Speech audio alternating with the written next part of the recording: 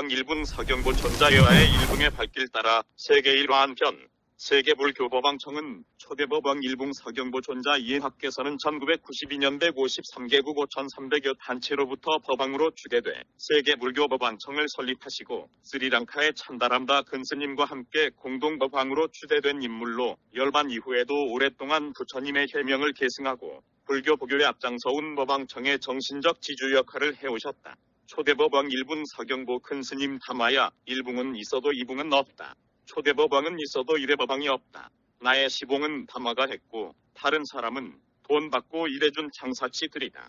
동년에 들었던 씨앗이 봄빛을 맞이하여 껍질을 깨고 새싹이 힘차게 솟아나 햇빛을 보듯 움츠리고 있던 우리 불교 1700살 갈고 다듬어고 피우기 위해 모태에서 삼장 전인을 전수받고 참에서 깨어난가 빙년 1914년 5월 9일생 세속의 이념 고리 끊으시고 사바의 중생을 위하여 부처님의 말씀을 행으로 실천하신 일본 큰 스님. 국내는 물론 오대양 육대주를 비행기와 배를 타고 하늘을 나르고 바다를 건너시며 동과서 남과 북을 쉬지 않고 넘나들며 인종과 종교 사상을 초월하여 보살도 행을 하시며 소승불교와 대승불교가 하나 되며 세계인의 융화단결 평화지향의 때와 장소 시간을 가리지 않으신 일분님이시여 한 가정에도 호주가 있고 한 나라에도 지도자가 있으며 천주교에서는 천년 전 교황청이 생기고 최고 지도자 교황이 추대되어 지금까지 천주교의 중추돌이 되었습니다. 우리 불교에서는 불타의 해명을 이어갈 세계적 중추적 구심점이 되는 곳이나 지도자가 없음에 불기 1536년 6월 드디어 세계불교는 하나로 뭉쳐 세계불교법안청이 설립되었고 일본 서경보 큰 스님이 세계불교 초대법왕으로 추대되었다. 일본 법왕님 사바세계 온두리의 법찰이 법등 밝히시어 법의 씨 뿌리시고 감높이 내리셨다. 중생들의 견성을 위하여 선이 기둥과 중생들 전법을 위하여 교회 기둥의 선과 교회 대들부 걸어 놓으신 큰 스님. 세계 기네스북의 최다 박사 학위와 최다선 빌 최다 통일기 원십이 최다저서 동양 최대의 동굴법당 등호관 왕이 되신 큰 스님. 일봉 법왕님의 음법제자 유달 제자는 모두 약 8천여 명에 이른다. 그중 어느 자식이 어버이와 같은 큰 업적을 남길 것인가? 큰 스님의 최측근 제자 담화는 지근에서 9년 동안 일본 큰 스님을 시봉하고 열반에 드신 후 지금까지 법왕청을 다져가면서 법왕님을 가슴속에 그려봅니다. 우리 모두는 큰 스님께서 뿌린 씨앗을 열심히 매가꾸어 꼽히고 열매 맺으면 큰 수레에 가득 거두어 저 반야의 바다를 건너오리다. 불기 1564년 세계 불교 평화의 날 제정 공포의 16주년을 기념하며 일본 큰 스님의 제자 담화 합장. 하늘도 축복한 법왕 탐생. 아니 이럴 수가. 비답이 비가 온다. 부처님 감사합니다. 서경보 스님 정말 고맙습니다. 황금보다 더 귀한 비가 서경보 법왕님이 오시자마자 쏟아지다니. 지난 1992년 4월 23일 오후 7시 스리랑카 콜롬보 국제공항에서 일어난 일이다. 전 세계 10억 불교 신자들의 구심점이 될 세계 불교 법안청의 정식 출범을 앞두고 법왕을 뽑고 헌장을 통과시키기 위해 92년 4월 25일부터 4월 26일까지 이틀간 스리랑카 캔디시에서 열리는 대회에 참석하고자 미리 도착한 날 기적 같은 현상이 일어난 것이다. 서경보 스님이 콜롬보 국제공항에 도착한 즉시 장대비가 쏟아지기 전까지 스리랑카 전국에서는 6달 동안 가뭄이 계속되어 농작물이 말라 죽고 마실 물마저 없었다. 부처님을 믿고 따르는 불교 국가인 스리랑카의 국민들은 다 같이 뜻을 모아 부처님께 하루 빨리 비를 내려달라고 기도하기도 하고 기우제를 올리기도 했었다. 그러나 농작물이 제대로 자라고 저수지에 물이 고여 먹을 물이 충분할 정도의 비는 오지 않았다. 인도 밤도의 최남단에서 동쪽으로 조금 떨어진 곳에 위치한 스리랑카는 적도에서 가까운 열대지방이나 인도양에서 불어오는 계절풍 몬순 때문에 다른 나라에 비해 덜 더운 평균 섭씨 26도 28도의 기후를 갖고 있다. 스리랑카는 이 기후를 이용해 세계 1위의 홍차 수출을 자랑하는 나라이다. 그런데 6달 동안이나 비다운 비가 오지 않아 1년 농사를 망치게 되었으니 온 국민들이 걱정을 안 할 수가 없었던 것이다. 스리랑카에서는 가장 귀한 손님이 자기 나라를 방문한다고 생각하여 성대한 환영식을 준비한 그날 서경보 스님이 기다리고 기다리던 비까지 데리고 왔으니 그 기쁨이 얼마나 컸겠는가. 스님 혹시 신통력과 법력의 힘으로 비를 내리게 하신 것 아닙니까? 이런 선물을 가져오시리라고는 생각도 못했습니다. 서경보 스님은 빙그레 웃을 뿐 말이 없었다. 이런 일이 있은 이틀 후 대회는 캔디시에서 18개국 대표와 내빈들이 참석한 가운데 열렸다. 이 대회에서 여러 나라 대표들은 서경보 스님을 만장일치로 세계불교 법왕청 초대 법왕으로 추대했다. 대회가 끝나는 4월 26일에도 검은 구름이 천지를 뒤덮고 온종일 비가 내려 스리랑카 국민들은 축제 분위기에서 부처님 열반 이후 실로 2536년 만에 불교의 유엔과 같은 세계 불교 법왕청이란 기구를 만들고 법왕을 뽑았다. 캔디시는 스리랑카 제1위 관광지로 석가모니 부처님의 이를 모신 불치사람 절과 매년 8월 초순 보름달이 뜨는 발밤에 아롱다롱한 전통 의상을 입고 100마리가 넘는 코끼리를 끌고 화려한 행진을 벌이는 페라레라란 축제로 유명한 도시이다. 그로부터 약 두 달 후인 6월 16일 오전 10시 스리랑카의 서울 콜롬보 국제회관에서 세계불교 법왕청 초대 법왕 추대 및 법왕청 분청 대표부의 취임식이 열렸다. 이날 행사는 세계불교 사상 최초로 대한민국 스리랑카 태국 인도네 8 일본 콩 방글라데시 아산 몽고 소련 중국 부탄 오스트리아 미얀마 미국 프랑스 등 각국 대표들과 내빈 2천명 이상 참석하여 성대히 거행되었다. 부처님이 부다가야에서 깨달음을 얻으셨을 때 다섯 가지의 빛이 나타났다는 데서 유래한 불교 새끼와 법왕청 기가 나란히 개양된 가운데 초대 법왕으로 뽑힌 서경보 법왕은 두 손을 모은 합장으로 감사와 경의를 표시한 다음 취임사를 발표했다. 오늘은 전 세계와 불교도들에게 역사적인 순간입니다. 불교의 본질은 사람들이 올바른 생활을 통해 바르고 곧게 사는 길을 가르치는 것입니다. 그러므로 불교의 위대성은 남에게 즐거움을 베풀고 고통을 함께 나누는 것에서 찾을 수 있습니다. 따라서 불교 지도자들은 모든 사람들이 절대 평등하다는 진리를 깨달아 안으로는 본래부터 타고난 자유를 얻도록 하고 밖으로는 인류가 싸우지 않고 평화롭게 살도록 힘써야 합니다. 이것이 바로 부처님의 뜻을 따르고 모든 불자들이 마음에 새겨야 할 소중한 것입니다. 취임사가 끝나자 참석자들은 한 사람도 빠짐없이 일어나 일제히 박수를 쳤다. 1992년 6월 16일 이날은 우리 한민족에 있어 영원히 잊을 수 없는 영광된 날이었다. 서경보 스님 개인적으로는 제주도 삼방불사 강예월 스님께 머리를 깎은 지 60년 만에 전 세계 불교의 최고 지도자가 된 뜻깊은 날이 되었다.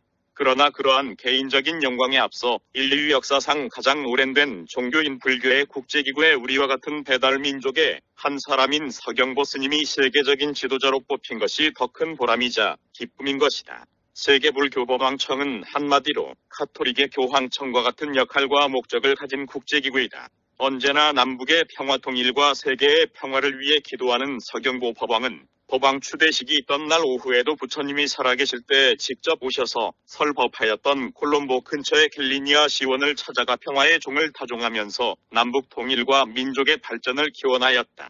직접 참가한 나라 외에도 전 세계 89개국에서 공식적인 승인을 받아 부처님 열반 이후 그 누구도 실현시키지 못한 남방 불교와 북방 불교를 통합시킨 역사적인 쾌거의 감동을 받은 미국의 국제예술대사관 총재는 최고영예의 메달을 서경보 법왕에게 주었다. 서경보 스님이 법왕으로 추대되어 우리나라에 돌아오자 한국의 불교계에서는 같은 해 7월 3일 오후 2시 서울 올림피아드 호텔에서 환영대 법회를 열어 진심으로 축하했다.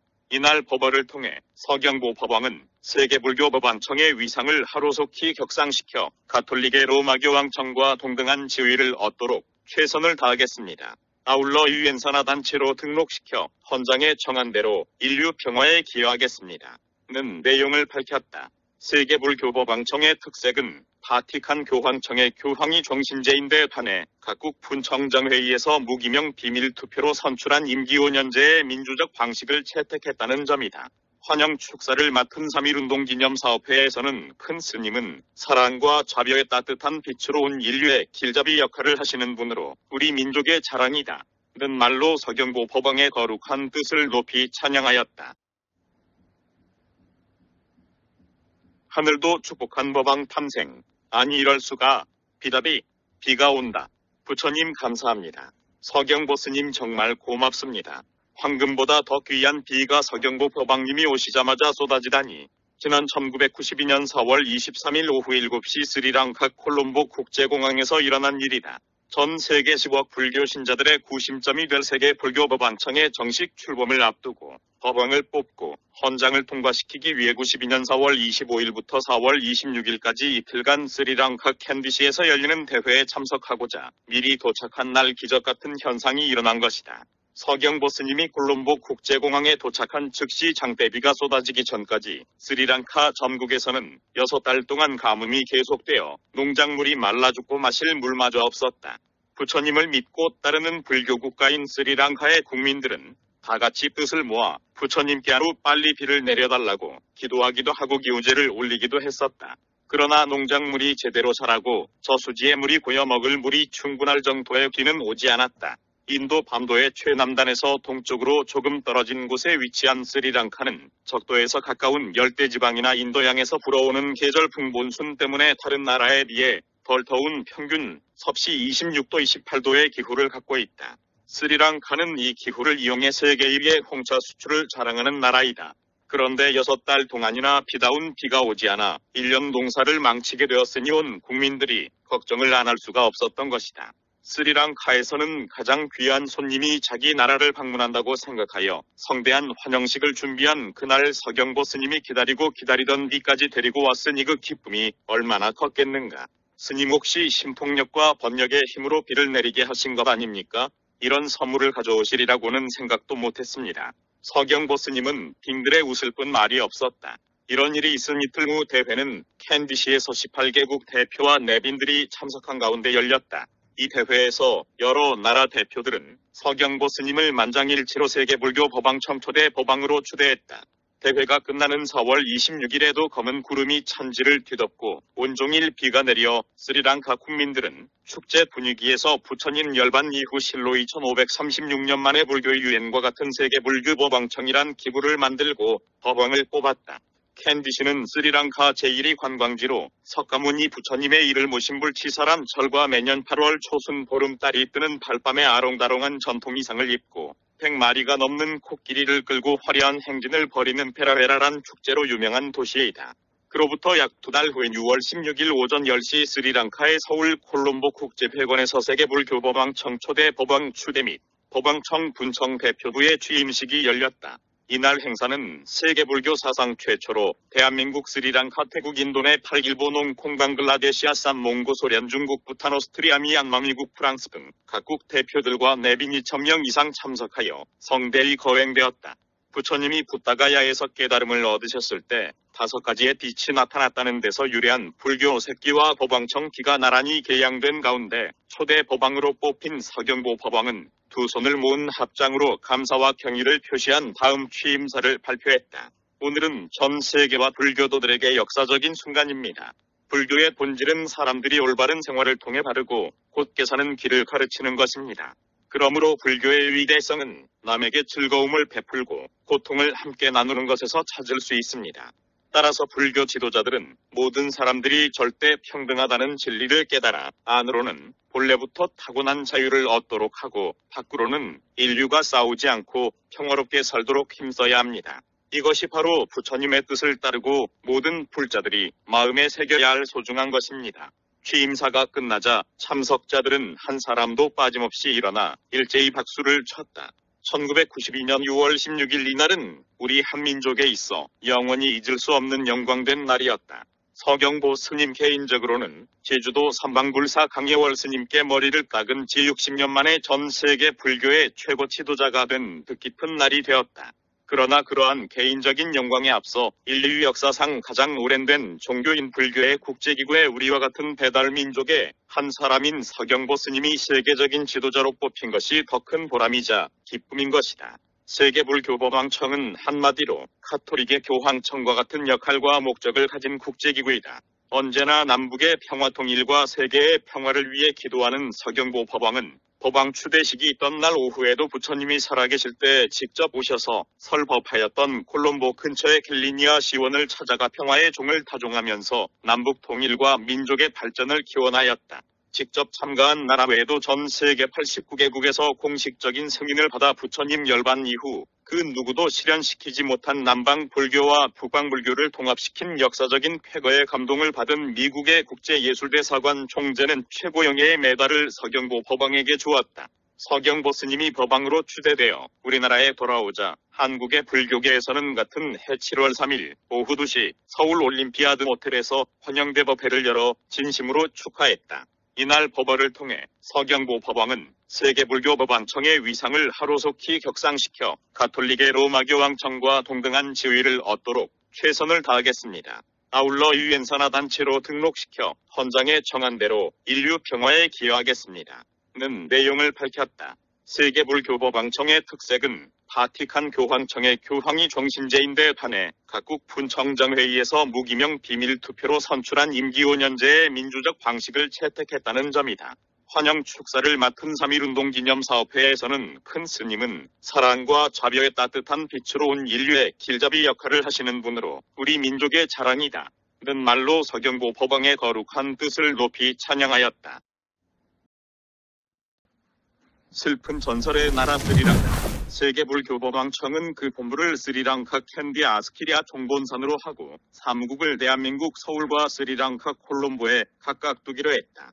그리고 참여한 세계 각국의 본청을 두는 조직을 갖고 있다. 그러면 총본산이 있는 스리랑카란 나라는 어떤 나라일까? 우리나라 남한보다 조금 작은 크기의 이 나라는 근세에 이르러 약 450년에 걸쳐 포르투갈, 네덜란드, 영국에 의한 침략과 지배를 받다가 1948년 독립했다. 천연자원으로는 고무와 보석이 유명하며 말은 시날리저와 파미러를 쓰지만 영어도 통용된다. 또한 국민 모두가 불교를 믿기 때문에 대통령도 고명한 스님을 만날 때에는 맨발을 하고 최대의 경의를 표시한다. 불교 의식 중 흥미로운 것은 우리나라에서는 목탁을 두드리며 불경을 읽는데 스리랑카에서는 페다라 앞사뒤에 쓴 경문을 읽고 연부를 한다는 점이다. 그런데 이 나라에서는 다음과 같은 슬픈 건국 신화가 있다. 우리나라에 있는 것과 같다. 아득한 옛날 인도에는 수많은 나라가 있었다. 이들 나라와 나라 사이에는 서로 많은 땅을 차지하려고 싸움이 그치질 않았다. 그래서 평화롭게 살기를 원하는 나라끼리는 왕자나 공주를 서로 사위와 며느리로 맞이하는 결혼이 늘어났다. 이때 어떤 나라의 공주가 이웃나라와 싸우지 않고 살기 위해 다른 나라의 계자에게 시집을 가게 되었다. 그래서 태자가 공주의 나라에 와서 결혼식을 올리고 자기 나라로 공주를 데려가는 도중 높고 험한 산 속에서 성난 사자를 만나게 되었다. 사자가 그르렁거리자 공주를 호위하던 사람들이 다 도망치고 공주만 가마 속에서 오들오들 떨고 있었다. 사자는 기다렸다는 듯이 공주가 탄 가마를 날카로운 발톱으로 지져 부수더니 공주를 등에 태워 멀리 떨어진 사자굴에 가두고 못 나오게 하였다. 잠시 후 비겁하게 도망친 사람들이 공주가 걱정되어 여기저기서 모여들었으나 가마는 부서지고 공주는 흔적도 없이 사라지고 난 뒤였다. 사람들은 공주가 사자에게 잡아먹힌 줄 알고 돌아갔다. 두 나라의 왕족들은 도망친 신하들을 크게 벌하고 두 나라의 백성들을 모두 동원하여 공주를 찾았으나 뼈조차 찾을 수가 없어 결국 포기하고 슬퍼할 뿐이었다. 그런데 그 사자는 공주를 잡아먹고 안고 아내로 삼았다. 처음에는 무서워 벌벌 떨던 공주도 사자가 해치려 하지 않자 죽는 것보다 낫다는 생각이 들었다. 사자와 오랫동안 살게 되자 공주는 사자가 가져다주는 바나나 파인애플 같은 과일과 날고기도 잘 먹게 되었다. 그러면서도 도망칠 구멍을 찾았지만 사자가 낮에 사냥을 나갈 때는 큰 바위돌로 굴을 막고 나가기 때문에 어쩔 수 없었다. 그러던 중 공주는 사자의 아이를 낳게 되었다. 그 아이는 사내였는데 얼굴은 사람이고 몸은 사자였다. 공주는 아들에게 사람의 말과 글을 가르쳤더니 곧 알아들었다. 얼마 후 공주는 또 딸을 낳았다. 딸의 생김새도 얼굴만 사람이고 몸은 사자였다. 딸도 영리하여 말과 글을 빨리 익혔다. 공주는 남매를 키우며 하루하루를 살았다. 아들이 일곱 살이 되고 딸이 다섯 살이 된 어느 해 어떤 날 아들이 공주에게 물었다. 엄마는 사람이고 아빠는 사자이고 우리는 사람 판침승 단이니 어찌 된 일입니까? 공주는 지금까지 있었던 일을 아들과 딸에게 말하고 나서 슬프게 울었다. 우는 공주를 보고 남매가 다시 물었다. 엄마 그렇다면 다시 사람으로 돌아가서 살 생각은 없어요?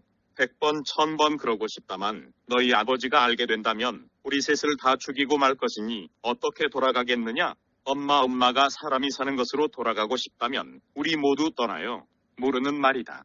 너희 아버지는 나를 지키는 수백 명의 사람을 물어뜯고 앓히고 상처를 내서 쫓아버리고 나를 빼앗은 무서운 사절한다. 엄마 그래도 우리가 비록 얼굴만이라도 사람의 모습을 하고 있는데 산 속에서 짐승처럼 살다가 죽을 수는 없잖아요. 엄마 아버지가 무섭기는 하지만 아버지는 이미 늙어 힘이 없고 저는 기운이 펄펄 솟아오르니 엄마는 죄가 없고 누이 동생은 걸리면 되니 어서 빨리 사람 사는 곳으로 돌아가요. 사람이 사는 곳은 동물이 사는 곳보다 돌아가요.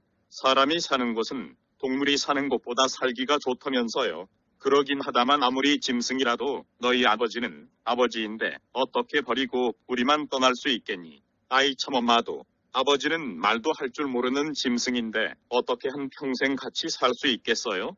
공주는 이러지도 저러지도 못하고 얼마를 지내다 마침내 너희 아버지가 사냥을 나갈 때 살짝 도망치자고 했다. 그렇게 하여 공주는 잡혀오기 전에 살던 친정 나라를 찾아갔으나 나라는 망해 없어졌고 부모와 왕족들은 온데간데 없어졌다. 이리하여 공주와 남매는 이 나라, 저 나라를 떠돌며 살아가다가 자기들이 도망친 숲속에서 가까운 나라까지 오게 되었다. 이 나라에는 사자가 임금이 사는 궁중에까지 들어와 사람을 닥치는 대로 물어뜯어 수많은 사람들이 다치고 죽었다. 임금은 군대를 동원하여 사자를 물리치려 하였으나 활이나 창으로는 상대할 수 없을 만큼 강하고 빠른 사자라 부상자만 나날이 늘어갔다. 다급해진 임금은 거리마다 방을 써 붙였다.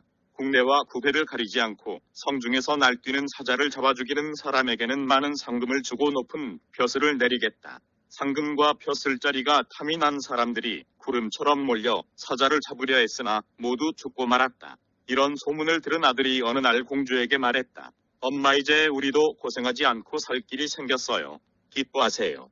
얘야 무슨 좋은 일이 갑자기 생겼단 말이냐? 어서 말해봐라. 아들은 사람들에게 들은 말과 임금이 붙인 방의 내용을 자세히 공주에게 말했다. 아들의 말을 다 공주는 그러나 나는 찬성할 수 없구나 했다. 엄마 왜 그러시죠? 너는 몰라서 그러느냐? 그 서자가 어떤 사자인가 말이다. 제가 어떻게 알겠어요? 그렇기도 하겠구나. 하지만 내가 짐작하기로는 그 사자가 너희 아버지일 것 같구나.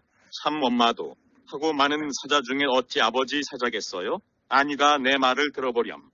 우리가 갑자기 사라지자 미칠 것 같은 너희 아버지가 사람을 미워하는 분풀이로 사람을 마구 해치는 것이다. 그러니 너는 그 사자를 죽인다면 아버지를 죽이는 것이 된다. 그래도 내가 나서겠느냐? 엄마 그런지 안 그런지는 직접 만나봐야 알 것 아닙니까? 제가 하는 것을 보고만 계십시오 아들은 재빠르게 임금에게 달려가 제가 그 사자를 죽여 상감마마에게 충성을 다할 테니 큰 대나무 창 하나만 만들어 주십시오 했다. 왕은 크게 기뻐하며 곧 축창을 주고 일렀다. 기특하도다. 꼭 성공하길 바란다. 아들은 사자가 날뛰는 곳으로 달려갔다. 그 사자는 어머니의 말씀대로 아버지였다. 아들이 나타나자 아버지 사자는 미친 듯이 날뛰건 행동을 멈추고 아들을 바라보았다. 아들은 그 사자가 아버지인 줄 뻔히 알면서도 상금과 높은 벼슬 자리에 눈이 어두워 모른 척하고 이놈 나의 창을 받아라 하고 고함 소리와 함께 사자의 앞가슴을 찔렀다. 사자는 피하기는 커녕 아들이 찌른 죽창이 자기 몸속에 더 깊이 박히도록 창을 끌어당기더니 아들을 끌어안고 얼굴을 부볐다. 또 아들의 등을 어루만지고 손을 잡더니 피를 토하며 쓰러져 죽었다. 이런 모습을 멀리서 지켜보던 사람들은 이상한 일이다. 그렇게 무섭던 사자가 자기에게 창을 던지는 사람을 해치려 하지도 않고 피하지도 않더니 끌어안고 죽다니 하고 생각을 가졌다. 사자가 죽었다는 보고를 받은 왕은 기쁨을 감추지 못하면서도 수상한 소문을 들었기 때문에 장한 일을 했다. 그러나 죽은 사자와 너의 사이에 어떤 비밀이 있는 것 같다. 거짓 없이 말하지 않으면 감옥에 넣겠다고 호통을 쳤다. 아들은 사실대로 숨김없이 말했다. 말을 다 듣고 난 왕은 이렇게 생각했다. 이놈이 상금과 벼슬의 눈이 어두워 제 아비까지 죽인 놈인데 임금이라고 해를 입히지 말란 법이 있겠는가? 임금은 이같이 생각하고 약간의 상금만 주고는 차갑게 돌려보냈다. 불만을 품은 아들은 공주에게 말했다. 엄마 상감인지 곱감인지 하는 그 사람이 처음에는 그 사자만 죽이면 평생 쓸 수 있는 상금과 높은 벼슬자리를 주겠다더니 막상 사자를 죽이고 나자 모른 척 합니다.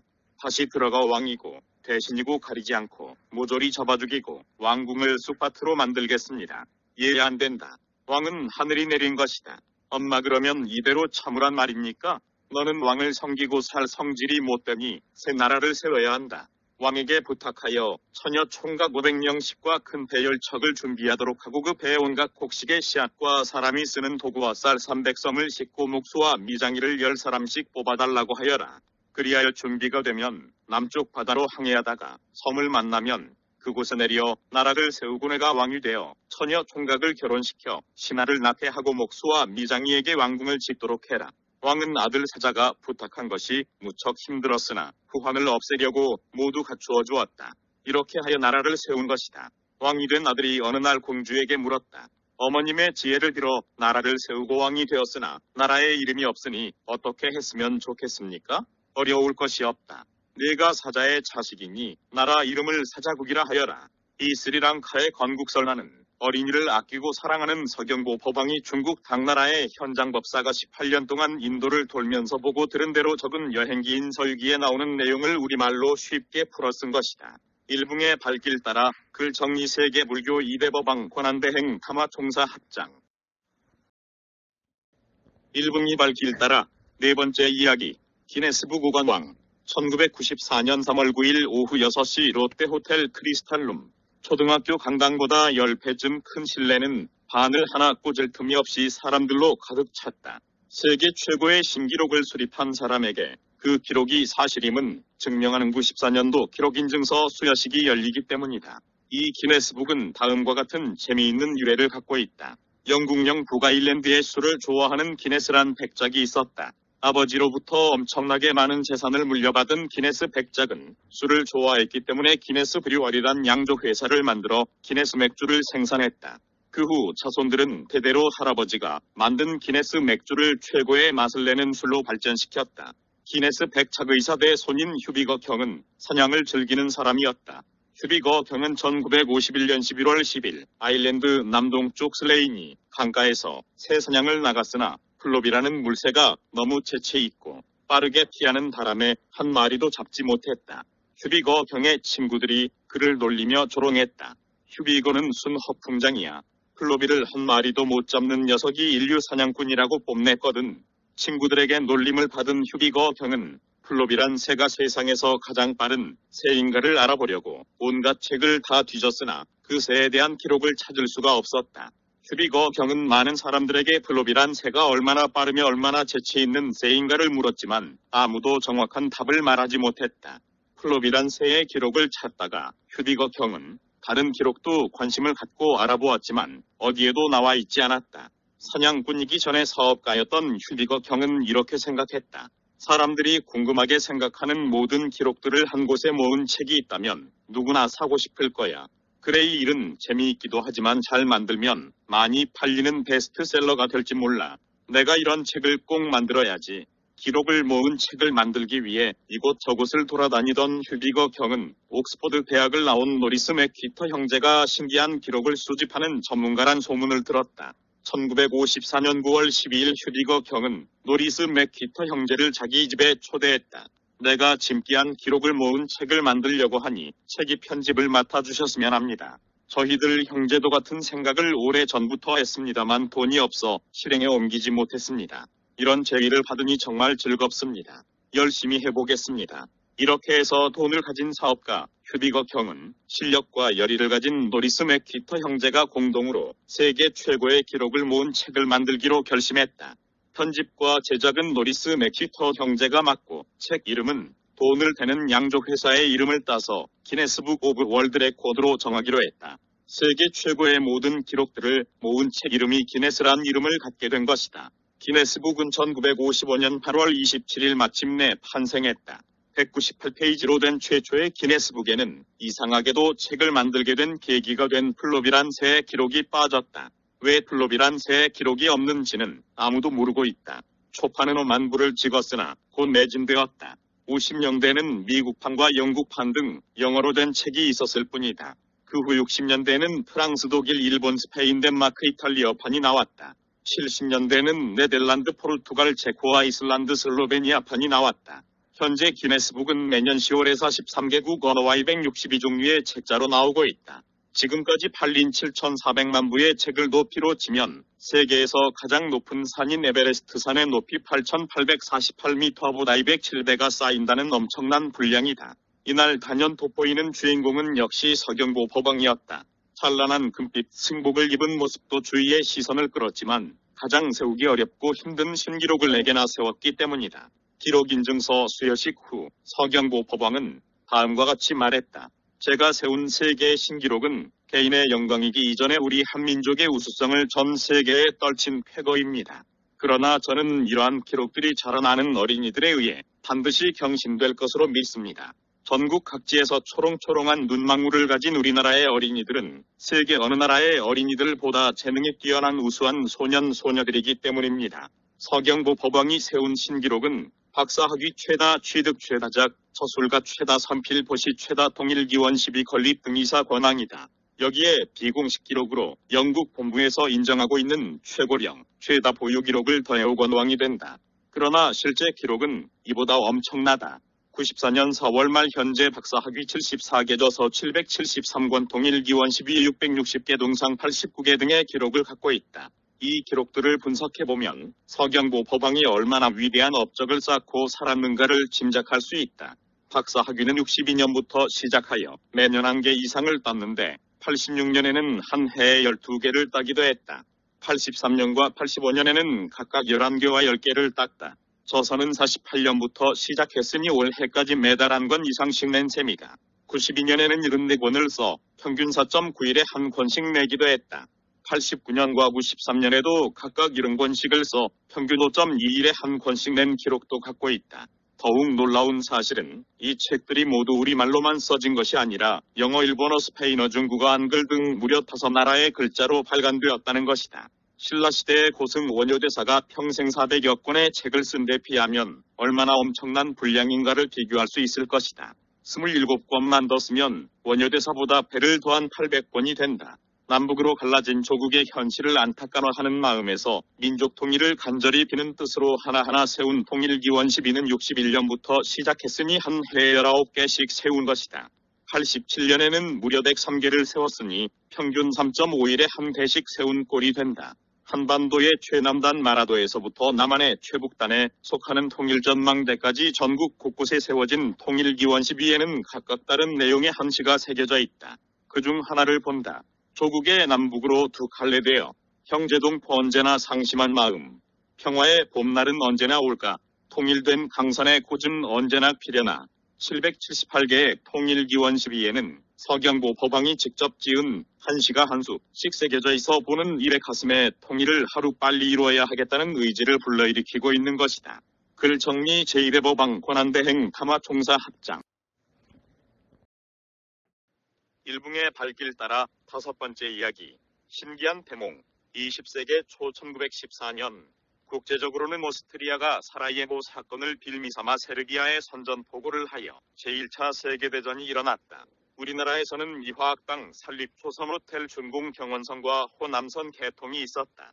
이보다 1년 전 한반도의 가장 남쪽에 자리 잡은 제주도 남제주군 중무면 도순 2331번지 지금의 서귀포시 도순동 이천 서씨 공도 공파의 중시조격인 제주목 40대 장손 서봉진 선생과 11대 장손 서성현 부자가 살고 있는 마을이었다. 50여 가구가 오손도손 모여 사는 조그마한 마을로 고기를 잡기도 하고 밭을 일구기도 하는 사람들이 살고 있었다.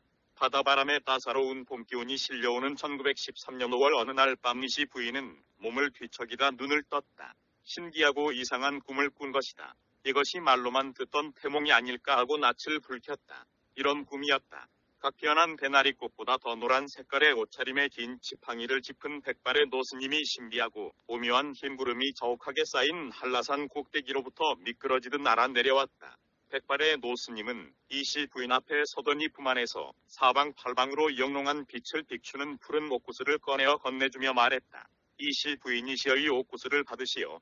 깜짝 놀란 이시 부인은 마음을 가다듬고 타소곳한 몸가짐과 정중한 목소리로 그 노스님께 물었다. 스님은 어느 절에 계신 스님이시온데 이런 값진 보물을 저에게 주시는 것이옵니까? 나는 한라산 대군사에 있는 중입니다. 그동안 이 옥구스를 전할 곳을 찾았으나 마땅히 전해줄 데가 없었으나 이제 귀백의 인연이 다 전하게 되었습니다. 모두 인연이니 더 이상 꼬치꼬치 묻지 말고 이 옥구슬이나 받으시오. 이실 부인은 거듭 물었다. 이처럼 진귀한 옥구슬을 어찌 아무 까닭도 없이 거저 받을 수 있겠습니까?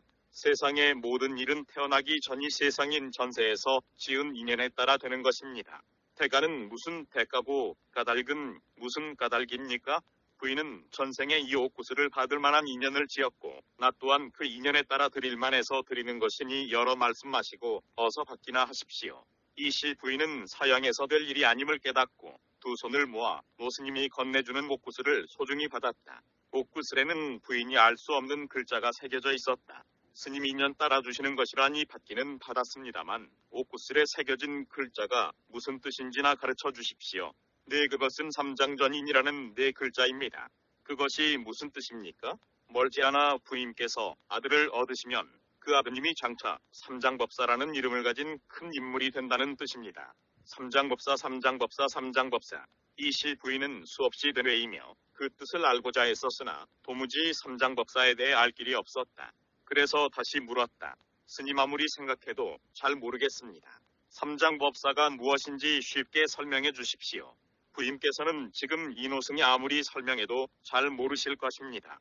그러하오니 어찌 여러 말씀을 드리겠습니까? 장차 태어날 아드님이 자라면 저절로 알게 될 날이 올 것이니 더 이상 묻지 말고 그 옥구슬이나 고이 간직하옵소서. 말을 마치자 노란 옷을 입은 백발의 노스님은 실로 눈 깜짝할 사이에 어디론가 사라졌다. 깨어보니 꿈이었다. 할아버지 서봉진 선생도 새벽에 꿈을 꾸었다. 역시 노란 옷을 입은 백발 노스님이 나타났다. 대개 귀한 아이가 탄생할 것이니 각별히 아끼고 사랑하여 키우십시오.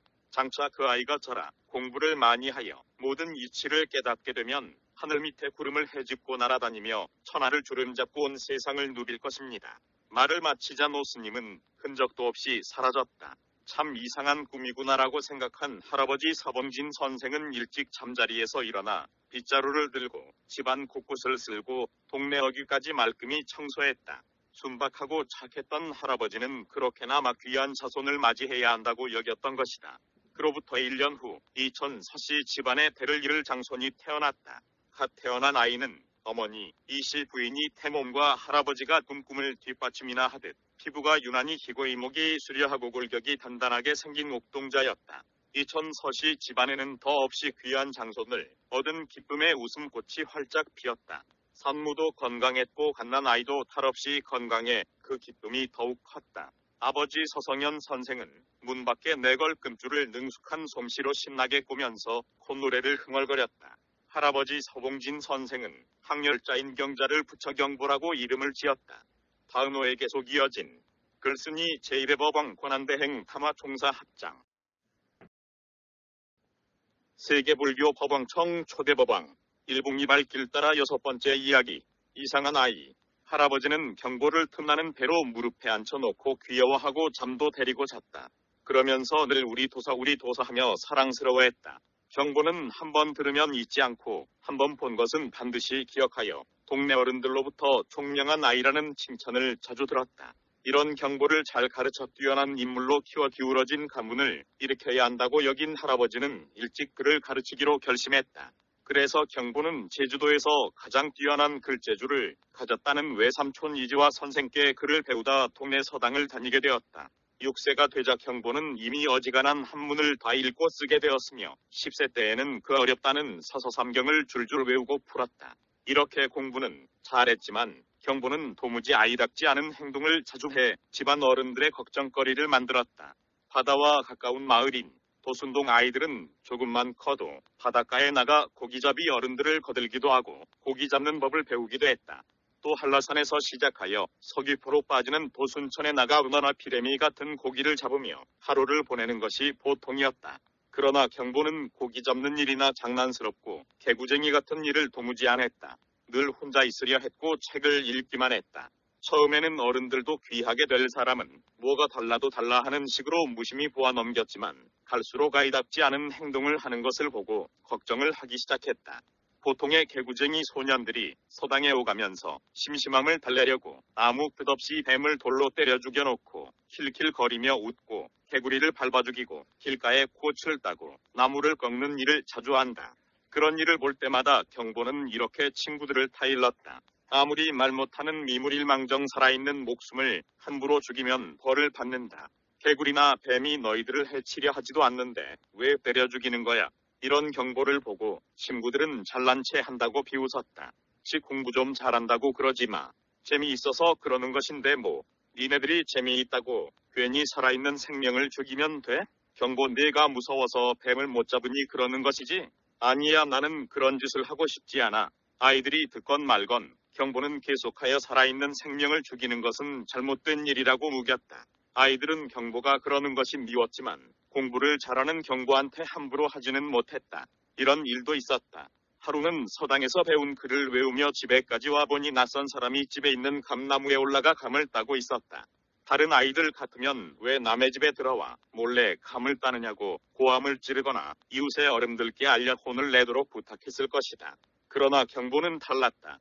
내가 소리를 지르면 놀란 나머지 떨어져 다칠 수도 있고 어른이 몰래 감을 따다가 아이에게 들키면 얼마나 민망해 할까?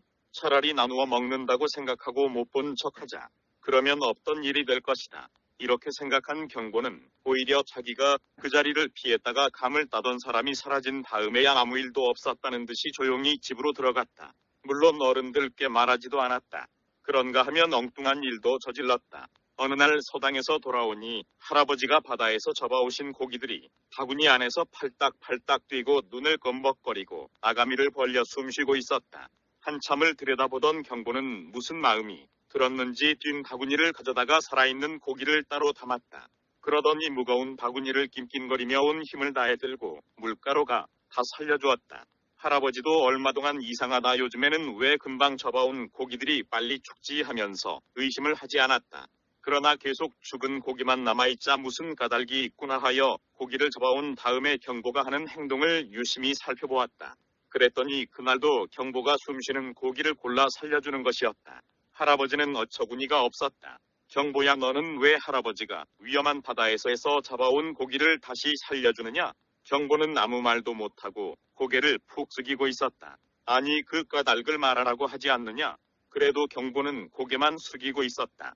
할아버지는 화가 나셨다. 이 녀석이 귀여워하고 예뻐하니 버릇이 없구나. 왜 고기를 다시 살려주느냐고 묻지 않느냐? 그냥 불쌍해서 그랬습니다. 뭐가 불쌍하다는 말이냐? 죽은 고기는 카디 반밖에 안 되는 걸 몰라서 그러느냐? 다시는 안 그러겠습니다. 이후에도 경보는 할아버지 몰래 고기를 살려주는 것을 멈추지 않았다. 할아버지는 다시 눈치를 채고 경보에게 물었다. 경보야 다시 묻겠다. 고기를 또다시 살려줄 것이냐? 아, 아니요. 하지만 물도 없는 곳에서 숨을 쉬고 팔딱팔딱 뛰는 고기를 보면 가련하다는 생각이 들어 저도 모르게 그러곤 했습니다. 그런 일이 있곤 하자 할아버지는 고기를 죽여서 가져왔다. 그 대신 다른 어부들보다 값싸게 고기를 팔아야 했다. 이것을 알게 된 경보는 어느 날 밤 할아버지와 한 이분에 들면서 말했다. 할아버지 다시는 산 고기를 놔주지 않을 테니 죽여서 가져오지 마십시오. 모두 죽여서 가져오시니 값도 제대로 못 받고 불쌍해서 살려준 제 뜻도 소용이 없게 되었잖아요. 그래 그렇구나. 알았다. 다음부터는 일부러 고기를 죽이지 않겠다. 할아버지는 경보가 기특하다는 뜻으로 머리를 쓰다듬어 주셨다. 그 다음부터 할아버지는 일부러 고기를 죽여서 집에 가져오시지 않아도 되었다. 그 대신 할아버지는 어린 손자의 마음을 알았는지 잡아온 고기 중에서 가장 싱싱한 몇 마리를 골라 경보에게 주면서 이놈은 경보 내가 다시 살려주어라 하셨다. 글쓴이 이대 법원 권한대행 탐화 총사 합장 일붕의 발길 따라 일곱 번째 이야기 훌륭하신 할아버지 할아버지 저는 신학문을 가르치는 학교에 가고 싶어요. 서당보다 학교를 보내주세요. 뭐라고 왜 놈들이 가르치는 신학문을 배우고 싶어 학교를 간다고? 할아버지 학교에 간다고 외놈이 되는 것은 아니지 않습니까? 안 된다. 누가 뭐라고 해도 안 된다.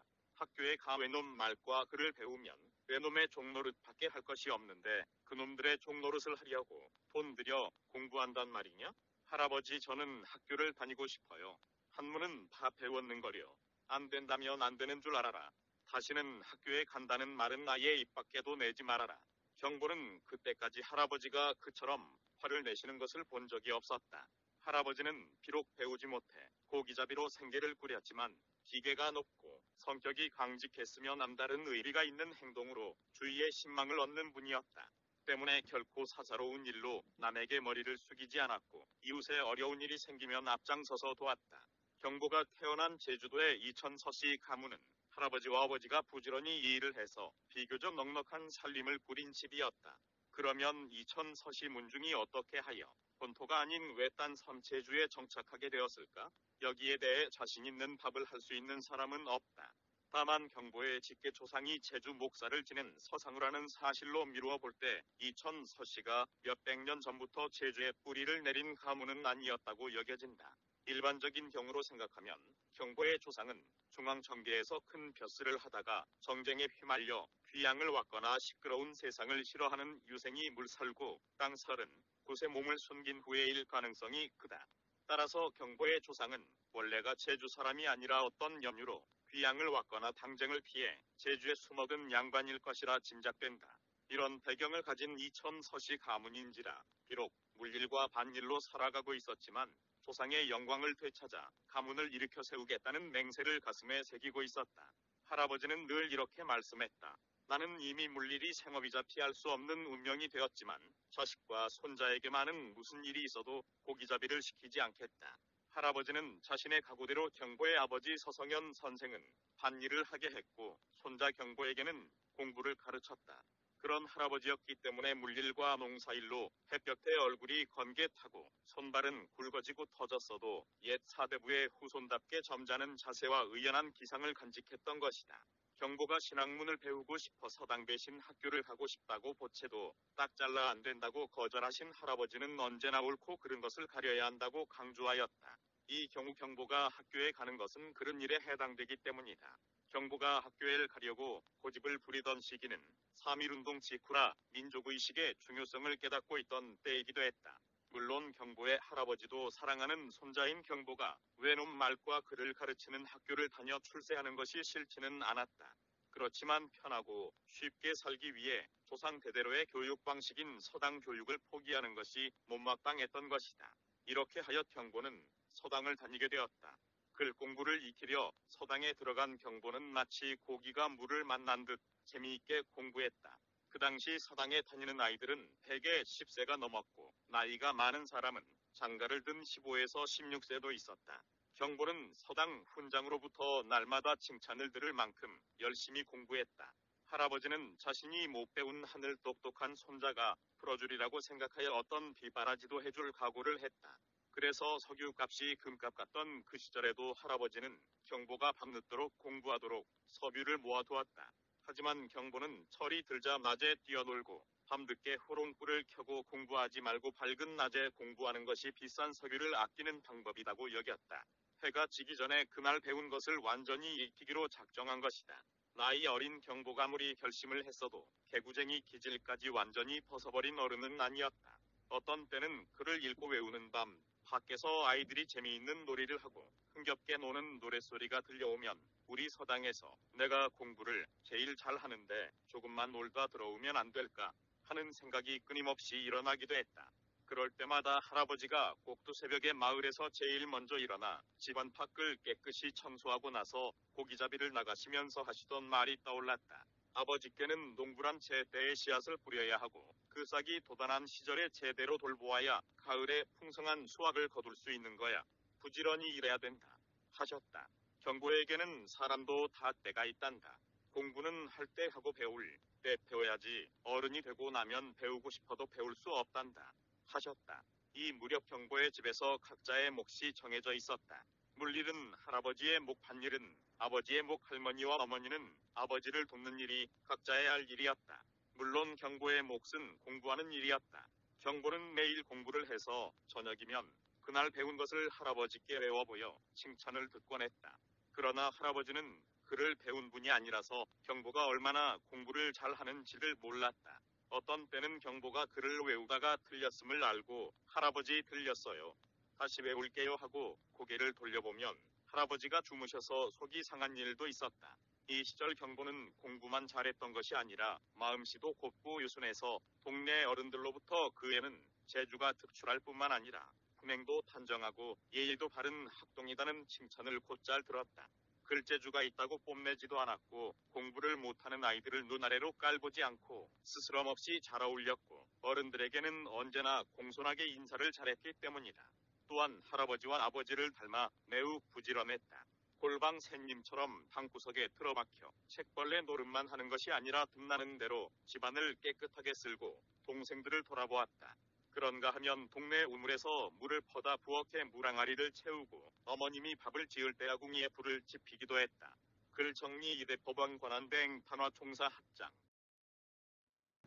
1분의 발길 따라 여덟 번째 이야기 15살짜리 훈장 엉뚱한 질문을 자주 하여 스승을 곤란하게 만들던 경보가 15세가 되던 해에 소당의 훈장 선생님이 신경통으로 자리에 눕게 되었다.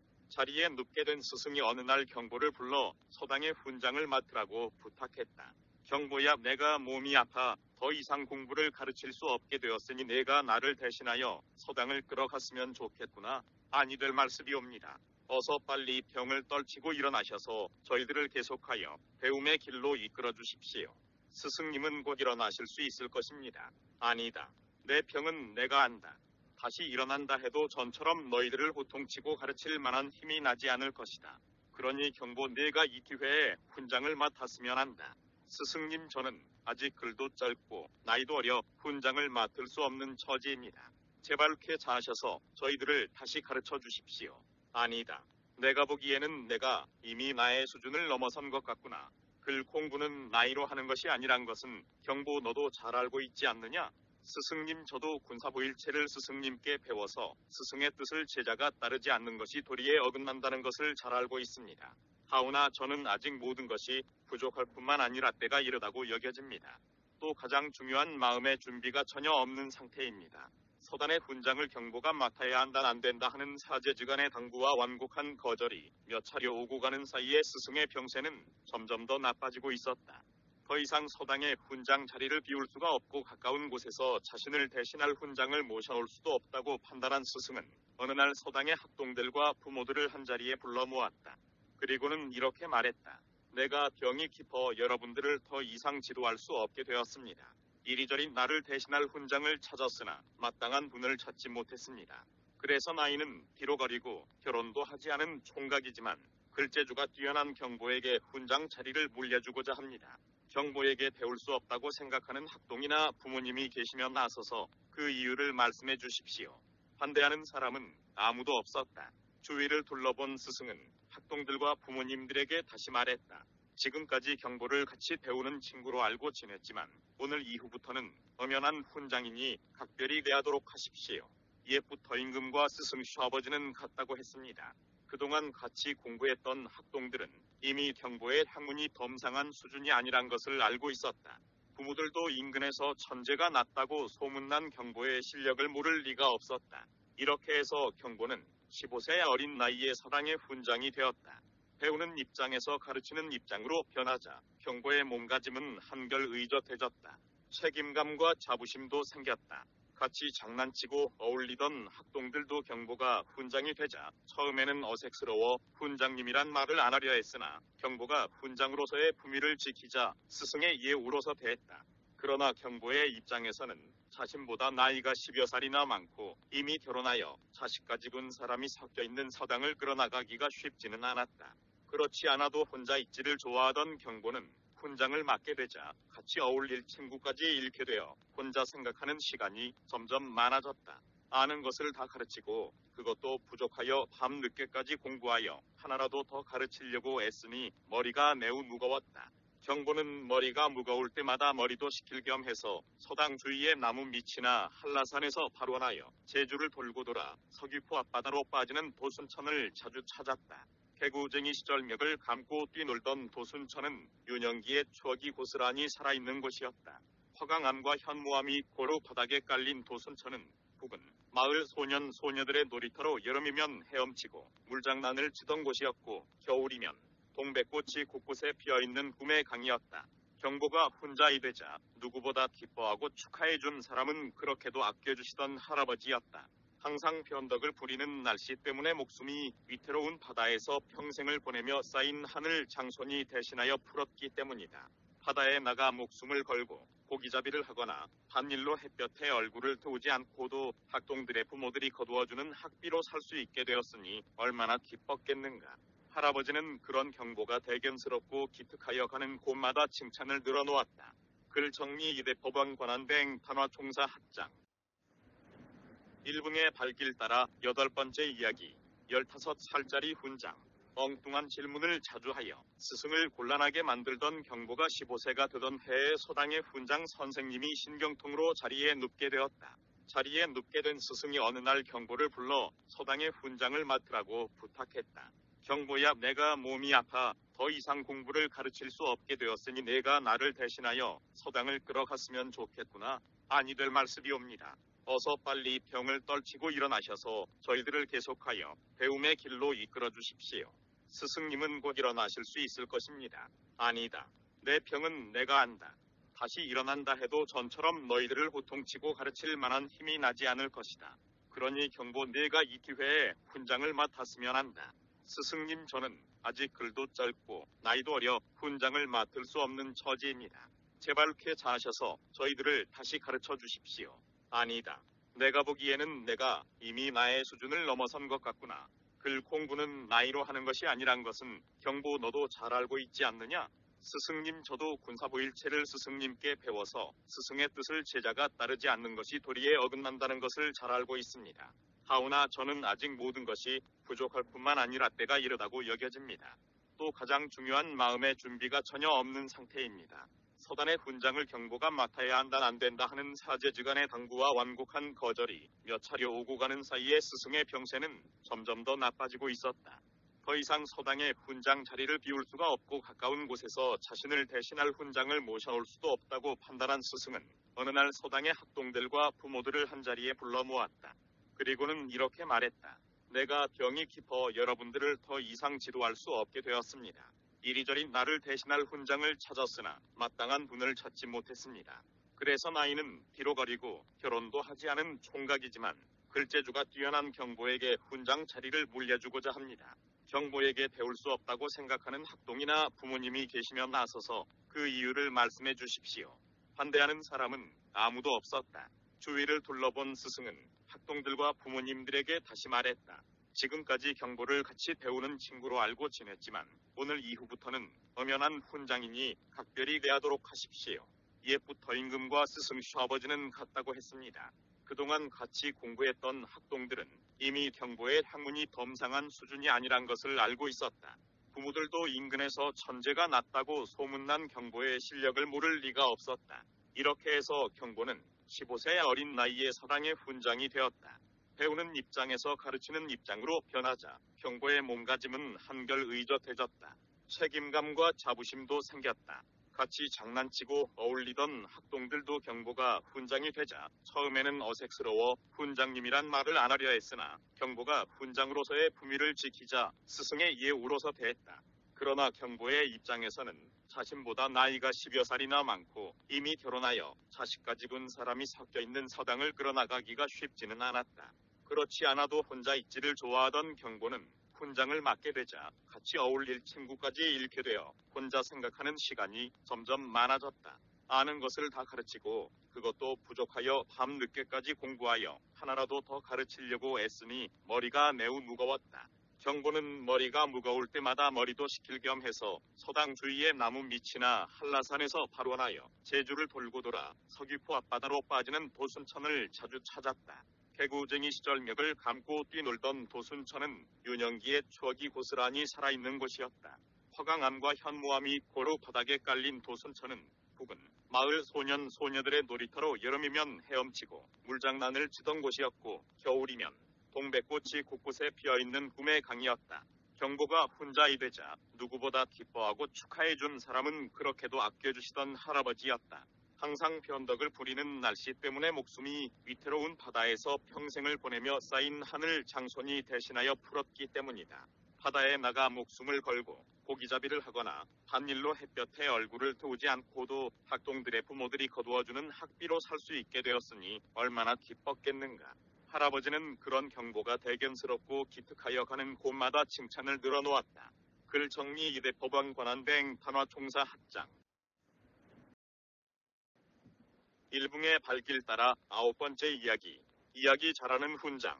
경보는 훈장이 되고 나서 재미있고 쉽게 가르친다는 원칙을 세웠다.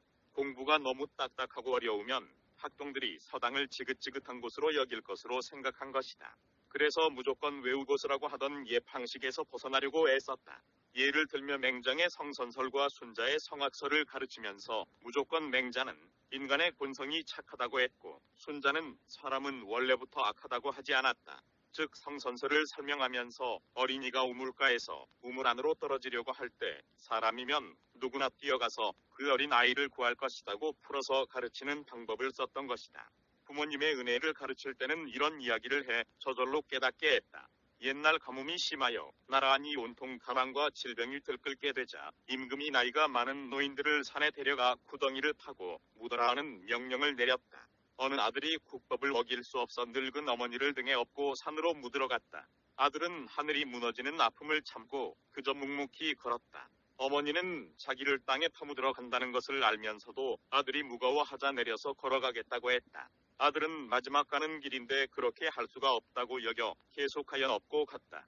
갈수록 숲이 깊어지자 어머니는 무슨 생각이 들어선지 나무 잎사귀를 따서 걸어가는 길가에 뿌리기도 하고 나무를 꺾기도 했다. 이상하게 여긴 아들이 물었다. 어머니 왜 나뭇잎을 따서 뿌리고 나무를 계속하여 꺾으세요? 네가 나중에 돌아갈 때 길을 잘못 들어 고생할까봐 그런다. 여러분 이것이 바로 부모님의 마음인 것입니다. 자신을 땅에 묻으러 가는 순간까지 자식이 돌아갈 것을 걱정하는 것이 부모님의 마음입니다. 아무리 그 공부가 싫은 학동들도 쉬운 예를 들어 설명하는 경보의 이야기에 귀를 기울이지 않은 사람은 없었다. 그러고 나서 옛 성현들이 말했던 부모님 은혜를 가르쳤다. 사람이 살아가면서 너무 재물에만 눈이 어두워서는 안 된다는 것은 이런 이야기로 가르쳤다. 옛날 어느 마을에 장자라는 소년이 있었다. 그의 집안은 아버지 대까지 부자였으나 차츰 가세가 기울어 끝내 가난하게 되었다.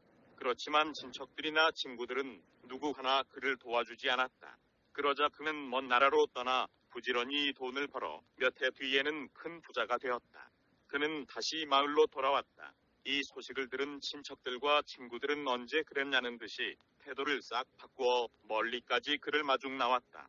이 말을 들은 그는 일부러 남루한 옷을 걸치고 맨 앞에 하인들 사이에 기어 걸어갔다. 친척들은 가난했던 소년이 이제는 자라서 어른이 되었으므로 아무도 그를 알아보지 못했다. 그래서 친척들은 하임 차림을 한 장자에게 물었다. 이봐야 오늘 크게 성공하여 돌아오는 장자는 어디 계십니까? 장자는 시치미를 뚝 떼고 대답했다. 저 뒤쪽에 오십니다. 그러나 아무리 찾아도 그럴듯한 사람이 보이지 않았다. 친척들은 다시 뒤쪽의 하인들에게 물었다. 장자는 어느 분인가요? 그분은 맨 앞에 계시는데요. 이렇게 하여 겨우 장자를 찾아낸 친척들은 마중까지 나온 자신들을 피하는 장자가 야속하게만 생각되었다. 장자는 친척들과 마중 나온 사람들을 향해 말했다. 당신네들이 만나고 싶어하는 장자는 저 낙타 등에 있습니다. 제가 지난 날 가난했을 때는 거들떠보지도 않던 당신들이 갑자기 마중을 나와 장자를 찾는 것은 나를 위해서가 아니라 내가 벌어오는 재산 때문일 것입니다. 그 재산은 저 뒤에 오는 낙타 등에 실려 있습니다. 이 이야기를 들은 학동들은 저절로 고개를 끄덕거리며 신나했다. 공부를 제때 해야 하고 모든 일에 때가 있다는 것은 이런 이야기로 가르쳤다. 중국의 주나라에 한 도인이 있었다. 그는 일찍부터 갖가지 재주를 익혀 마침내는 도인으로 불리웠다. 그 도인은 둔갑술과 신출귀모라는 재주를 부렸다. 심지어는 새와 물고기들이 말하는 것도 알아들었다. 하루는 그 도인이 여행을 하는 중 길 옆에서 자기를 부르는 소리를 들었다. 여보세요. 도인님. 도인은 그 소리 나는 방향으로 고개를 돌렸다. 소리가 나는 곳에는 아무도 없고 다만 메마른 웅덩이 속에 붕어 몇 마리가 비늘이 바싹 말라 거의 죽어갈 지경이 되어 있었다. 도인은 이상한 생각이 들었으나 발길을 돌려 가던 길을 계속하려고 하였다. 그런데 그 웅덩이 속이 붕어들이 도인에게 애걸하였다. 우리들은 지금 웅덩이에 물이 없어 비늘이 말라 목숨이 위태로운 지경에 이르렀습니다. 토인께서는 물 한 말만 길어다가 이 웅덩이에 부어주시면 저희들이 곧 살아날 것입니다. 그러면 그 은혜를 꼭 잊지 않고 갚을 것입니다. 오 그러냐? 한 말 정도의 물이 아니라 내가 아예 강이 물줄기를 이곳으로 대어주마. 도인의 말을 들은 붕어들은 탄식을 했다. 우리들은 지금 한시가 급해서 그러는데 만일 도인께서 강물을 이곳에 뵐 때까지 기다리면 우리는 결국 어물전으로 가거나 말라 죽게 될 것입니다. 고집과 체면을 너무 따지다가는 손해만 보게 된다는 가르침은 이런 이야기로 대신했다. 돼지의 왕이 부하들을 데리고 험한 산길에 들어섰다. 그런데 저쪽에서 한 마리의 호랑이가 어슬렁어슬렁 걸어오고 있었다.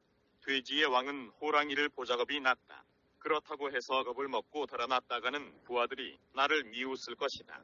이 위험하고 어려운 고비를 면할 좋은 방법이 없을까 하는 궁리를 하고 있었다. 잠시 길을 비켜주며 아무 말썽이 안 생길 것인데도 돼지의 왕은 터무니없는 고집을 부렸다.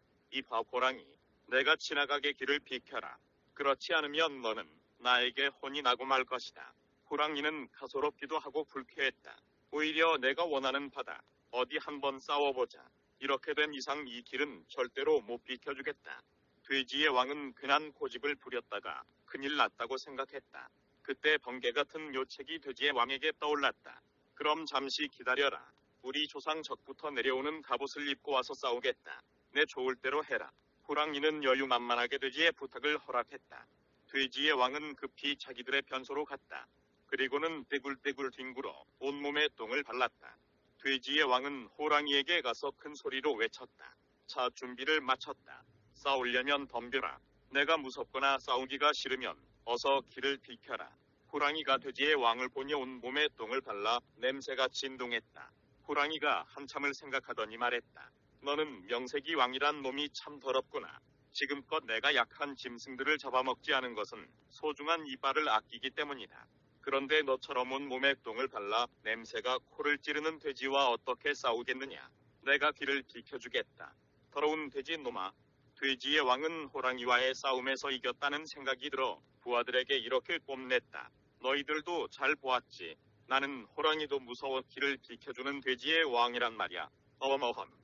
그러나 돼지 나라에 돌아온 돼지의 왕은 온몸에 똥을 발라 호랑이를 물리쳤다는 소문이 돌아 돼지 나라의 품위를 떨어뜨린 돼지를 왕으로 모실 수 없다 하여 아무도 그 돼지를 따르지 않게 되었다. 경보는 어떤 것을 가르칠 때에도 비슷한 이야기를 먼저 들려주고 나서 한문의 문장을 풀어나갔다. 이 같은 학습법이 널리 알려지자 너도 나도 경보에게 학동을 맡기려 했다. 공부에 특별히 취미가 없는 아이들이 서당에 가는 것을 꺼려했고 어떤 아이들은 집에서는 서당에를 간다고 해놓고는 딴짓을 하며 시간을 보내다 서당 공부를 마치고 나오는 아이들과 섞여 집으로 돌아가기도 했다. 이런 까닭에 재미있는 이야기를 해가며 머리에 쏙쏙 들어오게 가르치는 경보가 있는 서당에 학생들이 몰리는 것이었다. 글 정리 이배법왕 권한대행 담화 총사 합장 일붕의 발길 따라 열 번째 이야기 더 넓은 세계로 서당의 훈장으로 명성을 얻어 가족들이 기뻐하는 것과는 반대로 경보는 답답함을 느꼈다. 서당에서 아이들을 가르치고 나서 집에 돌아와 뒤터에 길을 신던 경보는 자신이 한심하다는 생각이 들었다. 산의 대장부로 태어나 천하를 노래해도 부족하거늘 어찌 좁은 선구석에서 고 흘리게들의 훈장 노릇이나 하고 귤나무를 심어 그 열매가 맺길 기다려야 되겠는가? 그렇다. 무트로 나가자 넓은 곳으로 나가 훌륭한 스승을 찾아 더 깊은 공부를 하고 큰 뜻을 펼치자. 세계는 나날이 발전하는 데 어찌 예탕문인 한자만 익혀서 앞서가는 사람이 될 수 있겠는가? 이런 생각이 일어나면 장자란 책이 남화경 차편에 나오는 붕새의 이야기가 떠올랐다. 남화경에는 상상의 새인 붕새를 이렇게 쓰고 있다. 북방의 조그만 새가 하루아침에 갑자기 커져서 날갯짓을 하니 태풍이 일어나고 태양빛을 가릴 정도의 위세로 바람을 일으켰고 몇 차례 날개짓을 하다가 남녘을 향해 구만리 창공을 6개월간 날았다. 경보는 남화경에 나오는 붕새를 떠올리며 이렇게 다짐했다. 붕새는 날개를 펴면 하늘을 뒤덮고 한번 물을 마시면 오대양의 물이 마르고 등뼈만 2천리가 넘는다고 하는데 세상에 다 같은 사람으로 태어나서 어떤 사람은 사소삼경이나 창자 같은 불후의 명작을 남기고 역사의 길이 빛나는 위대한 업적을 쌓는데 나는 그들이 쓴 글을 읽고 가르치면서 황금보다 귀한 시간을 허비해야 되겠는가? 나도 학문과 경륜을 쌓아온 세상의 기계를 떨치는 붕새와 같은 큰 그릇이 되자. 옛부터 말을 낳으면 제주로 보내고 사람은 서울로 보내라고 했다. 나도 어서 빨리 넓은 세상으로 나가자. 이때부터 경보는 몸은 제주에 있었지만 마음은 이미 육지로 떠나 있었다. 제주를 떠날 궁리를 하던 중 남제주군 위미리란 곳에 현씨가 뭍에서 도력이 높은 분을 모셔놓는다는 소문을 들었다. 경보는 그날을 기다렸다가 노이송 선생을 만났다. 경보는 노 선생을 따라 전남 영광군 묘량면까지 가서 많은 것을 배우고 돌아왔다. 다시 집으로 돌아와 훈장을 하면서 책을 읽고는 도중 주재소에서 출두하라는 연락이 왔다.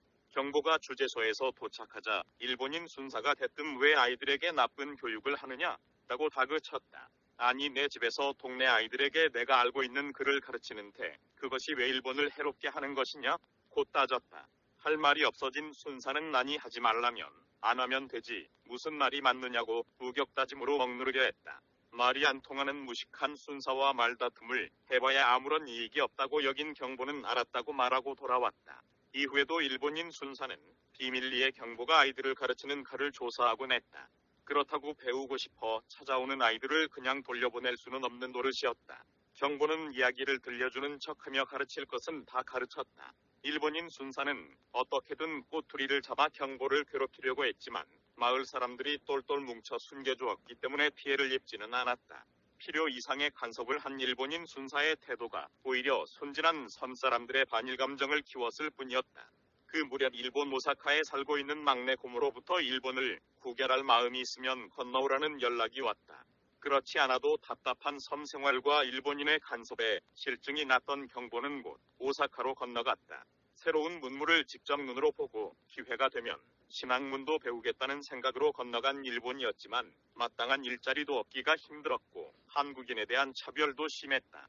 거기다가 말도 통하지 않아 불편한 점이 한두 가지가 아니었다.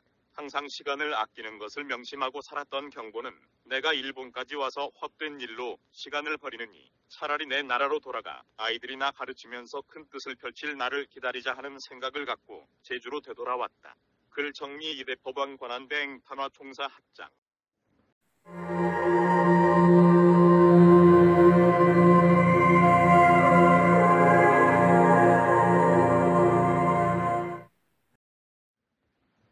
법왕 일붕의 발길 따라 11번째 이야기. 결혼과 출가? 일본에서 돌아와 집안 일도 돕고 그동안 못 읽었던 책도 읽으면서 훌륭한 스승을 찾아 무트로 떠날 계획을 짜고 있었다. 어느 날 할아버지께서 경보를 찾으셨다. 할아버지 저를 부르셨습니까? 하면서 무릎을 꿇고 앉은 경보를 보고 할아버지께서는 조용한 말씀하셨다. 경보야 나는 내가 더없이 자랑스럽구나.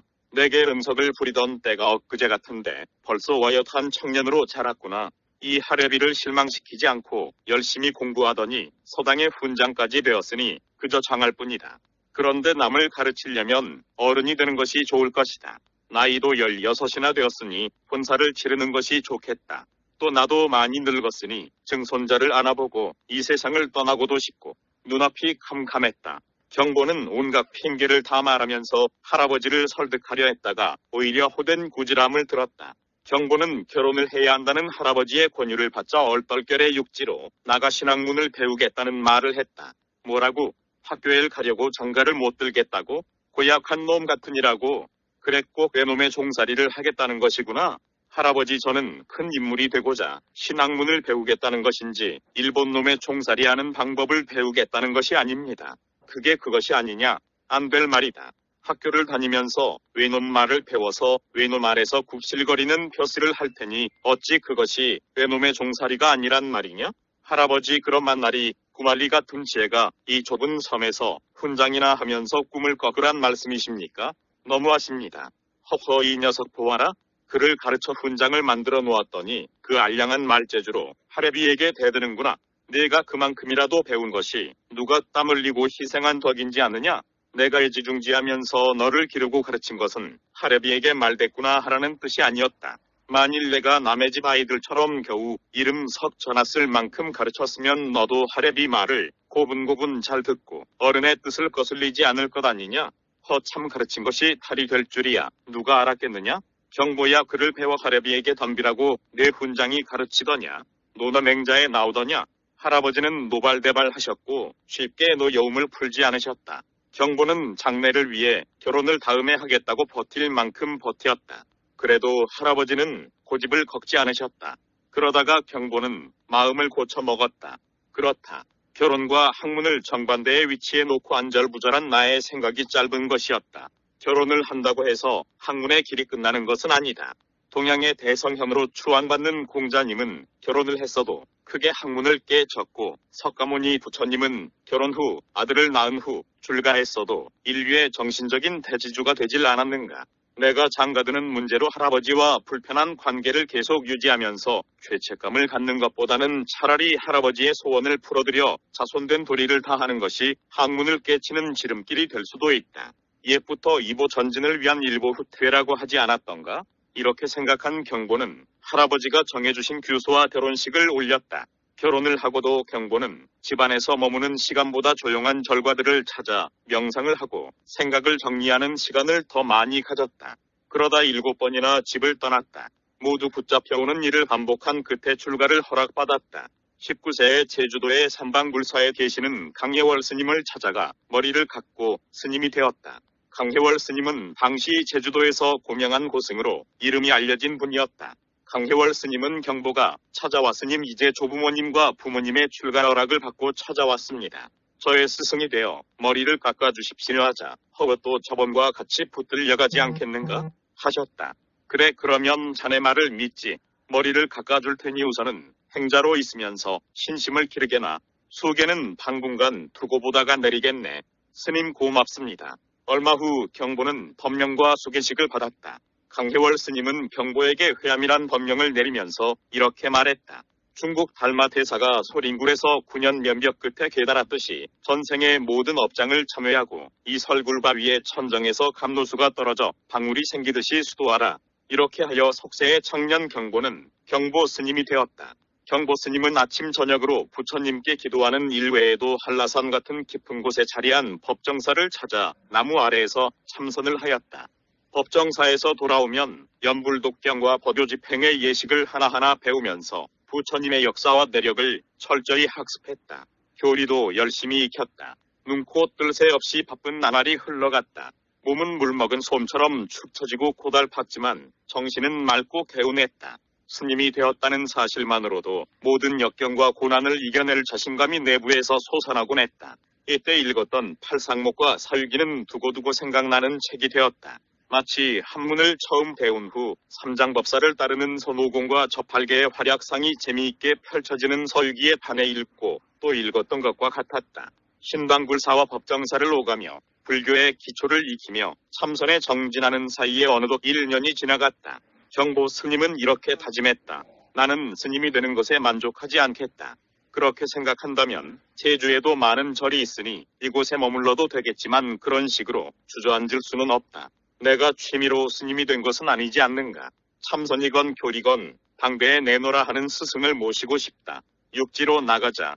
그래야만 차원 높은 불교를 배우고 어머니의 태몽대로 삼장전님을 전수받을 수 있을 것이다. 경보 스님은 수륙만리 육지로 떠나면 언제 만날지도 모르는 어른들께 작별 인사를 드리려고 속가에 예고 없이 들렸다. 가족들은 깜짝 놀랐다. 어머니는 버선발로 뛰어나와 반겼다. 수도하는 절의 이씨 부인이 찾아가 잠깐만 보자고 해도 매물차게 거절하던 경보 스님이 제 발로 집 대문 안으로 들어섰으니 놀랄 수밖에 없었다. 승복과 어머니를 깎은 모습도 그렇거니와 어른들을 대하는 인사도 승려식이었다. 할아버지는 영락 없는 진짜 중이구나. 집을 떠나 얼마나 고생이 많았느냐? 어서 들어오너라. 하셨다. 아버지는 중이 되는 것도 팔자련이 하고 포기했다. 이왕 내친 걸음이니 훌륭한 도사가 되거라고 등을 두드렸다. 이 시 부인은 꿈인가 생시인가 하는 듯 놀란 토끼 눈으로 그저 보고만 있었다. 경보 스님은 가족들을 안심시키기 위해 일부러 부드럽고 편안한 표정을 짓고 말했다. 어르신들 덕분에 이렇게 소원을 이루고 보니 세상에 부러운 것이 하나도 없습니다.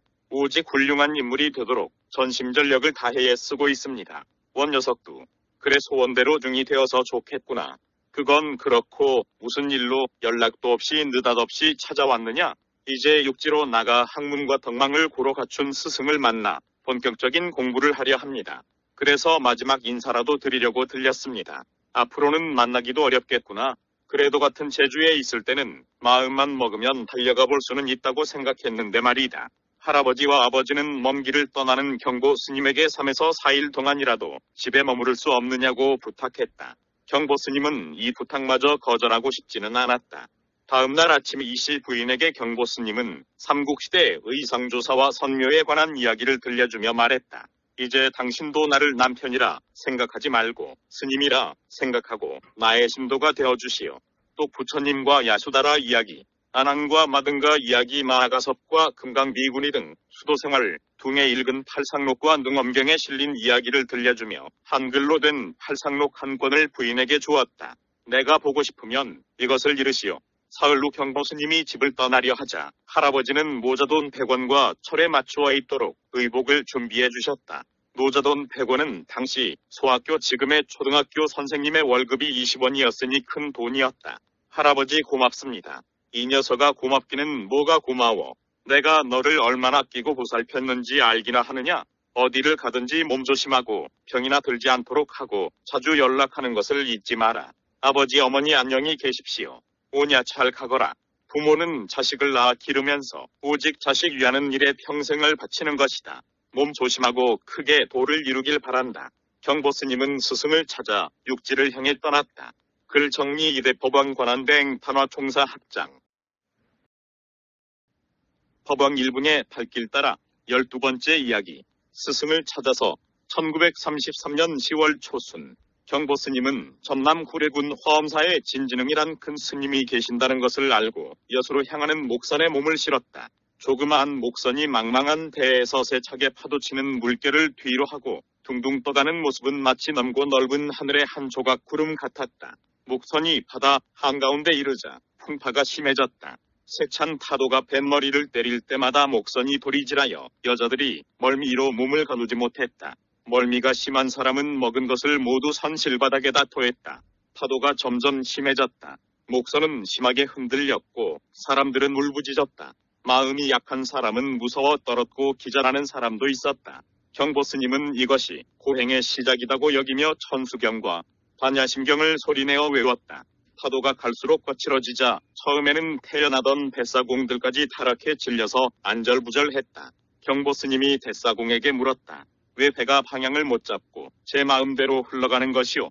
너무 짐을 많이 실어 우리가 배를 마음대로 부리지 못하고 있습니다.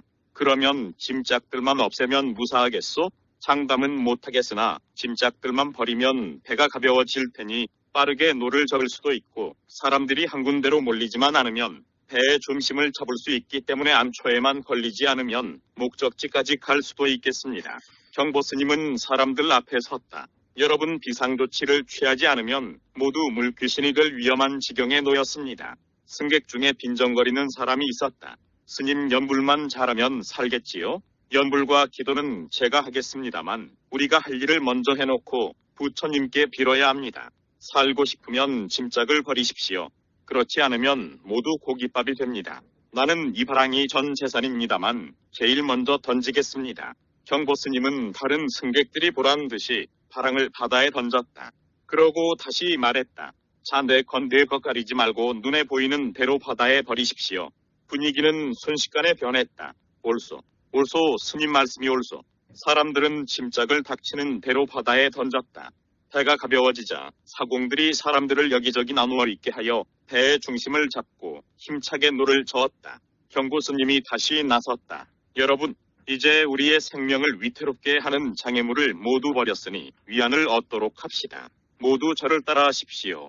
나무대자 대비고구군한 관세음보살, 나무대자 대비고구군한 관세음보살, 목선은 순식간에 법당이 되었다. 승객 모두 관세음보살을 외웠다. 드디어 대감 무사히 여수항에 도착했다. 경보 스님은 짐을 버려 돈이 떨어진 사람은 모두 나를 따라오시오. 하고 앞장서 걸었다. 큰 여관을 잡아 숙박비와 음식값을 대신 치러주고 따라온 사람들에게 불교 이야기를 들려주었다. 다음날 경고 스님은 거린 같은 차림을 하고 구려화엄사에 들어섰다. 스님들을 만나 목선에서 있었던 일을 말하자 칭찬했다. 경보 스님은 한시라도 빨리 진지는 스님을 만나 뵙고 싶었지만 기사 장삼과 다리 때까지 바다에 버려 모양새가 하도 초라하여 행여 실례가 될까봐 객실에 머물면서 대중 공양도 참여하지 않았다. 며칠 후 가사 장삼을 준비한 다음 날로만 듣던 진지는 강백을 찾았다. 진 강백은 키가 크고 눈동자가 별처럼 빛나고 음성이 종소리처럼 웅장하고 근엄한 표정을 가진 분이라 저절로 고개를 숙여 존경의 뜻을 표시했다. 진 강백은 경보 스님의 출가 경위와 뜻을 다 듣고 나더니 뛰어난 인재로다. 나이 겨우 20에 그처럼 큰 뜻을 품고 스승을 찾아 죽을 고비를 넘기며 육지로 나오다니 하면서 귀여워했다. 그런데 허엄사에는 그때 삼위과와 사집과가 없고 사교과와 대교과만 있었다. 삼위과는 불교 인문의 초등부 과정으로 초등학교와 중학교에 해당되고 사집과는 고등학교에 해당된다. 또 사교관은 대학에 해당되는 대교관은 대학원에 해당된다. 식수행은 불교 과학으로 이해된다. 경고 스님은 사정이 그렇다더라도 여기까지 와서 그냥 포기할 수는 없다고 여겨 연불과 예식 절차를 더 익히기로 하고 구청대 선방에 들어갔다. 이 선방에서는 경보 스님에게 출가 전의 학문 실력이 아무리 뛰어났더라도 불경은 유교의 글과 달라서 마음을 다루는 것이니 먼저 참선을 하라고 권했다.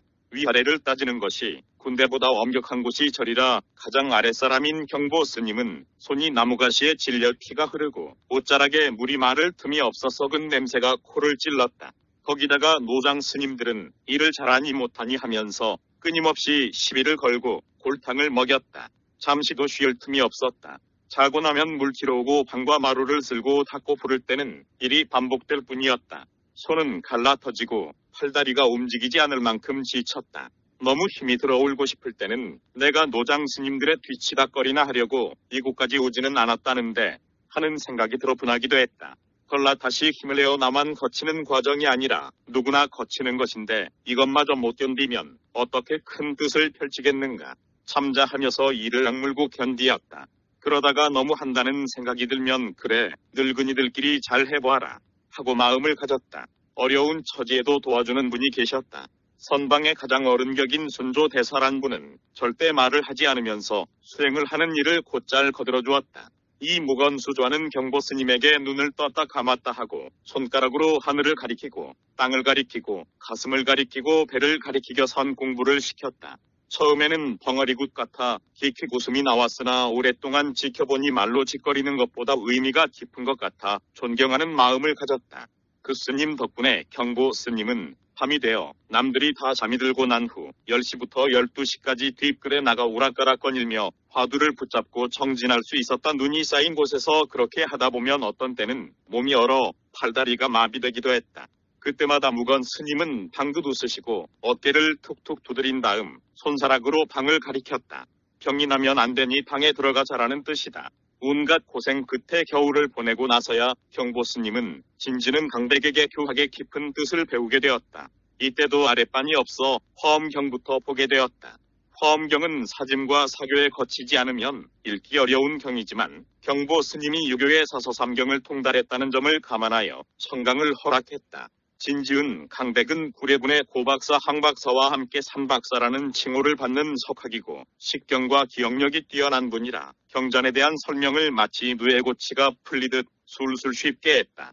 더구나 진강백은 송경호 스님께 선지를 받아서 문자 견성을 하여 선교를 겸한 분인데 불교뿐만 아니라 우리나라의 역사에 대해 모르는 것이 없었다. 경보 스님은 속으로 이러한 고매한 스승을 만나니 그간의 고생이 보람이 있구나 하고 생각하면서 화엄경강의에 빠릅다. 그래도 화엄경은 어렵고 따라가기 힘들었다. 글 정리 이대 법왕 권한대행 탐화 총사 법왕 일붕의 발길 따라 13번째 이야기 날개를 탄 붕새 1935년 가을 경보 스님이 21세가 되던 해에 진지는 강백의 수제자가 전북 완주군 위봉사의 초청 강사가 되어 그곳을 떠났다. 그 강백을 따라간 경보 스님은 그곳에서 삼위과와 사집과를 마쳤다. 이때 실제로는 순천에 있는 송광사에서 강원을 열었다. 위봉사에서 첫 밤을 맞았던 날이었다. 잠든 스님들 틈에서 살그머니 빠져나와 당 윗목에 있는 호롱불에 불을 켜고 화엄사에서 가져온 화엄경 현담이란 책을 꺼내 막 읽기 시작할 때였다. 밖에서 천둥 치는 것 같은 소리가 들리더니 칠흑 같은 밤이 대낮처럼 밝아졌다. 경보야 자지 않고 공부하는구나. 처음 듣는 목소리였다. 예. 벌떡 일어나 예를 갖추고 싶었지만 목이 막혔고 몸이 문직 이질 않았다. 다시 목소리가 들렸다. 나는 장자에 나오는 붕새다. 내가 날개를 펴면 태양빛도 가려진다. 깜짝 놀라 일어나 보니 꿈이었다. 묘한 꿈이었구나. 붕새가 나를 찾아오다니. 경보 스님은 이미 장자의 남화경에 나오는 붕새를 알고 있었다. 또 그렇게 큰 인물이 될 꿈을 남몰래 간직하고 있었다. 묘한 꿈이구나. 붕세가 나를 찾아오다니. 경보 스님은 이미 장자의 남화경에 나오는 붕세를 알고 있었다. 또 그렇게 큰 인물이 될 꿈을 남몰래 간직하고 있었다. 붕세는 이 세상에 성인이 나타날 때 그 모습을 보인다는 상상의 새로 환상의 길조라고 부른다. 그런 던 어느 날 위봉사 주지인 유춘담 스님이 진지는 강백 제자의 방을 찾아가 무엇인가를 논의하더니 경보 스님을 불렀다. 내 너를 제자로 삼고 싶어 그 강백에게 부탁했더니 괴이 승낙하시더구나. 너의 생각은 어떠냐? 느닷없는 물음에 당황한 경보 스님은 강백께 여쭈어 보겠습니다. 했다. 강백계 경보 스님이 어떻게 하는 것이 좋겠냐고 묻자 그 강백께서는 이렇게 말했다. 내가 장래가 충망되는 사람이니 자기가 맡아 크게 키우겠다니 어찌 거절하겠느냐? 그렇게 하여 경보 스님은 유춘담 스님의 법제자가 되었다. 유춘담 스님은 법문도 잘 짓고 글씨도 잘 쓰고 성질이 온순하면서도 신앙심이 깊고 예의가 바른 경보 스님을 제자로 삼아 큰 인물로 키워보려고 했던 것이다. 유춘담 스님은 경보 스님에게 일봉이란 호를 내렸다. 일봉 스님은 의봉사에 도착한 첫날 밤 붕색에 을구고 춘담 화상께서 일분이란 법호를 내리자 기이한 일이라고 생각했으나 이것도 전생의 인연이려냐고 여겼다. 춘담 화상은 제자들에게 까마귀 오리 까치 같은 새 이름으로 된 법호를 내리는 재미있는 스님이었다. 춘담 화상의 각별한 관심 속에서 수행과 학문에 정진하던 중 의봉사가 설림이 어렵게 되어 강원을 계속할 수 없게 되었다. 그러자 춘담 화상은 일봉 스님에게 학비를 마련해주면서 서울 동대문구 개운사 대원암 박한영 강백을 찾아가 공부를 계속하라고 했다. 일봉 스님이 박한영 강백을 찾아가 인사를 드리고 어디서 온 학인인가? 따라고 물었다. 완주 위봉사에서 왔습니다. 위봉사에는 진지은 강백의 제자가 계시지 않은가? 절 살림이 어려워 강원 이문을 닫았습니다. 남이 장에 가니 덩달아 따라간다는 식으로 대책도 없이 시작했나 보군. 박한경 강백은 진지는 강백과 동문 수학한 분인데 2만 권 이상의 책을 읽어 살아있는 사전으로 불리던 방대 최고의 학자 스님이었다. 최고의 위풍은 당당하지 않았으나 골격이 당당하였고 눈이 실눈이라 볼품없는 시골 노인 같았다. 그럼에도 노재봉 진지능 스님과 함께 불교계의 삼천자라 불리는 재주를 가졌기 때문에 그 스님 밑에서 공부하는 것을 영광으로 여기는 학인들이 전국에서 구름처럼 들었다. 일봉 스님은 이곳에서 거처를 정하고 사교에는 엄경부터 공부했다. 이때 무엇을 물어도 막힘이 없는 박한영 스님께 불교뿐만 아니라 유교와 도교까지 두루 배울 수 있었다. 그렇게도 찾던 훌륭한 스승을 만난 것이다. 이곳에서 사교과와 대교과를 모두 마쳤다. 박한영 스님은 일봉 스님이 어려운 것을 묻고 하나를 가르치면 열을 아는 총명함을 보이자 정말 좋은 제자를 만났다고 하면서 하나라도 더 가르쳐 주려고 했었다. 일봉 스님도 진심으로 탐복하고 박한영 스님을 따랐다. 4년 열을 모시고 배우는 동안 박한영 스님은 가까운 사람들이 찾아올 때마다 자랑스러운 듯이 인사를 시키면서 일bun이 나이는 어려도 대단하단 말이야 라는 칭찬을 했다. 일봉 스님은 대원함에서 학문뿐만 아니라 박한영 스님의 청빈한 자세와 엄격한 교육을 동시에 배웠다. 박한영 스님은 어린 나이에 머리를 각은 동자삭발을 한 분이라 평생 여자의 손목 한 번 잡지 않았고 술과 고기는 물론 마늘과 파 같은 오색채도 먹지 않았다. 불교 전문학교 교장으로 있으면서 받은 봉급도 쓴 것은 책 사는 데 쓰는 돈뿐이었다. 그래서 책이 수만 권 있었다. 대암사이 시내에 있는 관계로 여자 신도들이 찾아와 버선이나 양말을 드리고자 절을 하려 해도 글씨를 쓰던지 책을 보면서 쳐다보지도 않았다. 스님 이것 좀 신어보세요. 거기 그냥 놓고 가시오. 아무 배 신어도 내가 신을 것이니까. 그래도 저희들이 보는 데서 한번 신어보셔야지요. 그래야 맞는지 알고 다음에는 맞도록 해오지요. 그렇게 주기가 아까우면 도로 가져가시오. 언젠가는 늙은 여신들이 와서 절을 한다고 하였다. 그래도 박한영 스님은 안양 너머로 본 채 만채 힐끔 힐끔 보고는 몸을 댕댕 돌렸다. 앞을 볼래요? 뒤를 볼래요? 옆을 볼래요? 보고 싶은 곳 다 보고 가시오. 마치 어린애처럼 앞을 보이다 뒤를 보이다 하면서 방안을 돌았다. 이러니 여자들이 가까이 갈 수 없었다. 더 특이한 것은 냄새도 맛도 몸치장할 줄도 모른다는 점이다. 국을 먹다가 옆 사람이 짜다고 하면 물을 더 붓고 싱겁다고 하면 간장을 더 넣는다. 잠도 바지 저고리를 벗지 않고 언제나 입은 그대로 잔다. 세수는 비누칠을 하지 않고 찬물에 손을 담갔다가 한 두 번 쓱쓱 문지르면 끝이다. 육당 최남선 선생이나 춘원 이광수 선생 같은 분들이 떠받들었던 석학이료 거장이었지만 자기 자랑을 한 번도 하지 않은 겸손한 분이었다. 천진하기가 그지없어 화장실에 가면서 곶감을 먹기도 했다. 이런 한국 최고의 선악인 박한영 스님께서 일봉 스님을 가장 아끼는 제자로 삼았으니 얼마나 큰 발전이 있었겠는가. 오랫동안 가르치고 지켜본 박한영 스님은 일봉 스님의 그릇이 보통이 아니라고 판단해서 자신이 직접 풀이하고 내용을 써 넣은 귀중한 책을 모두 물려주고 강원도 평창군 오대산 월정사 불교자문 학원 강사로 가도록 주선했다. 월정사에서는 하루가 급하니 빨리 오라는 전보와 공문이 왔다. 일봉 스님은 의봉사로 내려가 춘담 스님께 기쁜 소식을 알리고 포광 스님께 식수 행상을 6개월간 공부하고 나서야 월정사로 떠났다. 그냥 가르쳐도 되었지만 1등 강사가 되려면 신수 행상을 꼭 마쳐야 된다고 여겼기 때문이다. 포광 스님은 진지는 박한영 스님보다 후배지만 그분들이 지리산의 산신령이 사람으로 변신하여 내려온 것이 아니냐고 감탄할 정도로 영리한 분이었다. 호광 스님은 후에 동국대 총장을 했던 분인데 턱이 거의 없어 무턱이란 별명으로 통했다. 월정사 내에는 정멸보궁이라는 특이한 절이 있다. 보통의 절에는 정멸보궁이라는 특이한 절이 있다. 보통의 절에는 대웅전에 부처님을 모시는데 정멸보궁의 법당에는 불상은 없고 탁자만 놓여 있었다. 신라 때 차장 열사가 중국에서 모셔온 부처님의 정구를 모셔와 깊은 땅 속에 묻고 그 위에 정멸보궁을 지었기 때문에 법당에 불상을 모시지 않은 것이다.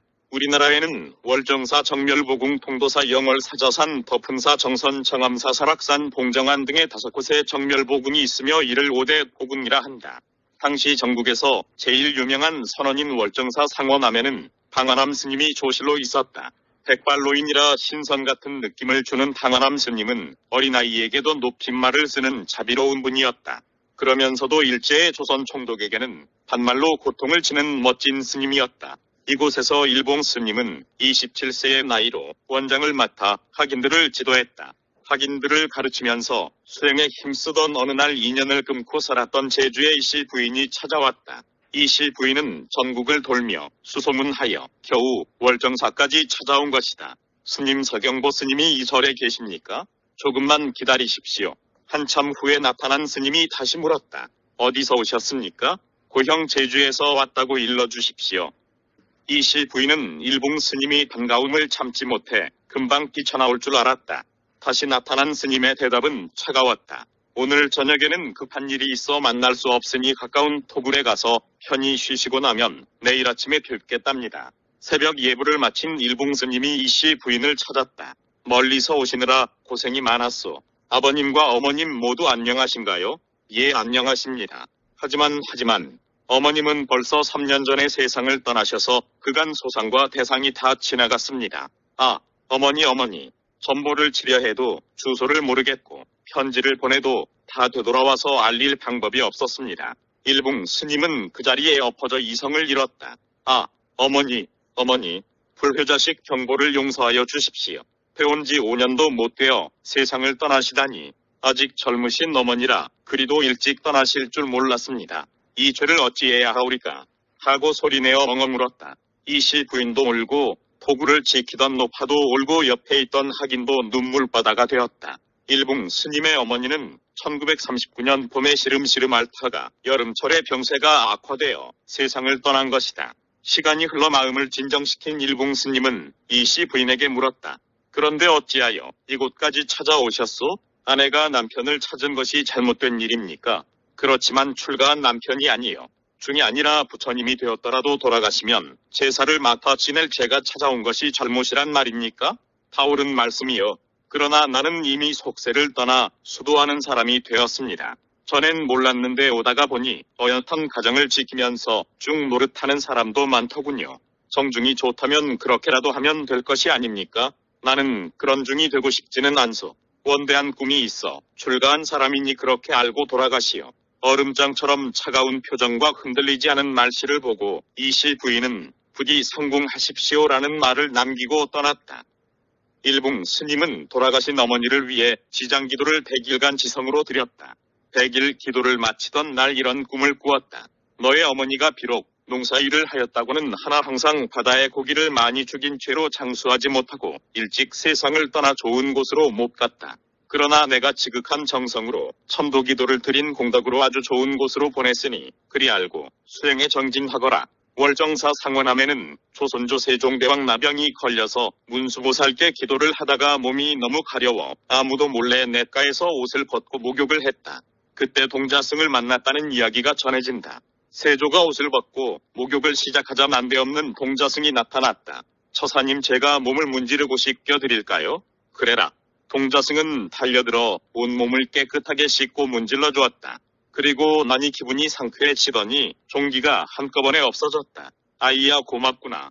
그러나 누구를 보던지 나의 더러운 몸을 낫게 했다고 말하지 마라. 저약꼭 지킬 테니 처사님부터 오대산에 오셔서 문수동자를 만났다고 말하지 마십시오. 이런 말을 주고받고 나서는 호련이 사라졌다. 세조는 병이 완쾌된 뒤 자기 눈으로 본 모습을 되살려 조각공에게 나무에 새기도록 하여 법당에 모셨다. 이 조각문 수동자상은 법당에 모셔져 있다. 일봉 스님도 오 대산에서 문수동자를 두 번이나 만났다. 처음에는 가을에 머루 다래를 따려고 깊은 산속에 들어갔다가 길을 잃고 헤매다가 만났다. 스님께서 어쩌자고 이곳을 들어왔나요? 누구든지 여기에 들어오면 살아나갈 수가 없는 곳입니다. 하더니 손목을 힘껏 끌고는 어디론가 순식간에 데리고 갔다. 그러더니 사람들이 오가는 산길을 가르쳐 주었다.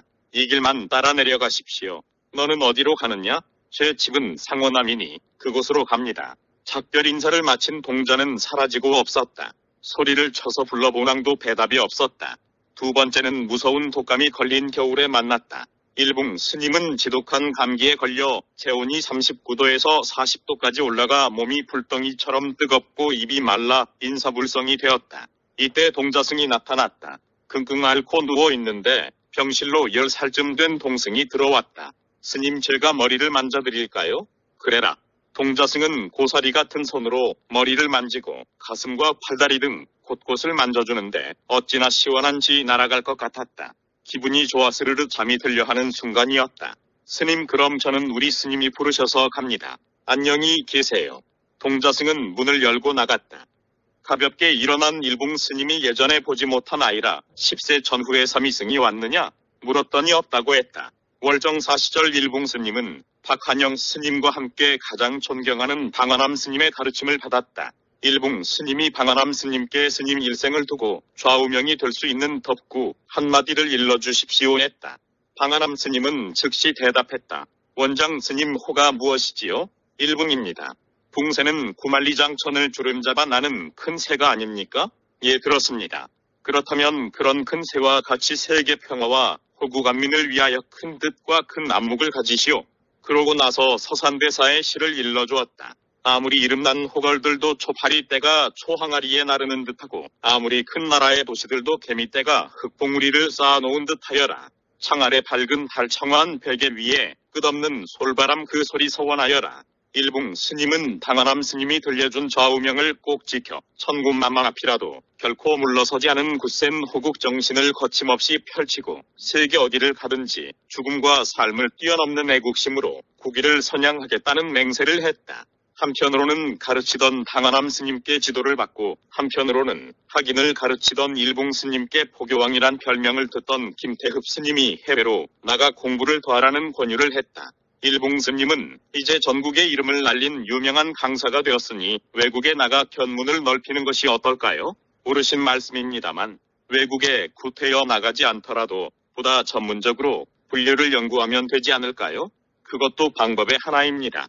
그러나 같은 불교라도 멀리 나가서 폭넓은 공부를 한다면 지금보다 완전한 자격을 갖추지 않겠습니까? 그 말을 듣고 보니 출가 전에 신학문을 배우고 싶어 했으나 할아버지께서 외놈의 종살이를 하려느냐고 말려 꿈이 무산된 것이 떠올랐다. 그렇다. 내가 왜 그 생각을 못했는가? 내 꿈이 원래 한국 최고의 학생이 되는 것이 나이라 세계 최고의 인물이 되는 것이 아니었던가? 마음이 정해지면 구물거리지 않고 실천에 옮기는 성격을 가진 일봉 스님은 당장 일본어 책을 사다가 남모르게 읽고 외웠다. 왜 일본어를 미리 배우지 않았던가 하고 후회를 하기도 했으나 소용없는 후회라고 여겨 빨리 잊었다. 혼자 하다가 모르는 것이 나오면 서울에서 휴양하러 온 대학생에게 물어 문제를 풀었다. 모르면서 하는 채 하는 것보다 모르는 것은 뭐든지 물어서 배우는 것이 중요하다는 것을 이미 깨달은 일봉 스님은 동생 같은 대학생에게 귀찮을 정도로 묻고 또 물었다. 그러나 나이 30세가 넘어 한 번도 배운 일이 없는 남의 나라 말을 혼자 익힌다는 것이 쉽지는 않았다. 그래서 아예 책을 처음부터 끝까지 외워버리기로 결심했다. 한마디로 이러에 미친 사람이 된 것이다. 혼자 있으면 소리 내어 읽고 말하다가 누가 있으면 입속으로 중얼중얼 연습했다. 주위에서는 갑자기 머리가 이상해진 것이 아니냐는 말이 나왔다. 하도 열심히 했기 때문이다. 그렇게 6개월을 공부하자 쉬운 대화는 할 수 있게 되었다. 세상을 덮는 날갯짓을 한다는 붕새가 날개를 달려고 애쓰는 모습이었다. 밤낮을 가리지 않고 애쓴 보람이 있어 헐헐 날 수는 없어도 땅에 떨어지지 않고 겨우 날 수 있는 날개를 단 셈이다. 글 정리 2대 법왕 권한대행 법왕 일붕의 발길 따라 14번째 이야기 배우며 가르치며 일본어를 다 배우기도 전에 일봉 스님은 1944년 31세의 나이로 일본으로 떠나게 되었다. 월정사 이종욱 주지 스님이 일본 경도의 유종묵 씨를 소개해주며 이왕 가려면 하루라도 빨리 떠나라고 독촉했기 때문이다. 학비는 이종욱 스님이 도와주었다. 부산으로 내려가 관부 연락선을 타고 현해탄을 건넜다. 유 씨의 조선으로 들어간 대학은 임재종 묘심사 경내에 있는 경도의 임재대학 전문부였다. 그곳에서도 재능을 인정받아 조교로 일하기도 했다. 일본에 무조건 항복으로 조국이 해방되자 일본 스님은 더 이상 일본에 머무를 이유가 없어 서 둘러 귀국했다. 서울로 와보니 대학원은 아직 안 생겨 대학밖에 없었다. 그래서 일본 스님은 공부처럼 즐거운 것이 없는데 4년만 더 하자고 생각하고 1946년 동국대학교에 입학했다. 당시 동국대에는 권상로 김영수 김잉석 김동화 등의 쟁쟁한 교수진이 계셨다. 이때 일봉 스님은 동대문 학창신동 안양암의 포교사로 있으면서 학교를 다녔다. 안양암의 이태준 주지 스님은 일봉 스님을 여러 가지로 도와주신 분이다. 일봉 스님이 학생의 신분으로 불교 입문 불교 학 태설 석가열애와 그제자전 한국 불교 역사 등을 저술하여 학계에 관심을 끌 수 있었던 것도 이태준 스님이 도왔기 때문에 가능했다. 일본에서 간접적으로나마 유럽과 아메리카의 선진 문물을 알게 된 일봉 스님은 앞으로 영어를 모르면 아무것도 못한다는 것을 깨달아 밤이면 영어를 가르치는 학원에 나가 ABC부터 배우기 시작했다. 영어를 배우기는 일본어보다 더 어렵고 피눈물 나는 과정이었지만 창피하다거나 부끄럽다는 마음을 갖지 않았고 열심히 공부했다. 지금은 스님들이 영어를 배우는 것이 일반화되었지만 그때만 해도 머리를 깎고 가사장삼을 걸친 스님이 혀꼬부라지는 영어 발음을 연습하고 스펠링을 익히는 분이 전혀 없었다. 그래서 일붕 스님이 학원에 나가 막내 동생 또래의 어린 학생들과 같이 영어를 배우는 것이 하나의 구경거리였다. 어떤 여학생들은 일본 스님이 나타나기만 하면 영어 공부는 뒷전으로 돌리고 키득거리며 웃기도 했다. 1950년 동국대를 마치자 전북대와 원광대에서 불교 철학과 윤리학을 강의했다. 월정사에 가기 전 식수행상을 가르치고 동국대에서도 불교를 가르쳤던 김포광 선생님이 추천한 것이다. 3년 뒤에는 부산대와 해인대학으로 자리를 옮겨 학생들을 지도하다가 1956년부터 동아대 철학과 주임 교수를 지냈다. 이때 부산 온천동의 금강사와 동네의 법륜사 포교사를 견직하였다. 그 뒤 해동고등학교 교장을 지내면서 해동불교 역경원을 열어 어려운 불경을 우리말로 옮기는 작업을 계속하시는 한편 해동법륜이라는 잡지를 펴내기도 하였다. 일봉 스님이 우리나라에서 학생들을 가르치고 있는 4세계의 불교 국가들은 국제기구인 세계불교의회를 조직하여 활발한 움직임을 보이고 있었다. 일봉 스님은 네팔에서 열리는 4차 대회에도 초청을 받았으나 여러 가지 사정이 생겨 참석하지 못했다. 1958년 5차 대회는 태국의 서울 방콕에서 열리게 되어 일봉 스님을 포함한 3명의 한국 대표를 뽑았으나 참가할 돈이 없어 종정과 종무원장 스님만 나가게 되었다. 국제회의에 참석하고 해외 포교를 하기 위해 열심히 영어를 공부하고 있던 일본 스님은 매우 안타까웠다. 그래서 일봉 스님은 밤을 새워 문수보살과 관세음 보살에게 우리 한국 불교를 세계에 소개하고 포교하고 싶어 꼭 참석하고자 하오니 부디 자비를 베푸소서 하는 기도를 드렸다. 그러던 날 새벽 꿈에 문수동자가 학을 타고 내려왔다. 스님 스님도 허공을 날고 싶습니까? 날고야 싶다만 날개가 있어야 날 것 아니냐? 지금 제가 허공에서 학을 타고 내려오지 않았습니까? 그것은 나도 보았다. 제가 타고 온 이 학을 스님께 드릴 테니 나르십시오. 일봉 스님은 문수 동자가 시키는 배로 올라타니 학이 너울너울 춤을 추듯 하늘로 날아갔다. 그때 종소리가 들려와 눈을 떴다. 꿈이었다. 허전에서 나오늘 안으로 좋은 일이 생길 징조라고 기대하였다. 날이 박자 아세아 재단에서 누가 찾아왔다. 한국에서 유명한 강백이고 많은 저서를 내신 전형한 불교학자께서 이런 세계대회의 경비 때문에 못 가신다면 왜겠습니까? 저희가 모든 경비를 지불할 테니 떠나실 준비를 하십시오. 뿐만 아니라 태국 방콕 시립병원으로 보내는 우리 한국 대표부로 가는 서경보 스님이 기후 풍토 때문에 병이 생겼을 경우 그 병원에 입원시켜 치료해 주십시오. 치료비는 우리 재단에서 지불하겠습니다는 편지까지 가져왔다. 11월 22일 낮 12시 여의도 비행장에서 하동산 종정이 청담 총무원장 일봉스님 등 3명은 총단의 대표 자격으로 비행기 트랩에 올랐다. 나머지 4명은 개인 자격이었다. 일봉 스님을 포함한 한국 대표들은 최초의 국제회의에 참석하여 한국을 새롭게 인식시키고 돌아왔다. 제5차 세계불교의회 참석은 일봉 스님이 해외 포교의 문을 연 중요한 계기가 되었다. 각국 대표로 참가한 사람들과 만나 서로를 소개하고 알리는 기회가 되었기 때문이다. 일봉 스님이 동아대로 돌아와 철학과 주행 교수를 맡고 있을 때 미얀마의 람군의 상가 대학에서 도환 교수로 오라는 초청장이 왔다.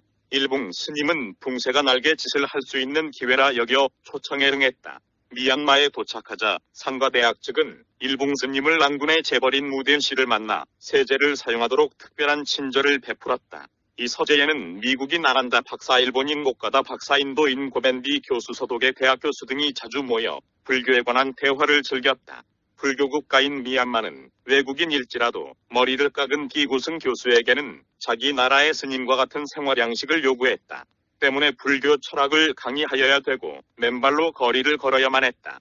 또한 오후 불식이라 해서 아침과 점심만 먹고 저녁은 굶어야 했다. 풍습에 익숙하지 않은 일봉 스님으로서는 더 없는 고행이었다. 맨발로 뜨거운 거리를 걷자니 발바닥에 화상을 입어 피가 나고 고름이 흘렀다. 저녁을 갑자기 못 먹게 되니 배가 고파 배를 움켜쥐고 잠들어야 하는 것도 보통 고역이 아니었다. 독충에 물려 쓰리고 아프기도 했다. 일봉 스님은 속으로 이것이 교환 교수하러 온 것이 아니라 고행 교수하러 온 꼴이라고 생각하면서도 조국으로 돌아간다는 말을 할 수가 없었다. 만약 도중에 돌아간다면 한국의 스님은 엉터리라는 비웃음을 들을 것 같았다. 갖가지 어려움을 참고 견딜 수 있었던 것은 일봉 스님이 간절히 기도하자 문수 동자가 두 번이나 도와주었기 때문이다. 미얀마는 불교 사원이 많다는 점 외에도 일반인은 일부다 처제가 인정된다. 언제나 스님들은 부채와 우산을 갖고 다닌다는 것과 새해 첫날 길가는 사람에게 물세례를 퍼붓는 점도 재미있다. 일부 다처제나 한 남자가 이에서 세 명의 여자를 데리고 살아도 여자들끼리 절대 싸우지 않는다. 성씨는 20세까지는 몽 20세부터 40세까지는 고 40세 이상은 우라고 구별한다. 아내에 따라 성이 변하는 것이다. 그들은 비가 오나 안 오나 우산과 부채를 가지고 다니는데 일반인은 검은 색을 쓰고 스님들은 누런 색을 쓴다. 새해 첫날에는 대통령이 지나가도 거침없이 물세례를 퍼붓는다. 남녀 구별 없이 치마를 입는 것도 흥미롭다. 스님들은 모든 것이 무료다. 일봉 스님은 미얀마에서의 교환 교수를 마치고 서독의 함부르크 대학 교환 교수로 초청되어 1962년 서독으로 건너갔다. 미얀마에 와 있던 서독의 교수가 1년간 연구비를 지급하기로 한 것이다. 처음에는 서독학술연구소 교환회 총재를 통해 6개월간만 연구비를 지급하겠다는 조건이었지만 일봉 스님의 연구열에 감명을 받았는지 6개월을 연장시켰다. 함부르크에서는 장삼에 황금빛 가사를 맨 한국 고유의 승려복이 이국적으로 보였는지 가는 곳마다 모델이 되어 달라는 부탁을 받았다. 그런가 하면 주로 소승불교가 진출하여 포교 사업을 한 까닭에 대승불교 이론을 강의하자 많은 사람이 몰려들었다. 서독에서 교환 교수를 마치고 귀국하려 하자 스리랑카의 비즈다야 대학에서 또다시 간곡한 요청을 했다. 불교 총무원장 데아라 티파 씨가 스리랑카에 오셔서 한국 불교와 대승불교를 연구하는 데 큰 도움을 주십시오 하면서 끈질기게 부탁한 것이다. 스리랑카에서는 대학 강의도 많이 했지만 신자들에게 직접 설립을 하는 기회도 자주 가졌다. 스리랑카의 교환 교 수 임기가 거의 끝날 무렵 영국 불교 총무원장 안난다 도티 씨가 함부르크 대학에서의 인연을 말하면서 런던 대학 교환 교수로 꼭 와야 한다고 했다. 영국으로 가보니 세계적인 명성을 가진 옥스퍼드 대학과 케브리지 대학까지 불교 강좌를 두고 있을 만큼 불교에 대한 연구가 활발했다. 영국은 지식인들이 예불독 경기도 등에는 관심을 보이지 않고 학술적인 부분을 중요시하고 있었다. 일봉 스님은 영국에서 도환 교수의 본분보다 포교사의 역할을 더 많이 했다. 일봉 스님이 강연을 하면 교회의 신자들보다 많은 청중이 몰리는 인기를 누렸다. 일봉 스님의 막힘없는 강연을 듣고 모나 신부가 불교로 종교를 바꾸는 일까지 있었다. 영국에서는 일봉 스님의 인기에 힘입어 불교 서적이 베스트셀러가 되는 기적 같은 일이 일어나기도 했다. 글 정리, 예대 법왕 권한대행, 담화 종사. 법왕 일붕의 발길 따라 15번째 이야기, 삼장법사, 1962년 5월 9일, 일봉 스님은 영국 런던을 떠나 홍콩을 들려 자유중국에 도착했다. 자유중국에서는 9일간을 머무르면서 불교단체가 초청하는 강연회에 참석하였다. 전국을 도는 강연 일정이 끝나자 중국 불교 이사장이며 삼장학원 원장인 백성법사가 삼장법사라는 불교 최고의 학위를 주었다. 돌아가신 어머니가 태몽을 꾼 지 약 50여 년 만에 삼장법사란 학위를 받은 것이다. 일봉 스님은 불학박사라는 최고의 박사 학위보다 삼장법사로 인정받게 된 사실이 감격스러웠다. 삼장이랑 경귤 논이 세 가지를 말하는 것으로 삼장법사란 이 모든 것에 통달한 스님에게 주는 존칭이다. 보통 삼장법사 하면 설기에 나오는 현장밖에 없는 것으로 알고 있다. 그러나 드물기는 하지만 현장 스님 외에도 삼장법사로 불리는 분이 있었다. 삼장에서 뜻하는 경은 석가모니 부처님께서 말씀하신 진리 고율은 스님과 신도들이 지켜야 할 규율에 대한 가르침이고 논이란 경에 대한 이해를 돕기 위해 보완한 설명인 것이다. 일봉 스님이 미얀마 서독 스리랑카 영국 자유중국의 유명 대학 교수를 마치고 돌아오자 모교인 동국대에서는 불교대학 교수로 임명했다. 종단에서는 일봉 스님이 해외 보교에 힘쓴 업장 높은 학식덕망 등을 높이사 우리나라의 대표적인 절인 경주 불국사 주지 직을 맡겼다. 일봉 스님은 불국사 주지로 일하면서 어린이들을 위해서 꾸람과 김대성 삼봉 금색의 종 등의 책을 썼다. 이 책들은 자유민보라는 신문에 연재 소설로 실린 글을 모은 것인데 좋은 동화가 많지 않은 우리나라의 어린이들에게 큰 선물이 되었다. 일봉 스님은 대학에서 강의를 하면서 물국 사주지라는 바쁜 자리에 있으면서도 수학여행을 온 어린이들을 만나면 짧은 이야기를 들려주곤 했다. 한 번은 물국사로 수학여행을 인솔해온 초등학교 선생님이 일봉 스님께 스님 어려우시겠지만 저희 학생들을 위해 좋은 말씀을 들려주셨으면 합니다. 하면서 간곡하게 부탁했다. 허허 무슨 이야기를 할까요? 적당한 것이 안 떠오르는 거려. 아닙니다. 스님은 어린이들을 위한 이야기를 가장 많이 알고 살아도 좋습니다. 그렇게 하지요. 일봉 스님은 어린이들이 모인 곳으로 가서 이런 이야기로 사람은 누구나 평등하고 똑같이 귀하다. 는 것을 가르쳐 주었다. 인도의 아쇼카 왕은 부처님의 불법에 대하여 스님을 깊이 있고 존경하여 수도하는 사람을 보기만 하면 반드시 말을 타고 가다가도 내려 그의 팔에 예배했다. 아쇼카 왕에게 야사라는 대신이 있었는데 그는 불교를 믿지 않았다. 그래서 그는 왕이 수도자들에게 예배하는 것을 못마땅하게 여겼다. 어느 날 야사가 왕에게 아뢰었다. 대왕마마 중은 누구나 될 수 있습니다. 그래서 명문 귀족은 거의 없고 가죽을 다루는 자옥감을 짜는 자기와를 굽는 자이바를 업으로 하는 자백정 같은 천한 것들이 중이 된 경우가 많습니다. 꼭 귀하신 대왕의 신분으로 그런 천한 것들에게 예배하시는 것은 옳지 않다고 생각합니다. 왕은 이 말을 듣고 아무 말도 하지 않았다. 그리고 며칠이 지나자 왕은 모든 대신들을 한자리에 모이게 했다. 나는 지금까지 선 것을 죽여서 그 머리를 가지는 것을 허락하지 않았소. 그러나 저절로 죽은 것에 머리는 괜찮소. 지금부터 경들은 각자 다른 동물들의 머리를 하나씩 구해 오십시오. 결코 같은 것이 있어서는 안 돼요. 그래서 구해온 동물의 머리를 다시 거리로 가져가 팔아오시오. 참으로 이상한 명령을 내렸다. 야사는 따로 불러 명령했다. 그대는 사람의 머리를 구해오시오. 신하들은 왕의 명령에 따라 제각기 짐승의 머리를 구해다가 팔아왔다. 그러나 사람의 머리를 구한 야사만은 아무리 팔려고 애써도 사려는 사람이 없었다. 모든 사람들은 내가 분명 귀신은 아닐 것인데 어째서 사람의 머리를 가지고 돌아다니느냐? 고욕하고 고짓고 조롱했다. 야사는 끝내 팔지 못하고 왕에게 돌아와 사실을 아뢰었다. 왕은 다시 명령했다. 팔리지 않으면 할 수 없군. 그러나 값을 받지 않겠다고 하면 받을 사람이 있을 것 아니요. 누구에게든지 그냥 주고 오시오. 야사는 거리로 나가 그냥 줄 테니 가지라 외치고 다녔으나 숱한 욕만 먹고 오해만 받았다. 야사는 고개를 들지 못하고 왕에게 돌아와 다시 아뢰었다. 소나귀 코끼리 말늑 대양의 머리까지도 다투어 사고 팔리는데 사람의 머리만은 그냥 가지라고 해도 욕하고 구짓기만 했습니다. 왕이 물었다. 왜 사람의 머리를 못 팔았는가? 사려는 사람이 없고 갖겠다는 사람도 없습니다. 그러면 죽은 자의 머리만 싫어한 거요? 아니면 모든 사람의 머리를 다 싫어하는 거요? 모든 사람의 머리를 다 싫어했습니다. 그렇다면 내 머리도 역시 모든 사람이 다 싫어할 줄 생각하고 야사는 할 말을 찾지 못했다. 싫어한다면 왕을 모욕하는 것이 되고 싫어하지 않는다고 하면 거짓말이 되기 때문이다. 왕이 다시 말했다. 어떤 무리한 말을 해도 용서할 것이니 진실을 말하시오. 대왕 마마의 머리도 역시 싫어할 줄 압니다.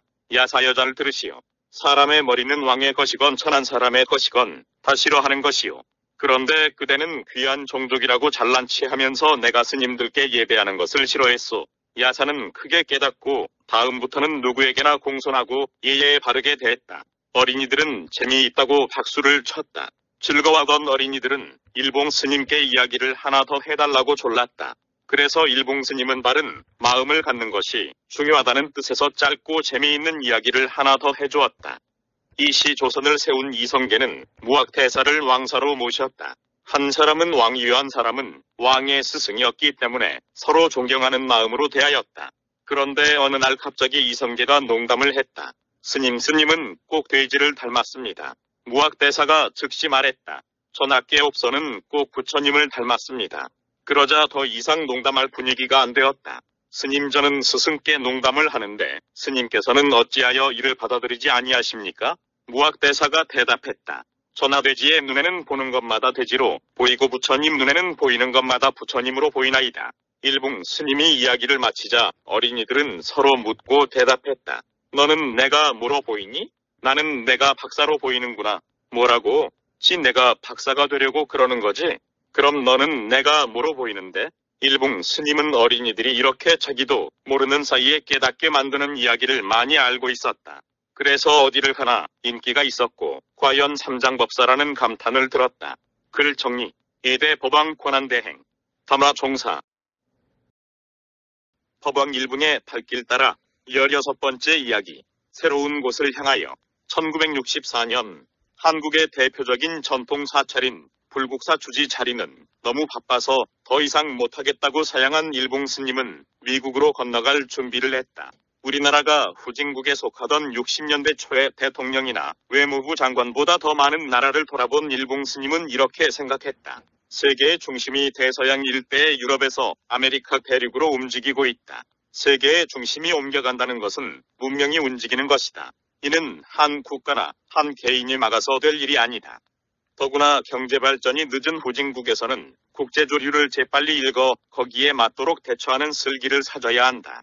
그렇지 않으면 영원히 약소민족에서 벗어나지 못하고 강대국의 속국이 될 것이다. 강대국이 되려면 강대국을 배우고 알아야 된다. 괜한 고집을 부리다가는 망신만 당하고 손해만 보게 된다. 어서 빨리 미국으로 건너가자. 보통 사람 같았으면 명예가 보장되는 대학 교수와 한국에서 가장 유명한 절인 불국사 주지를 맡고 있었기 때문에 그 정도에서 만족했을 것이다. 일본 스님은 그렇지 않았다. 항상 보다 새롭고 보다 향상된 길을 찾았다. 길을 찾았다고 생각되면 그 어떠한 고난을 겪더라도 꼭 실현시키고자 노력했다. 또 대부분 꿈을 실현시켰다. 일봉 스님은 말한다. 언제나 꿈과 희망을 가져야 합니다. 희망이 없는 삶은 이미 죽은 것이나 같습니다. 특히 어린이들은 원대한 꿈과 큰 이상을 가져야 합니다. 역사의 빛을 남긴 인류의 위대한 스승들은 다 같이 어린 시절에 가졌던 꿈을 실현시킨 분들입니다. 민족도 마찬가지입니다. 꿈과 희망을 잃은 민족은 죽은 민족입니다. 우리 한 민족이 수많은 외침을 받았어도 굴복하지 않겠다는 용기와 꿈이 있었기 때문입니다. 일봉 스님이 이렇게 외칠 때 우리나라는 제1차 경제개발 5개년 계획을 힘차게 추진하고 있을 때였다. 바라던 기회가 왔다. 미국 콜롬비아 대학에서 도환 교수로 초청한다는 연락이 온 것이다. 1년 기한으로 출국했으나 캘리포니아 대학과 하와이 대학에서 머물게 되었다. 그동안 한국어 동양학 비교 종교학 불교 철학 강좌를 맡아 강의를 하면서 보교에 힘썼다. 미국에 도착한 즉시 일본 스님은 미국 불교계를 둘러보면서 한국 불교의 씨앗을 뿌릴 방법을 알아보았다. 당시 미국에는 스리랑카, 일본, 자유중국, 몽골 등에서 불교를 포교하고 있었다. 우리 한국의 불교는 아예 싹조차 자라지 못한 불모지라는 것도 호재가 되었다. 원래 포교를 위해 미국에 건너간 것은 아니었지만 미국 불교계의 실정을 알고 나자 가만히 앉아 있을 수가 없었다. 이미 다른 나라들은 본국으로부터 재정적인 뒷받침을 받아 사원을 세우고 신자 수를 늘려가고 있었기 때문이다. 특히 일본은 서적기 같은 불교학자가 선에 관한 영문 서적을 많이 낸 데 힘입어 왕성하게 움직이고 있었다. 심지어 중국과 한국이 선으로 읽고 쓰는 말을 젠이라는 일본식 발음으로 퍼뜨려 미국인들이 선이라면 몰라도 젠이라고 하면 알아들을 정도가 되었다. 이런 상황을 본 일봉 스님은 이렇게 다짐했다. 일본은 우리 민족에게 거의 모든 것을 배워갔다. 불교는 우리가 고스란히 가르친 것이다. 그런데 우리에게 불교를 배운 일본은 서방 세계의 우리보다 먼저 불교를 포교하여 성공을 거두었다. 생각할수록 부끄러운 일이다. 그러나 지금부터라도 열심히 하면 곧 따라잡고 앞설 수도 있다. 나는 동남아와 유럽의 명문 대학을 모두 돌면서 교수를 했던 사람이 아닌가. 또 우리나라의 어린이들에게는 언제 어떤 경우에도 힘을 잃지 말고 용기를 가지라고 말하지 않았는가. 늦었다는 것을 깨달았을 때 바로 시작하면 후회하지 않는다고 했다. 무엇보다 우리는 저력을 자랑하는 세계에서 가장 우수한 민족이 아닌가. 객관적으로 비교해도 미국에서 활동하고 있는 일본인 학자들은 일봉 스님과 비교도 안 되었다. 그렇지만 그들은 몇십 년을 빨리 시작했고 그동안 무시 못할 만큼의 탄탄한 포교 실적도 쌓았다. 그 넓고 넓은 미국 땅에 단한 쾌의 한국절도 없을 때 일본 사람이 지은 절은 수도 헤아리기 어려울 만큼 많았다. 가는 곳마다 일본의 절이 있었다. 불교 학술 단체도 대부분 일본인이 만들고 주도하는 것들이었다. 한국 불교는 다른 나라들이 해외로 눈을 돌릴 때도 계속 국내에만 머물러 있었다. 해외로 진출하기는커녕 불교 신자가 이민을 가서도 참배할 교포용 법당 하나도 마련하지 못했다. 그래서 어쩔 수 없이 다른 종교로 바꾸는 실정이었다. 그래서 일봉 스님은 고민을 거듭했다. 무슨 뾰족한 수가 없을까를 계속 찾았다. 이러는 사이에 닳고 막던 일봉 스님의 얼굴에 걱정이 서렸다. 한 번 하기로 마음먹은 일을 포기하기는 싫고 확실한 수업은 떠오르지 않았다. 이 때문이다. 그러던 어느 날 일봉 스님은 무릎을 탁 치면서 일어났다. 옳다. 바로 그거야. 교포들이나 동양인을 상대로 한국의 불교를 알리기에 앞서 미국 사회에서 영향력을 행사하는 사람을 먼저 신자로 만들자는 아이디어가 떠오른 것이다. 본격적인 활동은 캘리포니아 대학에서부터 시작했다. 돈을 절약하려고 점은 외국인 교수를 위해 캠퍼스 안에 마련해준 아파트에서 자고 아낀 돈을 모아 일반 가정집에 전세방을 얻었다. 집 앞에는 대패지를 한 판자에다 먹물로 일봉선언이라고 쓴 간판을 붙였다. 미국 땅에 한국인이 세운 최초의 선방은 이렇게 일봉 스님의 사비로 탄생했다. 어디를 둘러보아도 네온사인이 번쩍이고 빌보드 간판이 하늘을 가릴 것처럼 솟아있는 거리에서 조그마한 나무에 먹물 글씨로 쓴 간판을 본 미국인들은 매우 신기하게 느꼈다. 첫 제자는 대학을 마친 완델 와그너란 사람이다. 그는 일봉 스님이 학교 강의가 끝나면 곧바로 선원으로 와 한국의 삼불교와 자선을 살법하는데 감동을 받아 제자가 된 미국인이다.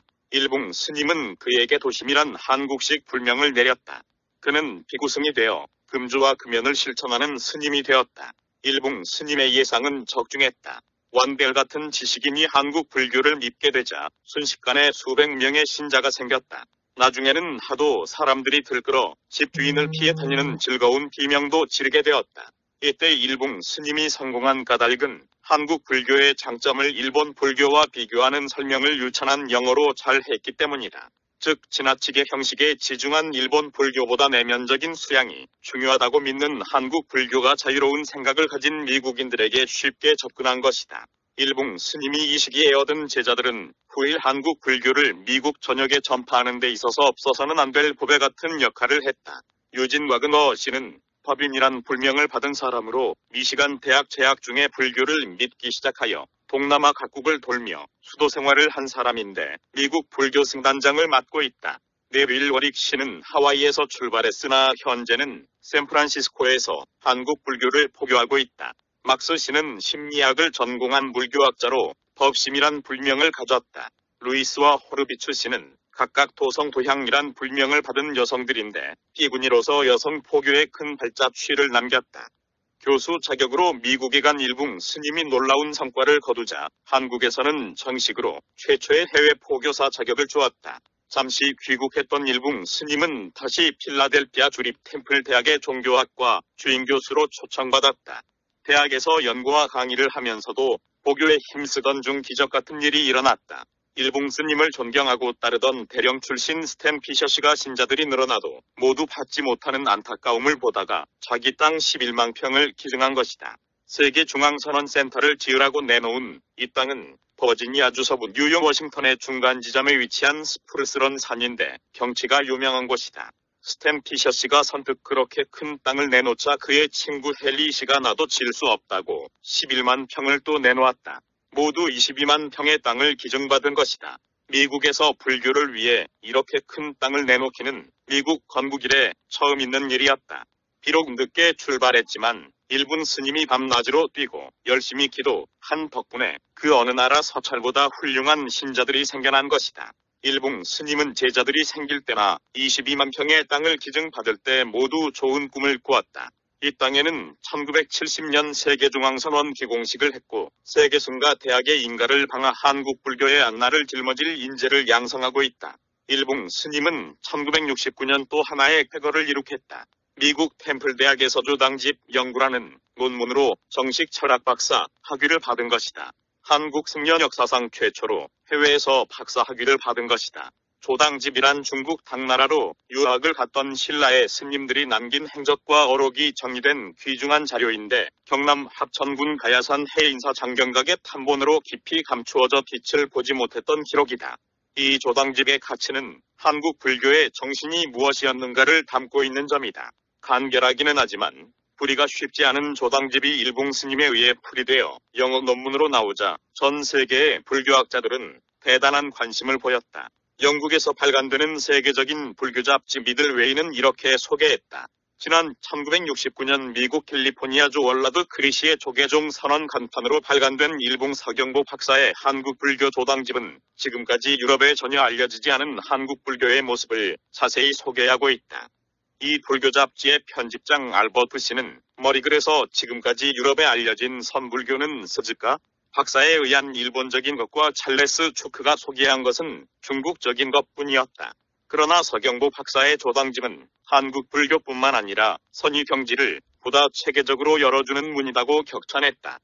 일봉 스님이 논문을 발표한 지 26년이 지난 현대에도 한국 불교를 알고자 하는 서양의 불교학자들은 이 조당집을 가장 먼저 구해서 보고 있다. 이 논문을 뛰어넘을 만한 연구서가 아직 안 나오기 때문이다. 미국의 매스컴은 일봉 스님이 손 하나 까딱하는 것까지 신문 방송 잡지에 실을 만큼 절대적인 지원을 했다.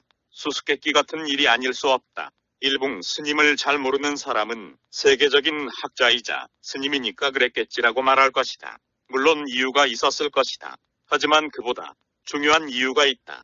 언제 어디서 누구를 만나거나 사실을 생각하고 가슴을 당당히 펴고 자신있게 행동했기 때문이다. 미국에서 포교를 하던 여러 나라의 스님들은 민족 고유의 의상보다 양복을 입고 구두를 신은 복장으로 활동하는 것을 좋아했다. 그러나 일봉 스님은 언제나 한국 고유의 승복 차림의 머리를 빡빡 깎고 흰 고무신을 신고 육환장이란 지팡이를 들고 다녔다.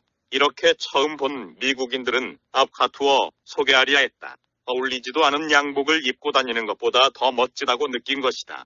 어떤 미국인이 신기해하며 물었다. 왜 머리를 빡빡 깎고 흰 고무신을 신습니까?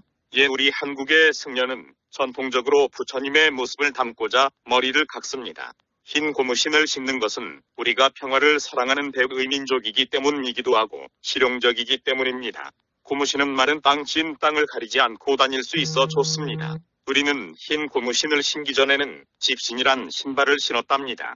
미국인들은 반려들어 만져보고 좋다고들 칭찬을 했다. 일봉 스님은 여기에서 만족하지 않고 한국에 올 때마다 승복과 긴 고무신을 신고 108렴주를 목에 걸고 머리를 깎았다. 이런 복장과 차림새를 한 일봉 스님의 제자들이 미국 전역을 돌아다니자 실제보다 더 많은 신자들이 한국 불교를 믿는 것처럼 보여 너도 나도 신자가 되려 했다. 그렇다고 그냥 신자들이 늘어난 것은 아니었다.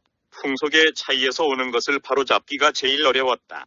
좌선을 할 때면 다리를 틀어 가부좌를 하라고 가르치자 화장실에 간다고 하고는 도망가는 사람까지 생겼다. 참고하는 사람도 가부좌를 들다가 뒤로 벌렁 넘어지기 일쑤였다. 합장을 하라고 해도 얼마 동안은 손부터 내밀어 악수를 하자고 하다가 움찔 놀라기도 했다.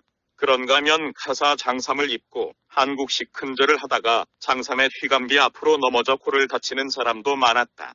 참선을 하라고 앉혀놓으면 병에 걸린 닭처럼 끄덕끄덕하며 조는 것은 보통이었다.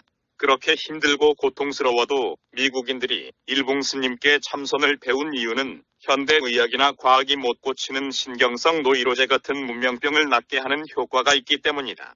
영국에서와 마찬가지로 미국에서도 천주교 신부 힌두교인 기독교 목사들이 종교를 바꾸어 불교를 믿은 일이 생겼다. 이때 일봉 스님이 영문으로 번역한 한국 선불교 연구서산대사의 선각기관보 조 국사의 법어 수심결, 정해결 사문, 원둔성불론 등이 각 대학의 교재로 채택되거나 불교단체의 강의용 책자로 활용되었다. 일봉 스님이 미국에서 일으킨 한국 불교의 품은 국위선양의 효과도 있었지만 한국의 어린이들에게 나도 노력하면 세계와 어깨를 나란히 할 수 있다는 자신감을 심어주었다.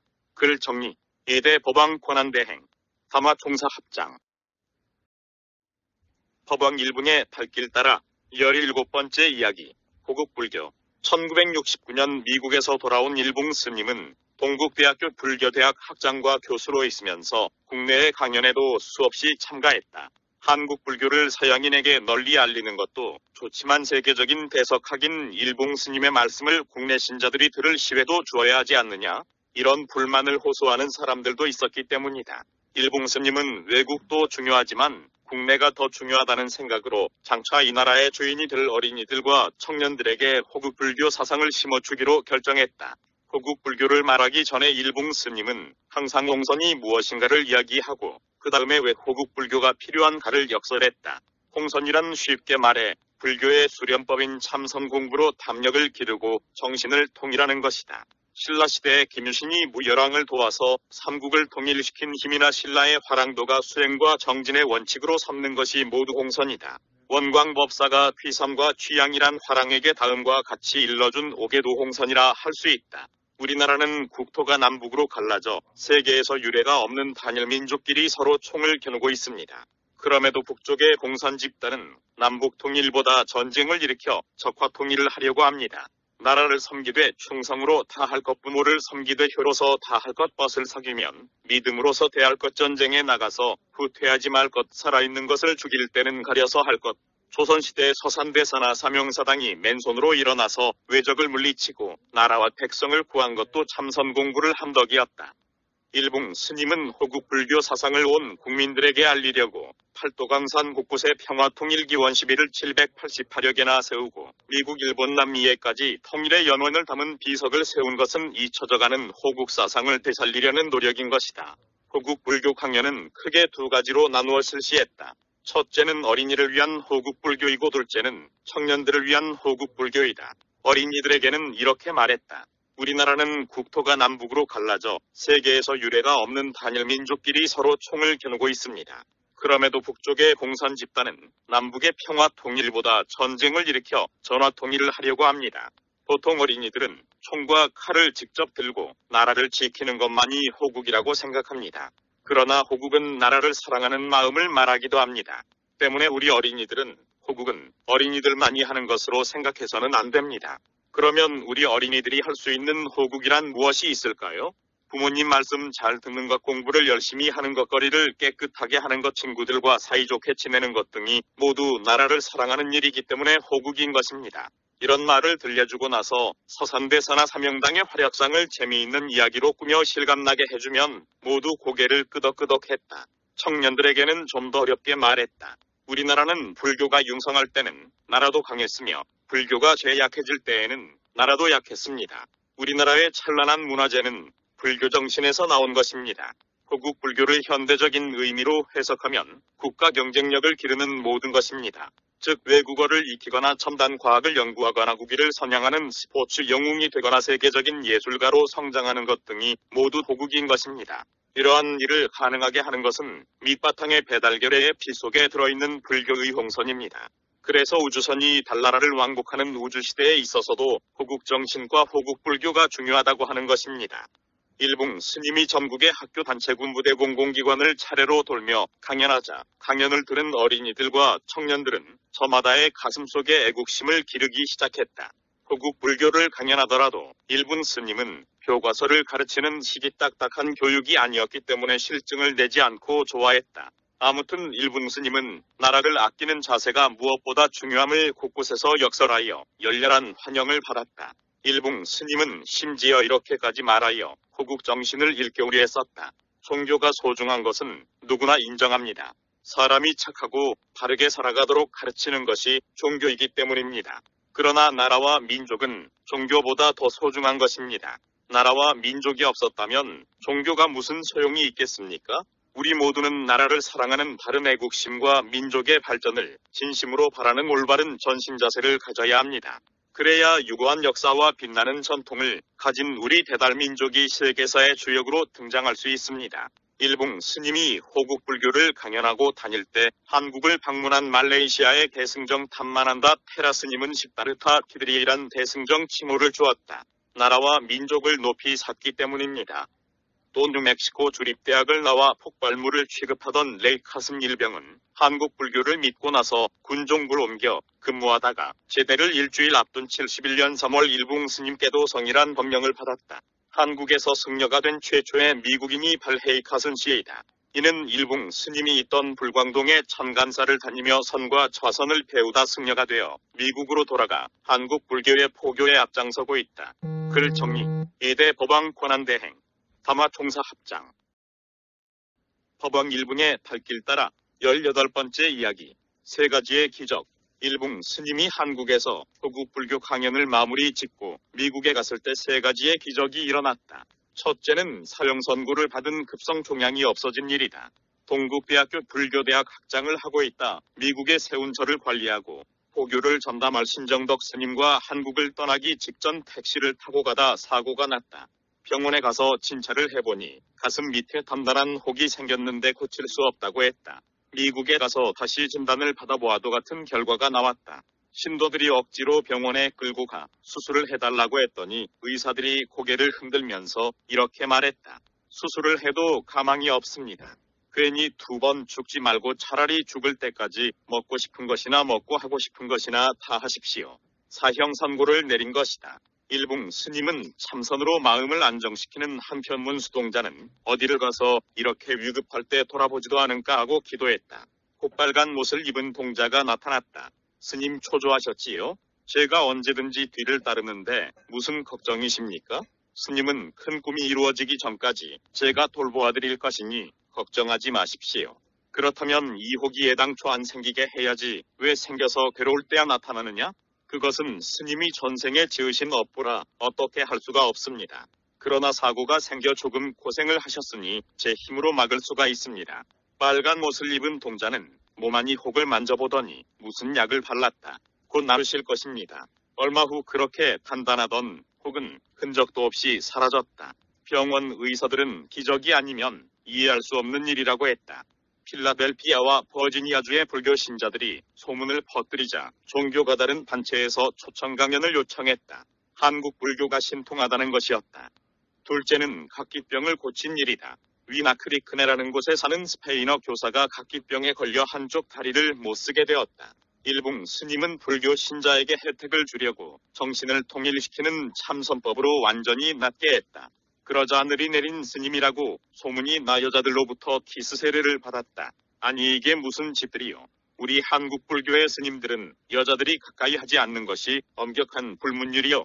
각기병을 고치자 흥미 거리를 찾던 신문 잡지들까지 덩달아 한국의 선불교는 정신통일로 몸과 마음의 병을 모두 고치는 신통력이 있다고 썼다. 셋째는 지진을 일으킨 기적이다. 샌프란시스코에서 700마일 떨어진 캘리포니아주 카멜들리란 곳에서 일봉 스님이 일본 불교단체의 초청을 받아 한국 불교의 수영 방법이란 설법을 할 때였다. 산도 공하고 물도 공하니 천지가 공했고 달도 희고 구름도 희니 천지가 희구나. 설법을 계속하던 일봉 스님이 갑자기 천지를 진동시키는 힘으로 아랬다. 그 순간 땅이 흔들리는 지진이 일어났다. 청중들이 당황하여 일어나서 우왕좌왕하자 일봉 스님은 미소를 지으며 조용히들 하시오. 곧 가라앉을 것이니 설법이나 계속합시다 했다. 일봉 스님의 말이 끝나자 곧 진동이 멈추었다. 넋이 나간 일본인들은 아니 이럴 수가 란 말만 되풀이하면서 서로의 얼굴을 바라보았다. 일본인들은 입을 모아 과연 세계적인 고승이십니다를 계속했다. 이 다사라 사원에서 일어난 기적은 한국인이 아니라 일본인이 겪은 것이기 때문에 그 놀라움이 더 크고 멀리 터졌다. 글 정리, 이대 법왕 권한대행, 담화 총사 합장. 법왕 일붕의 발길 따라 19번째 이야기, 불교 올림픽, 1990년 10월, 한국의 불교계는 고구려 소수림왕 372년에 이 땅에 불교가 전래된 후 가장 큰 축제를 맞이했다. 석가모니 부처님의 말씀과 뜻에 따라 바르고 곧게 살겠다고 다짐한 전 세계의 불교 신자들이 한자리에 모여 손에 손을 맞잡고 서로가 하나임을 확인하는 큰 잔치가 벌어졌기 때문이다. 세계 불교도 제17차 서울대회가 열린 것이다. 공식 명칭이 세계 불교도의 회인 이 대회는 불교전파와 세계 불교도들의 친선도모 세계 평화 실현 등을 달성하기 위한 불자들의 공동협력을 목적으로 창설된 불교 최초 최대 국제기구이다. 이 국제기구는 스리랑 카 말라세케라 박사의 평생에 걸친 노력 끝에 지난 1950년 5월 27개국 129명의 대표들이 콜롬보에 모여 창설대회를 가졌다. 이때 소승, 대승, 밀교권이 모두 참가하여 종파를 뛰어넘어 범세계적인 조직으로 키울 것을 다짐했다. 한국은 1956년 제4차 네팔대회 이청담 스님이 비공식적으로 참가했으며 제8차 태국 방콕 대회에서 정식 회원국이 되었다. 우리나라는 1978년 제12차 대회를 유치했다가 준비가 부족하여 반환한 수치스런 경력을 갖고 있다. 그래서 1988년 11월 미국에서 열린 제16차 대회에서 한국 유치를 결정해 놓고도 불안함을 감추지 못했던 것이 사실이다. 만약 또다시 반환하거나 대회가 소홀하게 치러지면 국제적인 망신을 당함은 물론 회복하기 어려운 불명예를 안아야 할 처지였다. 사정이 이처럼 하급했음에도 국내 불교계는 쉽게 의견 통일을 이루지 못하고 시간만 흘러가고 있었다. 다른 나라들이 신자 중심으로 활동을 펼치는 것에 비해 한국은 세계의 단체가 가입되어 있었고 줄간 스님들 중심으로 운영되었기 때문이다. 따라서 각 종당과 원로 스님들 그리고 뜻을 같이 하는 불교 신자들이 중심이 되어 다음과 같이 결의했다. 어떤 일이 있더라도 이번 서울대회는 성공시켜야 한다. 또다시 대회가 실패하면 한국 불교는 국제 무대에서 얼굴을 내밀 자격조차 없어진다. 사소한 이해 관계는 모두 뛰어넘자 그 결과 10여 차례의 모임을 가진 끝에 1989년 9월 23일 롯데 호텔에서 일봉 스님을 대회준비위원장으로 뽑았다. 일봉 스님이 대회준비위원장 겸 본부장이 대화 앞에서 이끌자 모든 불교 신자와 스님들이 호응하기 시작했다. 평소에 사소한 것에 대하여 눈앞에 작은 이익을 버리고 멀리 보자는 생각으로 살아온 일봉 스님이 나선다면 꼭 성공하도록 밀어야 한다고 뭉쳤기 때문이다. 일봉 스님이 책임감을 더 느낀 것은 이 대회가 특비 창립 40주년 행사를 겸한 역대 최대 규모인 관계로 빈틈없이 맞춰야 한다는 국내외의 바람이 큰 탓도 있었다.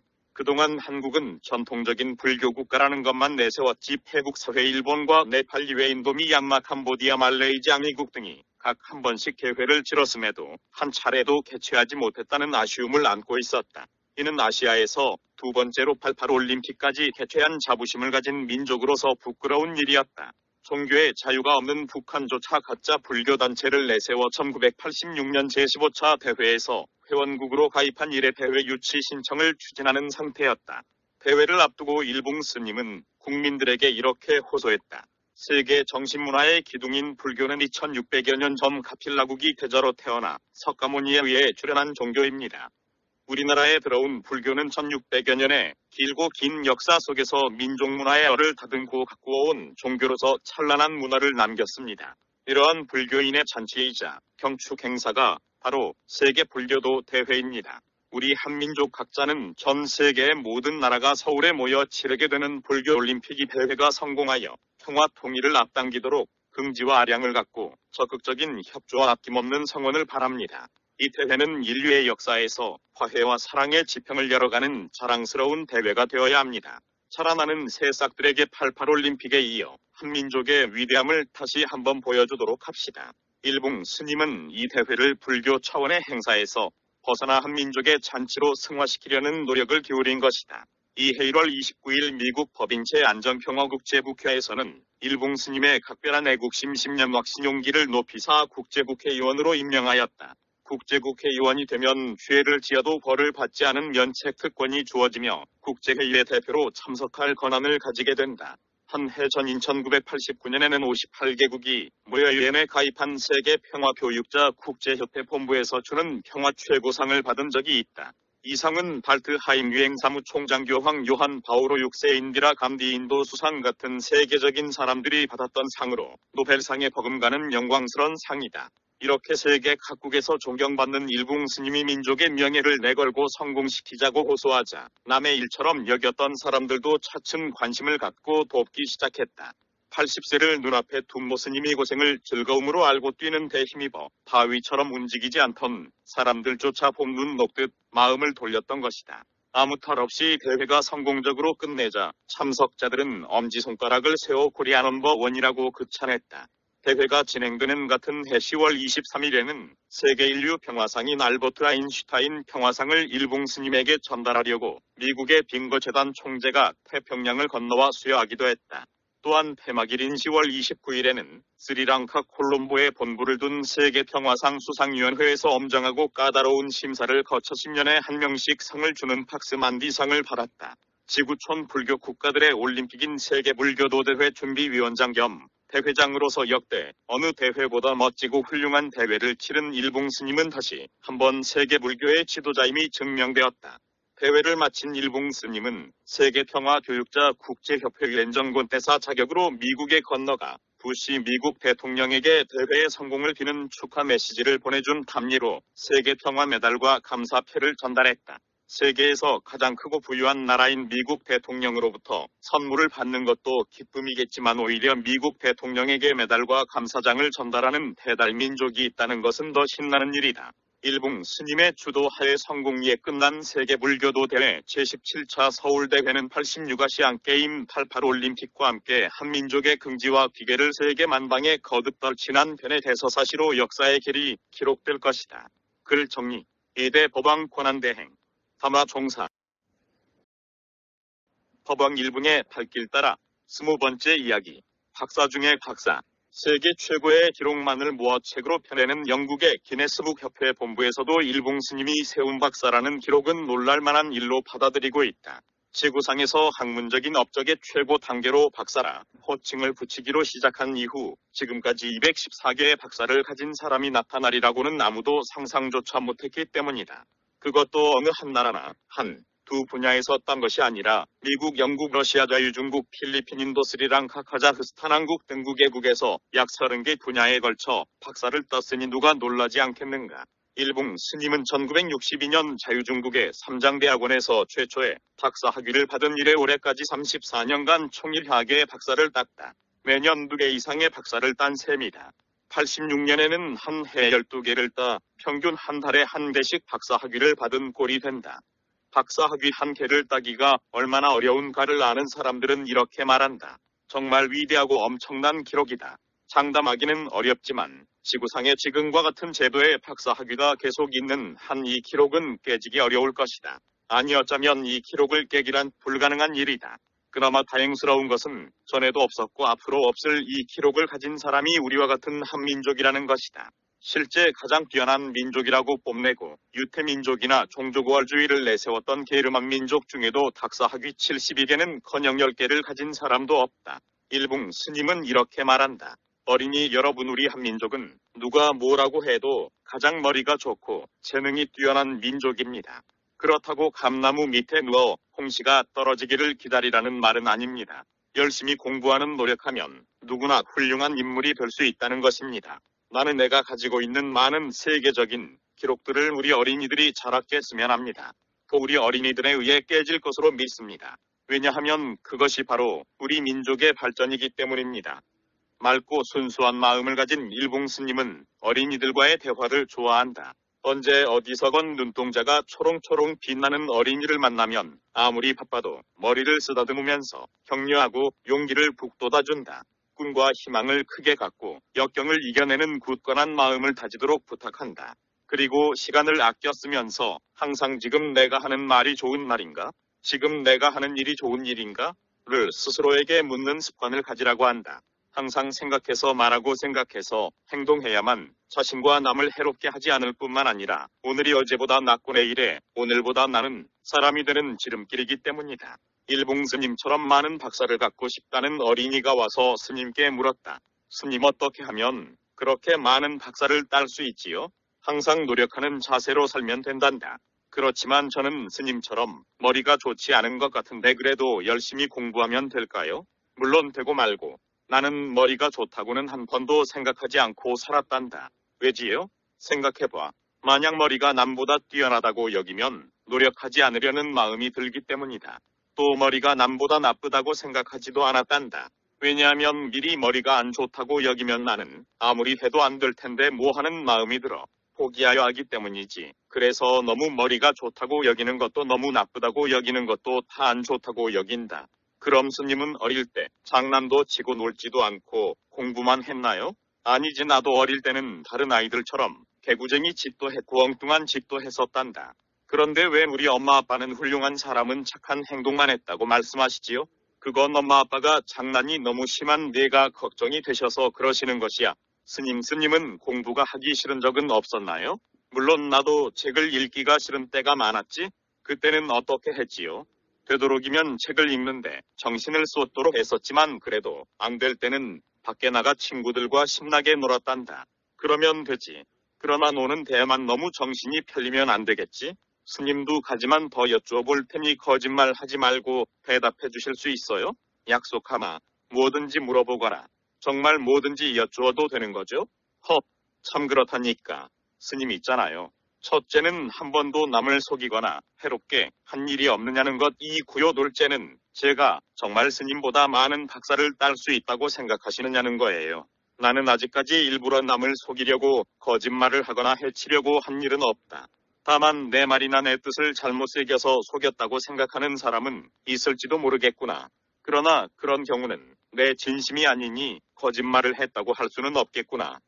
박사를 많이 따고 안 따고는 중요한 일이 아닐지도 모른단다. 왜냐하면 많은 공부를 한 사람 중에도 국가와 사회에 해를 끼치는 분이 있고 자기 이름도 못 읽고 못 쓰는 사람 중에도 바르게 사는 사람이 있기 때문이지. 그러나 많은 공부를 하여 올바른 길로 가려고 한다면 더욱 좋겠지. 너뿐만 아니라 누구든지 게으름 피우지 않고 열심히 노력하면 나보다 더 많은 박사를 가질 수 있다고 본다.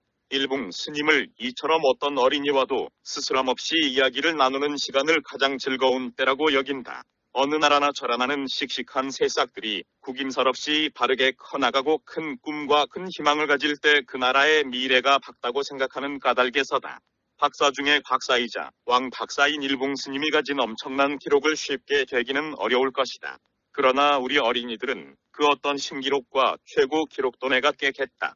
다고 생각하고 노력하면 반드시 깨진다고 강조하는 일봉 스님의 말씀을 제대로 가슴에 새긴다면 제2의 서경보가 나오지 말란 법도 없다는 자신감을 가져야 한다. 글 정리 1대 법왕 권한대행 담화 총사 합장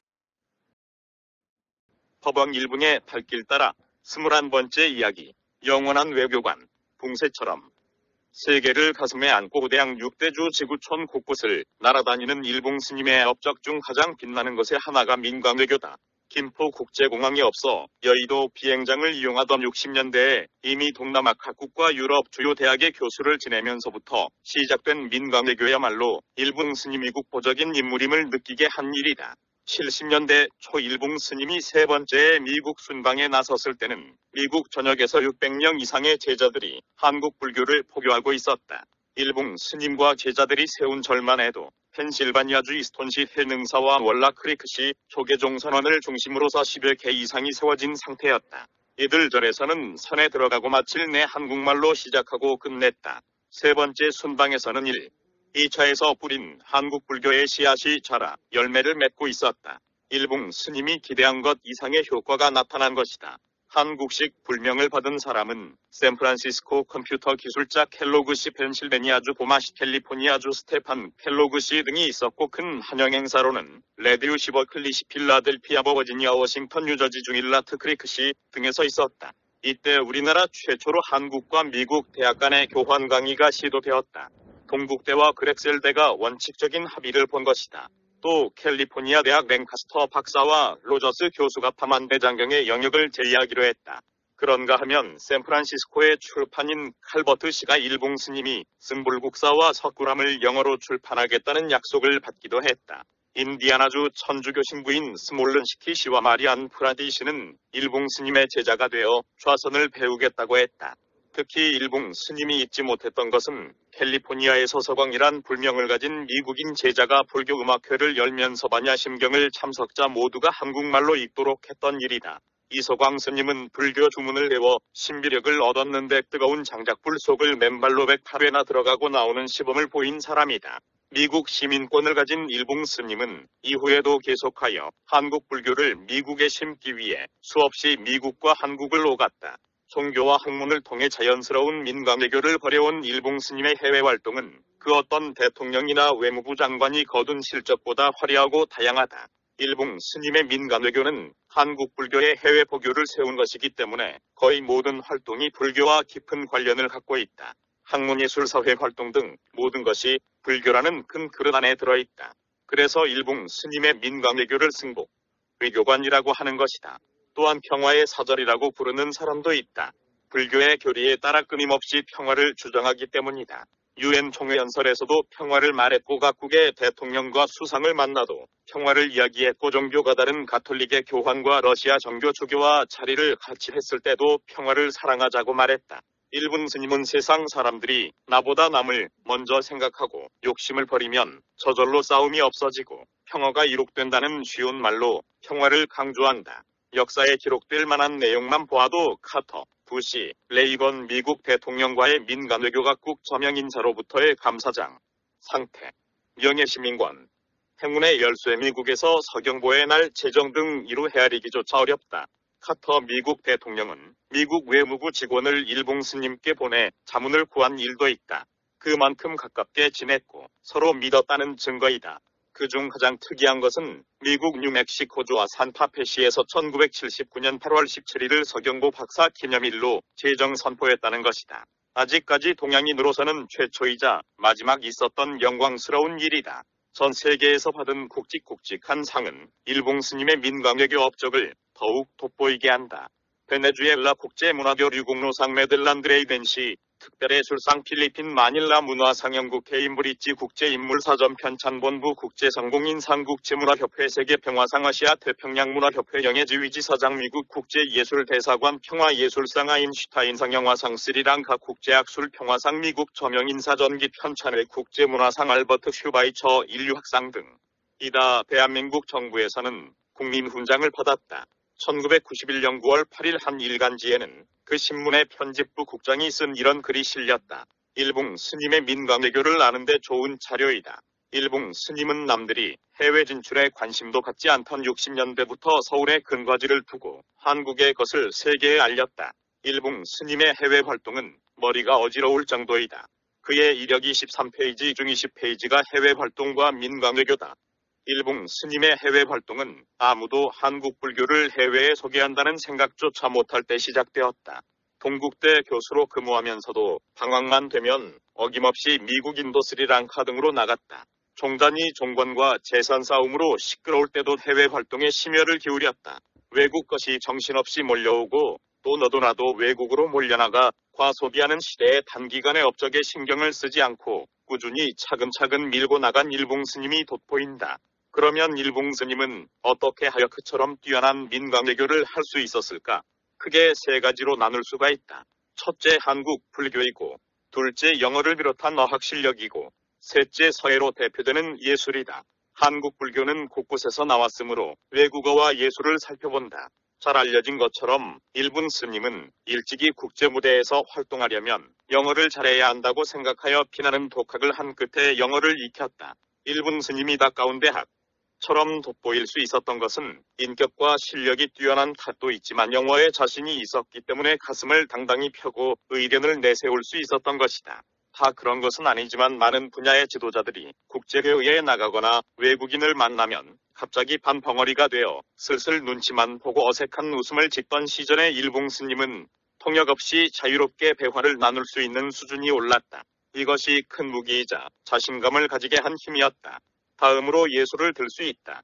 예술에 관심이 높은 서양인들은 일봉 스님의 먹을 가라 붓으로 쓰는 서예를 매우 좋아했다. 한문도 그렇지만 붓글씨가 낯선 서양인들이 신기하게 볼 것은 당연했다. 더구나 일봉 스님의 붓글씨는 새해 본 고장이라고 일컫는 중국에서조차 텔레비전으로 전국의 스님의 글씨 쓰는 모습을 방영했을 만큼 대가여스니 서양인들이 얼마나 좋아했겠는가. 짙은 먹으로 그린 달마상도 일품이었다. 몇 번 붓이 왔다 갔다 하는 사이에 웃는 듯 찡그린 듯 한 달마상이 그려지는 것을 보고 파란 눈의 서양인들은 입을 다물지 못했다. 다섯 살 때부터 한문을 배우며 붓을 잡기 시작한 일봉 스님의 선시 역시 대단하다. 탄탄한 한문 실력이 기초를 이루고 있기 때문에 세계 어디에 가서 누구를 만나든지 즉석에서 칠자로 된 절구의 한 시를 자유자재로 찢는다. 무려 1026편의 저서 중 시집만 180권이나 되는 것도 참선을 통해 정리된 생각이나 시, 상을 한 시로 표현했기 때문이다. 이 시집도 세계 최고 기록이다.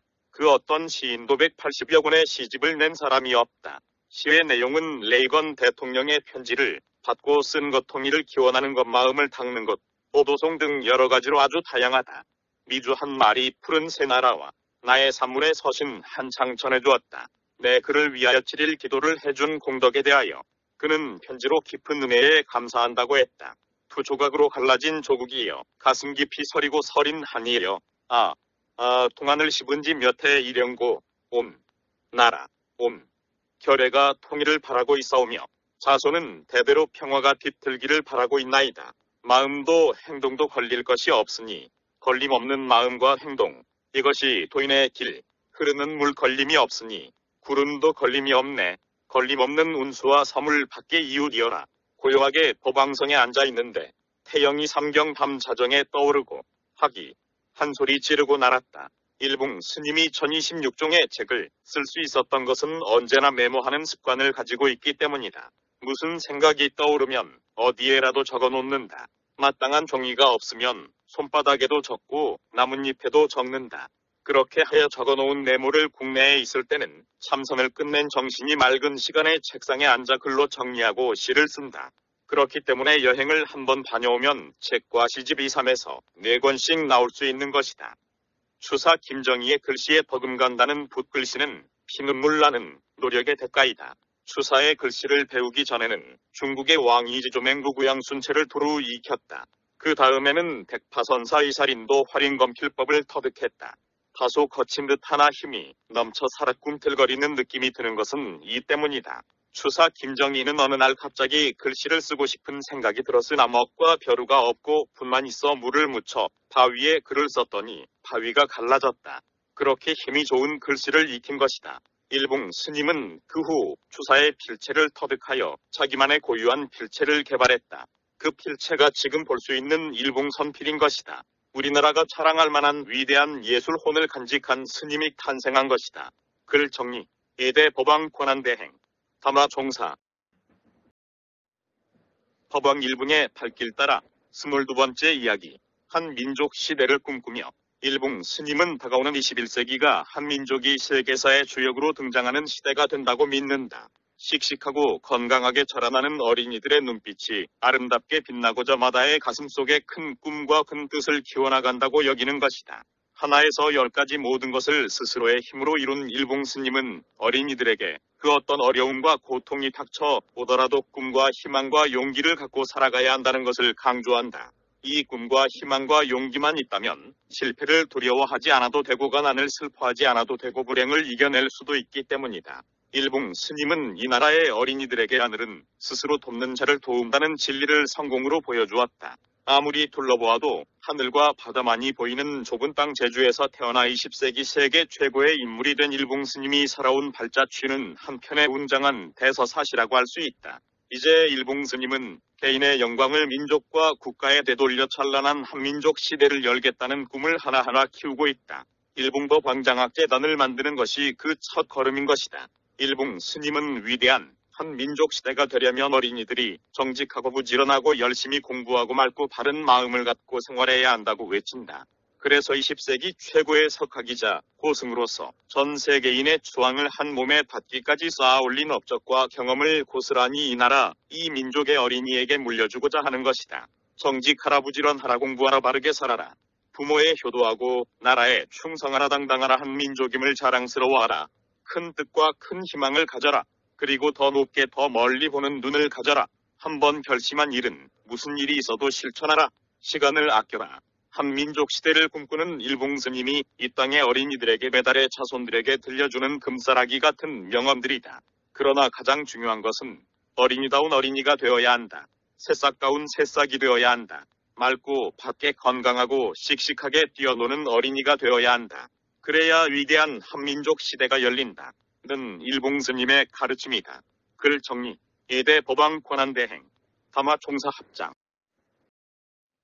법왕 일붕의 발길 따라 23번째 이야기, 초대 법왕 일붕의 업적, 박사학위, 28개 분야, 126개, 저서 조당지병구 등 1042 종류. 서경구 스님은 지난 1996년 6월 25일 오전 11시 40분 서울 신영동 법왕청 주석처에서 열반하는 순간까지 민족의 평화 통일을 염원했다.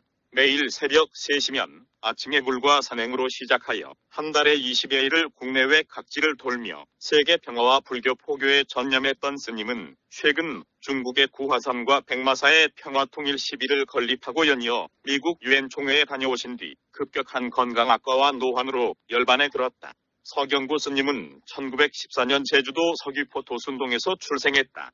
19세의 남제주군 산방굴사에서 강예월 스님을 은사로 득도하여 전주 위봉사와 대운사 대원암 금산사 강원 오대산선 원을 거쳐 일본 임제전문대학과 동국대 불교학과를 졸업했다. 미주한국 불교의 시작을 일봉 서경보 큰 스님이 1964년에 한국인 승려로서는 최초로 미국 땅을 밟았다. 그리고 처음으로 미국에서 한국인 박사 1호이다. 일봉 스님은 어린 시절에는 한학을 공부했다.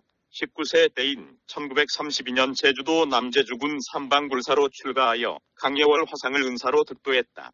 이때 받은 법령은 회람이었다. 스님은 약 1년간 제주도에서 수행하고 나서 1933년 20세에 구례 화범사의 진지는 강백을 찾아가 수학했다.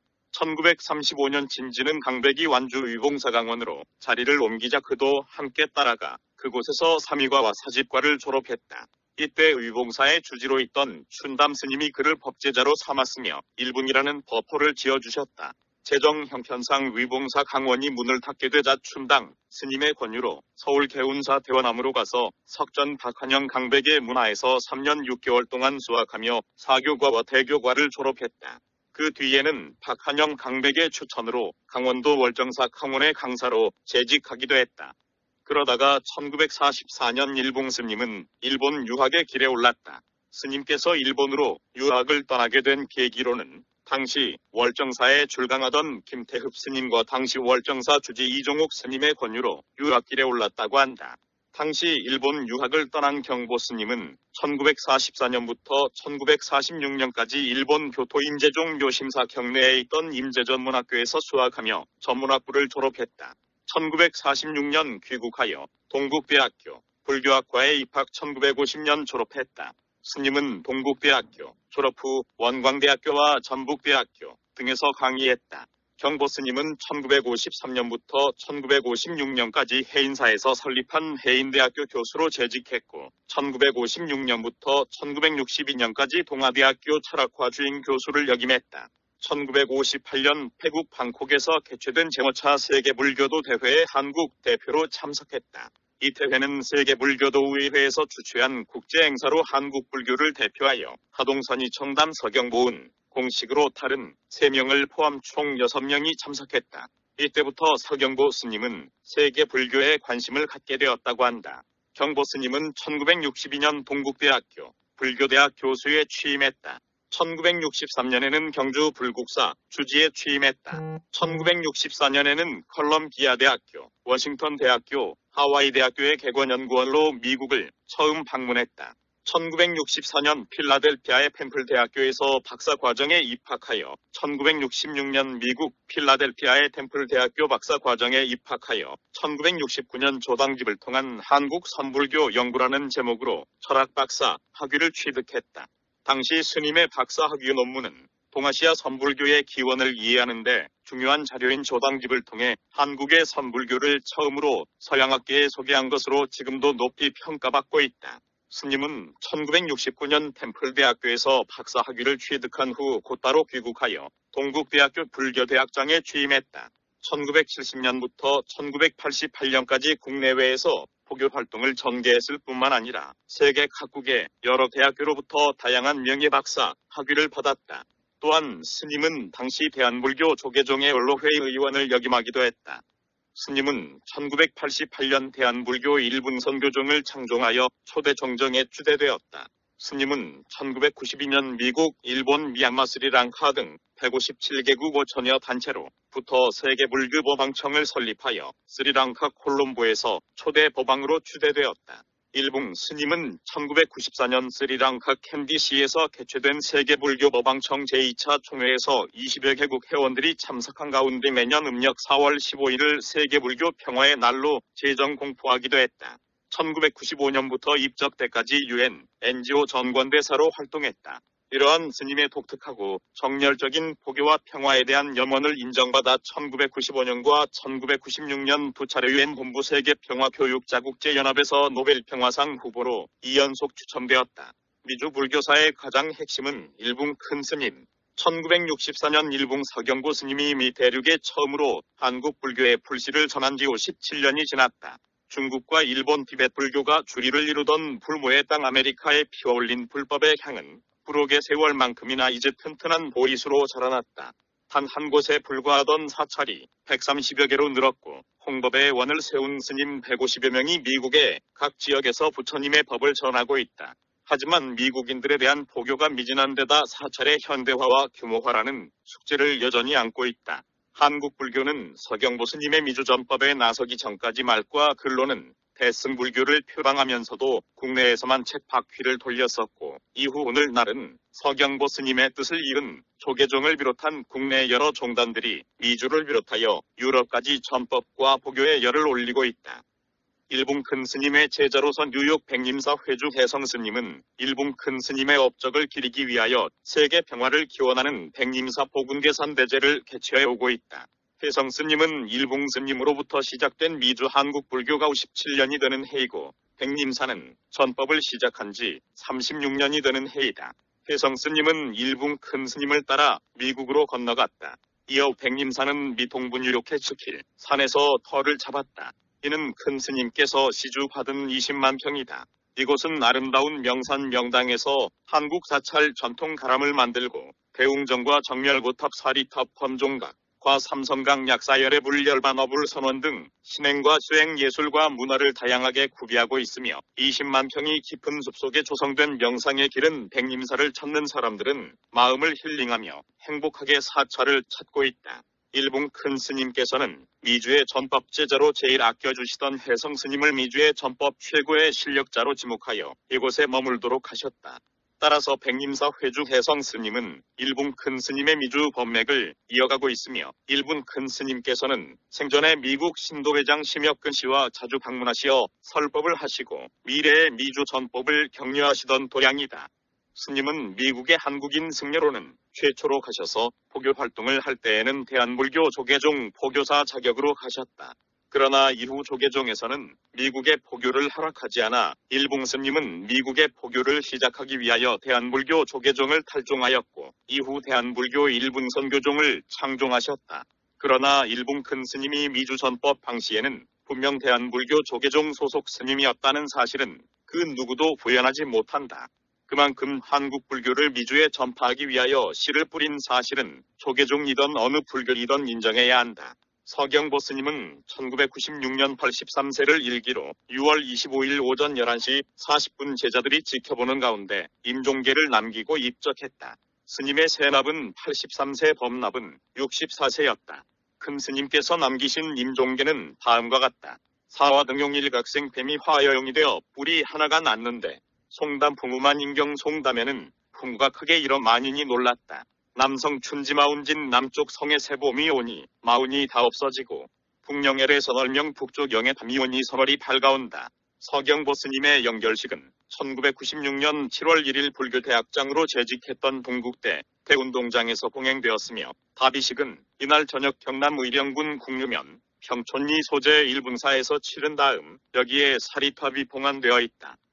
다음은 세계불교 법왕청 설립 과정 1986년 대한민국 외무부의 사회단체로 등록되면서 최초 법왕청이 설립된 뒤 1996년 일붕 서경보 초대법왕 예하의 열반 당시 유언에 따라 큰 스님 비서실장이었던 단화 이존영 이사장이 두 번째로 2003년 미국 캘리포니아주 정부의 세계불교 법왕청을 등록하고 2005년 1월 24일 대한민국 민법 제32조와 문화체육관광부 및 문화재청 소관 비영리법인의 설립 및 감독에 관한 규칙 제4조에 따라 위 법인을 설립 허가를 받았음.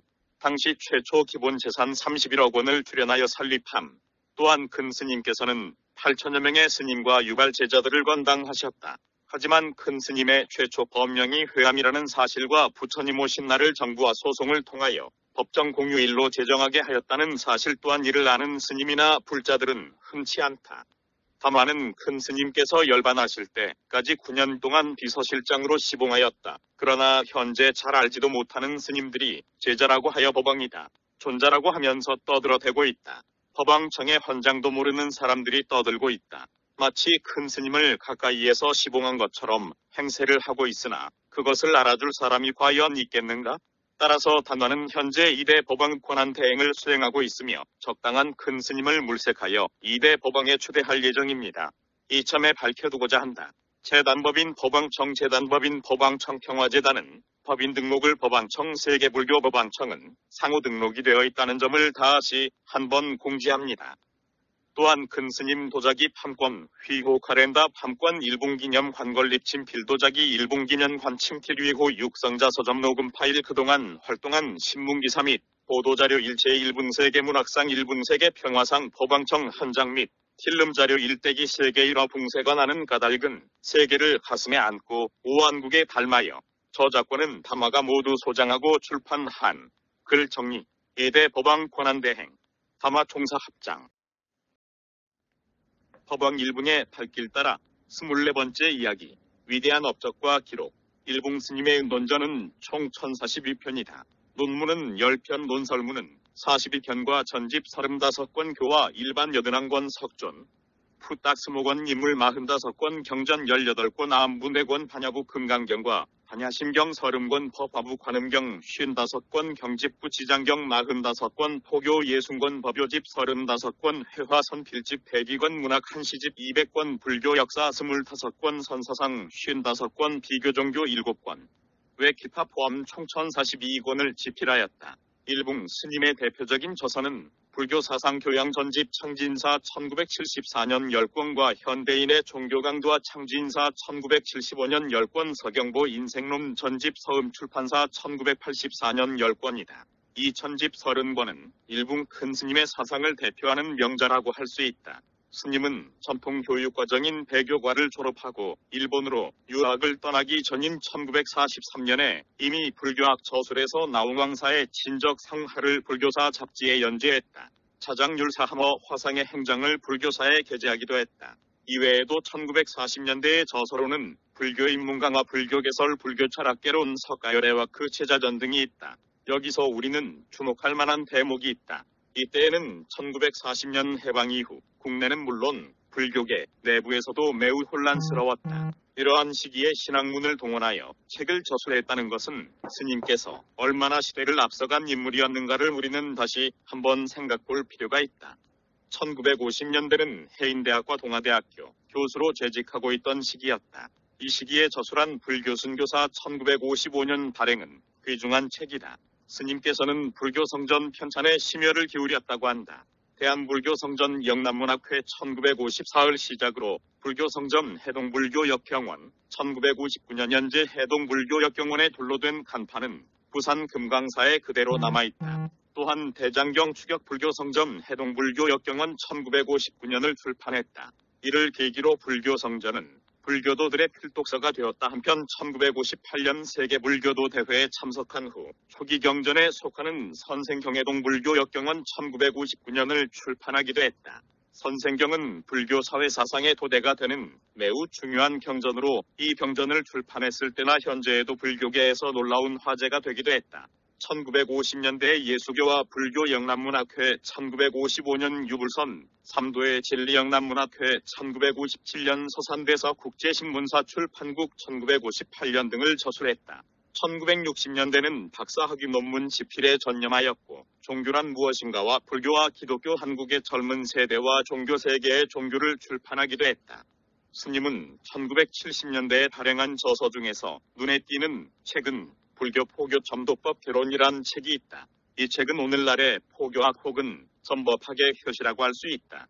이 책 이전에는 불교 포교론에 관한 책이 발행된 적이 없다. 이처럼 스님은 다른 사람들이 주목하지 않는 분야 즉 불교를 어떻게 포교할 것인가에 대한 고민을 학문으로 승화시켰던 것이다. 또한 서경구 박사 설교 자료집 1973년을 세상에 내놓기도 했다. 1970년대에 저술한 동양불교 문화사와 불교 문화와 그 종맥 1972년 등은 화제가 된 저서이기도 하다. 1971년부터 1980년대 전반까지 다양한 주제의 논설문을 여러 매체에 발표했다. 선문의 전등과 이조시대 선사들의 선풍과 한국 조계종의 종조 등을 정리하여 1972년에 잡지에 게재하기도 했다. 세계평화교수협의회에서 발행한 광장이라는 잡지에 여러 편이 논설문 세계평화와 선선의 현대의 자각적 의미, 인간 형성의 길 등을 여러 잡지에 게재하기도 하였다. 큰 스님은 특히 선과 선악에 관한 많은 책을 1970년대부터 저술하기 시작했다. 이를테면 선악계론을 비롯하여 선과 인류 평화 현대인과 선선과 지혜 등이 있다. 또한 1980년대에도 선에 관한 책을 꾸준히 저술했다. 대표적인 저서는 선이란 무엇인가 교양인을 위한 선 불교와 선 선악과 설리 선과 건강요법 선의 인간상 등이 있다. 이러한 책들은 선과 선악을 이해하는데 필수적인 매우 중요한 책들이다. 일본 큰 스님께서는 앞으로 후학들에게 남기고 싶은 말은 무엇보다도 자신에 대하여 깊은 관심을 가지고 인격을 쌓아 올려야 한다는 점이다. 세계 어느 곳을 가더라도 인격을 벗어난 인간 행동은 용납되지 않는 점을 미루어 인격 형성의 길을 위해서 스스로 자기가 자기의 의지에 따라 행동하고 인간이 되어야 한다고 했다.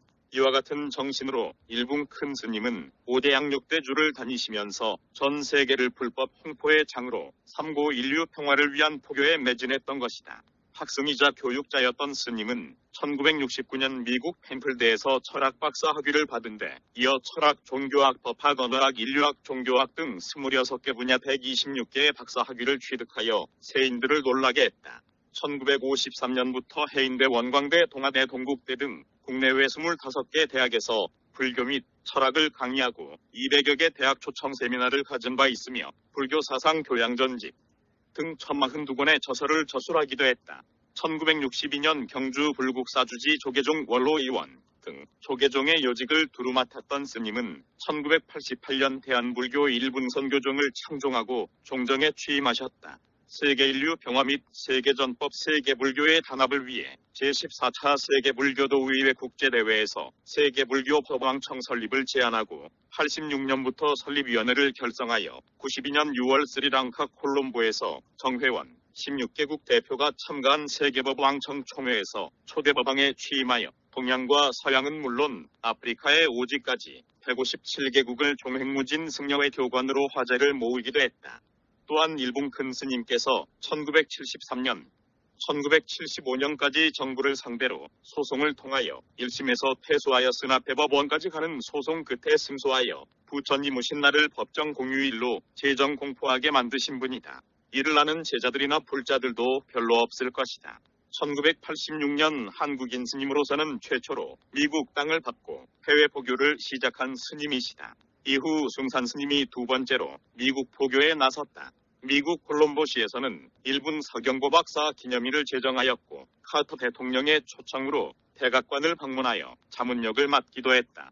국제대회로는 제17차 세계불교도의회 WFB 한국에서는 1990년 서울대회를 최초로 유치하고 대회장이 되셨다. 1986년 제14차 세계불교도의회 국제대회에서 세계불교 법안청 설립을 제안하고 설립위원회를 결성하여 1992년 6월 스리랑카 콜롬보에서 정회원 16개국 대표가 참가한 가운데 세계불교법안청 총회에서 초대법왕에 취임하셨다. 당시 법왕청 헌장 보관 및 재단법인 설립 탄화 총사 세계 불교 법왕청 초대 법왕 일봉 서경보 큰 스님은 불기 2540년 6월 25일 오전 11시 40분 서울 신영동 세계불교 법왕청 법왕주석처에서 세수 83세 법납 64세로 입적, 열반에 드셨다. 세계불교 법왕청 22개 회원국 대표와 전 조계종 총무원장 월주스님 권익현 의원과 송석구 동국대 총장의 조사가 이어졌으며 연결식을 마치고 일본 큰 스님의 법구는 1500여 개의 만장을 앞세우고 의령 일분사에 도착하여 많은 스님과 신도들이 운열하는 가운데 노제 범 의식을 진행한 뒤 저녁 7시부터 법구를 연화대로 옮겨 15,000명의 참배객이 지켜보는 가운데 문도 스님들의 거화로 답의식이 진행됐다. 7월 3일 사리습골 결과 영공 큰 스님 봉주 큰 스님 경우 큰 스님의 증명으로 평골사리 16과 투정골사리 6과 비취색 영롱한 두발사리 15과 지하사리 9과 점사리 5과 추홍사리 7과 매수사리 9과 쇠사리 6과 미색사리 1과 대소색 영롱한 사리 9과 등 83과와 덩어리 사리 등이 출연되었다. 나는 나를 찾아 나선 여행에서 죽음이 소멸이 아니라 새로운 시작을 의미한다는 진리를 깨달았습니다. 나는 나를 찾아 나선 여행 구도를 통한 번뇌, 욕망, 집착, 해탈, 청정, 인연의 이지우주의 대원칙을 배우는 작업을 해오고 있습니다. 나는 자아가 참 모습을 통해 자성을 깨닫고 진리를 볼 수 있는 명경지수 같은 마음으로 마음의 본체를 일고자 머리를 삭발하다. 큰 스님의 일대기 쳐서 부처님의 뜻에 따라 중에서 발췌, 일봉 서경복 큰 스님은 해외 보교의 선구자, 최고의 학생이자 최고의 선승선, 교이다. 선시불심 교시부로 선은 부처님의 마음이고 교는 부처님의 말씀이다. 이후 1994년 세계불교 법왕청 총회에서 부처님 오신 날을 세계불교 평화의 날로 제정 공포하셨다. 친필 원본 바마 총사 소장 큰 스님은 40여 년 전부터 한반도 최남단 마라도에서 최북단 통일전망대까지 전국 방방곡곡에 7천만 동포의 연원인 남북평화 통일을 기원하는 1분 11을 787곳에 걸린 마지막 통일기원 12787개 임진각 통일촌마을 안보백원에 건립하여 제막식하는 날 열반에 드심. 이후 통일촌 마을에 건립한 마지막 비석을 크게 만들어 다시 세우고 그 자리에 있던 비석은 현재 법왕청 총본산 동탄 법왕사에 옮겨져 788개가 건립돼 있음. 유엔 NGO 이앱 전관대사 유네스코 특사로 활약했으며 유엔 총회에서 핵무기 폐기, 등을 강조해온 업적으로 승려로는 유일하게 95-96년 UN NGO에 세계 평화교육자국제협회 찰스 메르시에카 총재로부터 1회 연속 노벨 평화상 후보로 추천되었다. 당시 비서실 담화가 추진. 큰 스님 열반 이후 UN NGO의 한국 대표 겸 전곤대사 1996년 2011년까지 담화 종사가 국제회의에서 선임되어 UN 본부에 등록하고 유엔 본부로부터 신분증 받아 활동함. 특히 스님은 미국의 템폴 대학에서 조당지병구라는 논문으로 박사학위를 받은 것을 시작으로 최다 박사학위 126개, 최다 저서 1042종, 최다 통일기원비 건립 788개, 선필위고 50만여 장 의령, 일붕사 석굴법당을 포함하여 기네스북 5가방에 기록되어 있다. 기네스 기록 등재, 당시 비서실장 담화가 기획하고 추진함. 글 정리, 예대 법왕 권한대행, 담화 총사 합장. 법왕 일붕의 발길 따라 25번째 이야기, 법왕 일붕의 간출인 행장, 세계불교 초대 법왕 일붕 서경보 존자 예화, 1914년 제주도 서귀포시 도순동에서 출생, 1932년 19세 1세 제주도 삼방불사에서 수계득도, 1933년 20세 2세 지리산 화검사로 진지는 대강백을 찾아 제주를 떠난 1935년 22세 4세 전북 위봉사에서 사미과와 사집과 수료 유춘담 스님께 일분이란 법보를 받은 1936년 39년 23세 26세 5세 8세 서울 동대문 개운사 대원암에서 박한영 대강백의 수제자가 되어 사교과와 대교과를 마친 1940년 27세 9세 전북 김제 금산사에 포건 김영수 스님께 식수 행상을 약 6개월에 걸쳐 사사받음 방한암 스님이 조실로 계시던 강원도 월정사 상원암의 선원 원장이 되어 학인들을 지도 1944년 46년 31세 33세 13세 15세 월정사 이종욱 주지스님의 도움으로 임재종 묘심사 경내에 있는 일본 경도의 임재전문대학 전문부의 유학 졸업 1946년 50년 33세, 37세 15세, 19세 동국대학교 불교학과 이탑 졸업, 1950년, 53년 37세, 39세 19세, 22세 원광대 전북대 강사, 1953년 39세 22세 경남일보 논설위원, 1953년, 56년 39세, 43세 22세, 25세 진주해인대학 교수, 1955년, 56년 42세, 43세 24세, 25세 부산대학교 강사, 1956년, 59년 43세, 46세 25세, 28세 대한불교 조계종 제주도 정무원장, 1956년, 63년 43세, 50세 25세, 32세 부산통화대 물리대 철학과 주임교수, 1958년 45세 27세 태국 방콕에서 열린 제5차 세계불교도의회 하동산 종정 이청담 총무원장과 함께 한국 대표로 참석. 1960년, 61년 47세, 48세 29세, 30세 미얀마랭군의 상가대학 교환교수, 1962년 49세 31세 대한불교 조계종 불국사 주지, 자유중국 삼장학원에서 삼장법사 학위를 받음, 동국대학교 불교대학 교수 전국 불교청년회 총재, 1963년 50세 32세 부산시 의회의원, 1964년 51세 33세 해동 불교역경원 원장, 1964년 66년 51세 53세 33세 35세 미국 콜롬비아 대학 워싱턴 대학 캘리포니아 대학 하와이 대학 교환교수 1965년 52세 34세 한국 불교 최초로 해외 포교사 임명장을 받음 1968년 69년 55세 56세 37세 38세 미국 필라델피아 주립 템플 대학에서 연구 및 교수 생활. 1969년 56세 38세 미국 템플 대학에서 철학 박사 학위 취득 같은 대학 불교학 교수 동국대 불교대학 학장 겸 교수 제 미국 세계중앙선언 원장.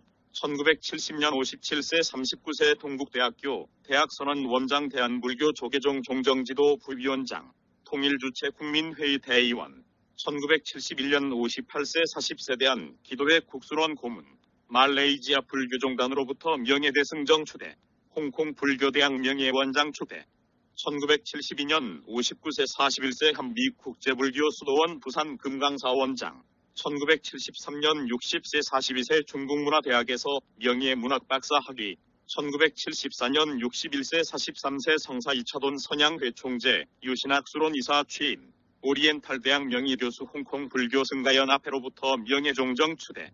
1975년 62세 44세 미국 알라바마시 일분선원 원장 충남대학교 대학원 강사. 미국 캘리포니아 국제대학 명예교수 일북문학회 고문.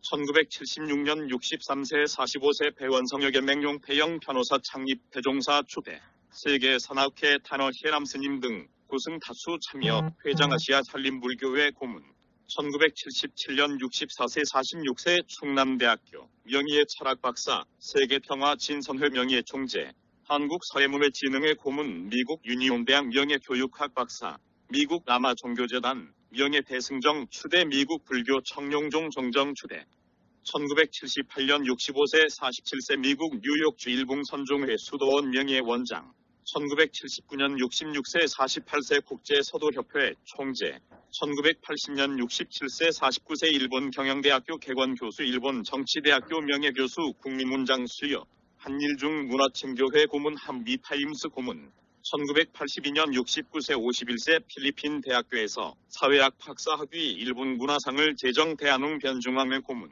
세계 불교 고승 및 학자대회 한국 대표단 단장서와 춘추사 고문 달마 청년회 고문 1983년 70세 52세 드하마 피자이 사원에서 불교의 최고학위를 수여받음 1984년 71세 53세 세계불교도의회 한국연합회장 법무부 장관으로부터 감사장 받음 예술문화교류 국제협회 고문 국제청소년 예능개발원 고문 일북문학상 제3회 시상 일북 여류 시인의 제회 시상 아라빅 이슬라믹 대학에서 명예의 종교심리학 박사학위 1985년 72세 54세 한국문화예술원 연구회로부터 감사패받음.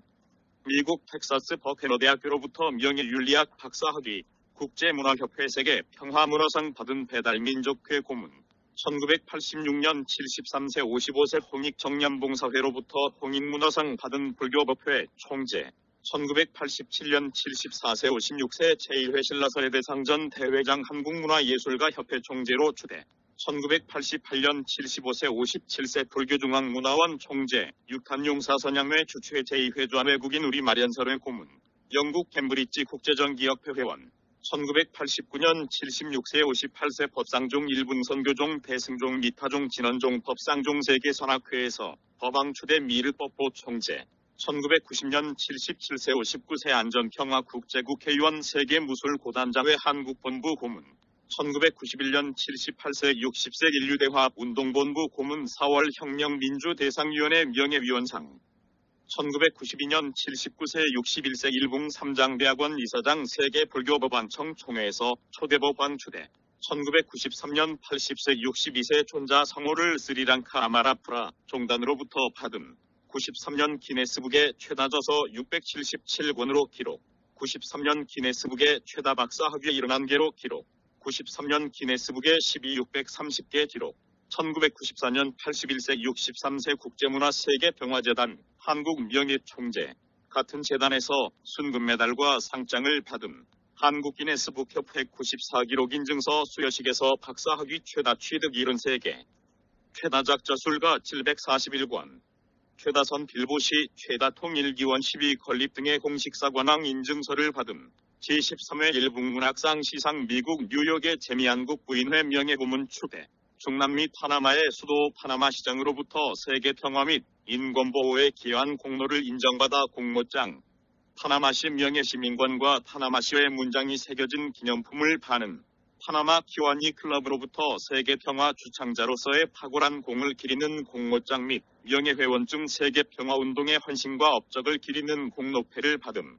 파나마 초레라시 정부로부터 세계 저명 방문인상과 이를 인증하는 공문을 받음. 세계평화교육자 국제협회 가입국인 아프가니스탄, 오스트리아, 벨기에, 에스토니아, 인디아, 이스라엘, 아이보리코스트, 쿠웨이트, 마카오, 몰타, 나이지리아, 남아프리카 등 12개국으로부터 도방 및 존자 추대 받음 파나마시 율레식 대학에서 세계복지 증진에 있어 세계평화 보존에 기여한 공로를 인정받아 총장으로부터 공로패를 받음 오스트리아 더 오더 오브 메리트 오브 시그넘 PD로부터 세계 평화 공모장을 받음. 프랑스의 로드크 대세발 1위 테레토일 테라 페익스로부터 세계 평화 공모장 받음. 알버트 슈바이처 평화상 받음 같은 날 알버트 슈바이처 평화상 운영위원회로부터 상임회원으로 임명받음. 과테말라 산타로사시 6000 부대로부터 세계를 위한 고귀한 업적을 기리는 공로패 받음. 과테말라 산타로사 시장으로부터 행운의 열쇠 받음. 4월 2일 국제정치문화 아카데미 이사로 추대된 미국 미시간 주립대학으로부터 세계 저명 방문인 상 받음, 재단법인 세계평화문화재단 명의의 총재로 추대된 러시아 슬라브문화 아카데미로부터 철학박사 학위 받음, 사단법인 한국참전예술인협회로부터 표창태 받음, 중국 천진대학 개공연의회로부터 특별기념품을 받음, 중국 연변 일보사 해외 고문으로 추대, 경기도 포천군 운천면 성노병원의 세계불교 법항청이 무실 명예 총재로 추대. 러시아 세인트 피터스버그 대학 총장인 발렌티나 브론소 박사로부터 명예교수 추대. 같은 날 다마가 모시고 동행함. 유엔 산하 세계 평화 교육자 국제협회 제7차 국제회의가 열린 세인트 피터스버그 주립대에서 세계 평화와 종교의 역할이란 제목의 강연을 했으며 12개국 평화단체 대표들로부터 법왕 및 존자 추대증을 받은 이로써 서경보 큰 스님은 152국 5,800여 단체에서 법왕으로 추대된 이곳에서 법왕으로 추대한 나라는 5월 25일에는 1993년 제정한 일붕 세계 평화상을 각국 대표가 참석한 가운데 덴마크 요르겐 나우어선 비그 박사와 인도 서널 대사이 박사 등 6명에게 상장과 평화메달을 시상함. 발트해의 유랑선 대결축제 우정과 평화의 집에서 열린 러시아 문학과 불가리아 문화의 날 기념행사에 러시아 민속예술 공연 등에 참석하기도 했으며 회의에 참가했던 20여국 대표들로부터 기념품을 받음. 러시아 카자흐스탄 공화국 국립여자사범대학교 총창 이사예브 세일베크로부터 77번째 박사인 명예인문학 박사 학위를 받음. 같은 대학 명예교수로 추대 같은 공화국 백과사전 편찬위원회 누르 칼리이 브링갈리 위원장과 같은 대학 총장에게 일봉 세계 평화상을 수여함. 카자흐스탄 공화국 국립 카자흐스탄 출판사 시즈티코브 예리크 총사장에게 문화상을 수여함. 일봉법왕 장학회 총재로 추대 현장학 회장. 다마 총사.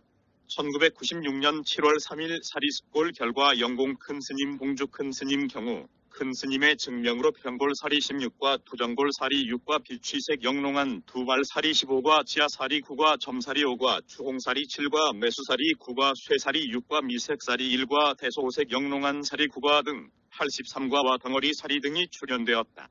큰 스님 사리습골 장애 탄화 총사 참여함.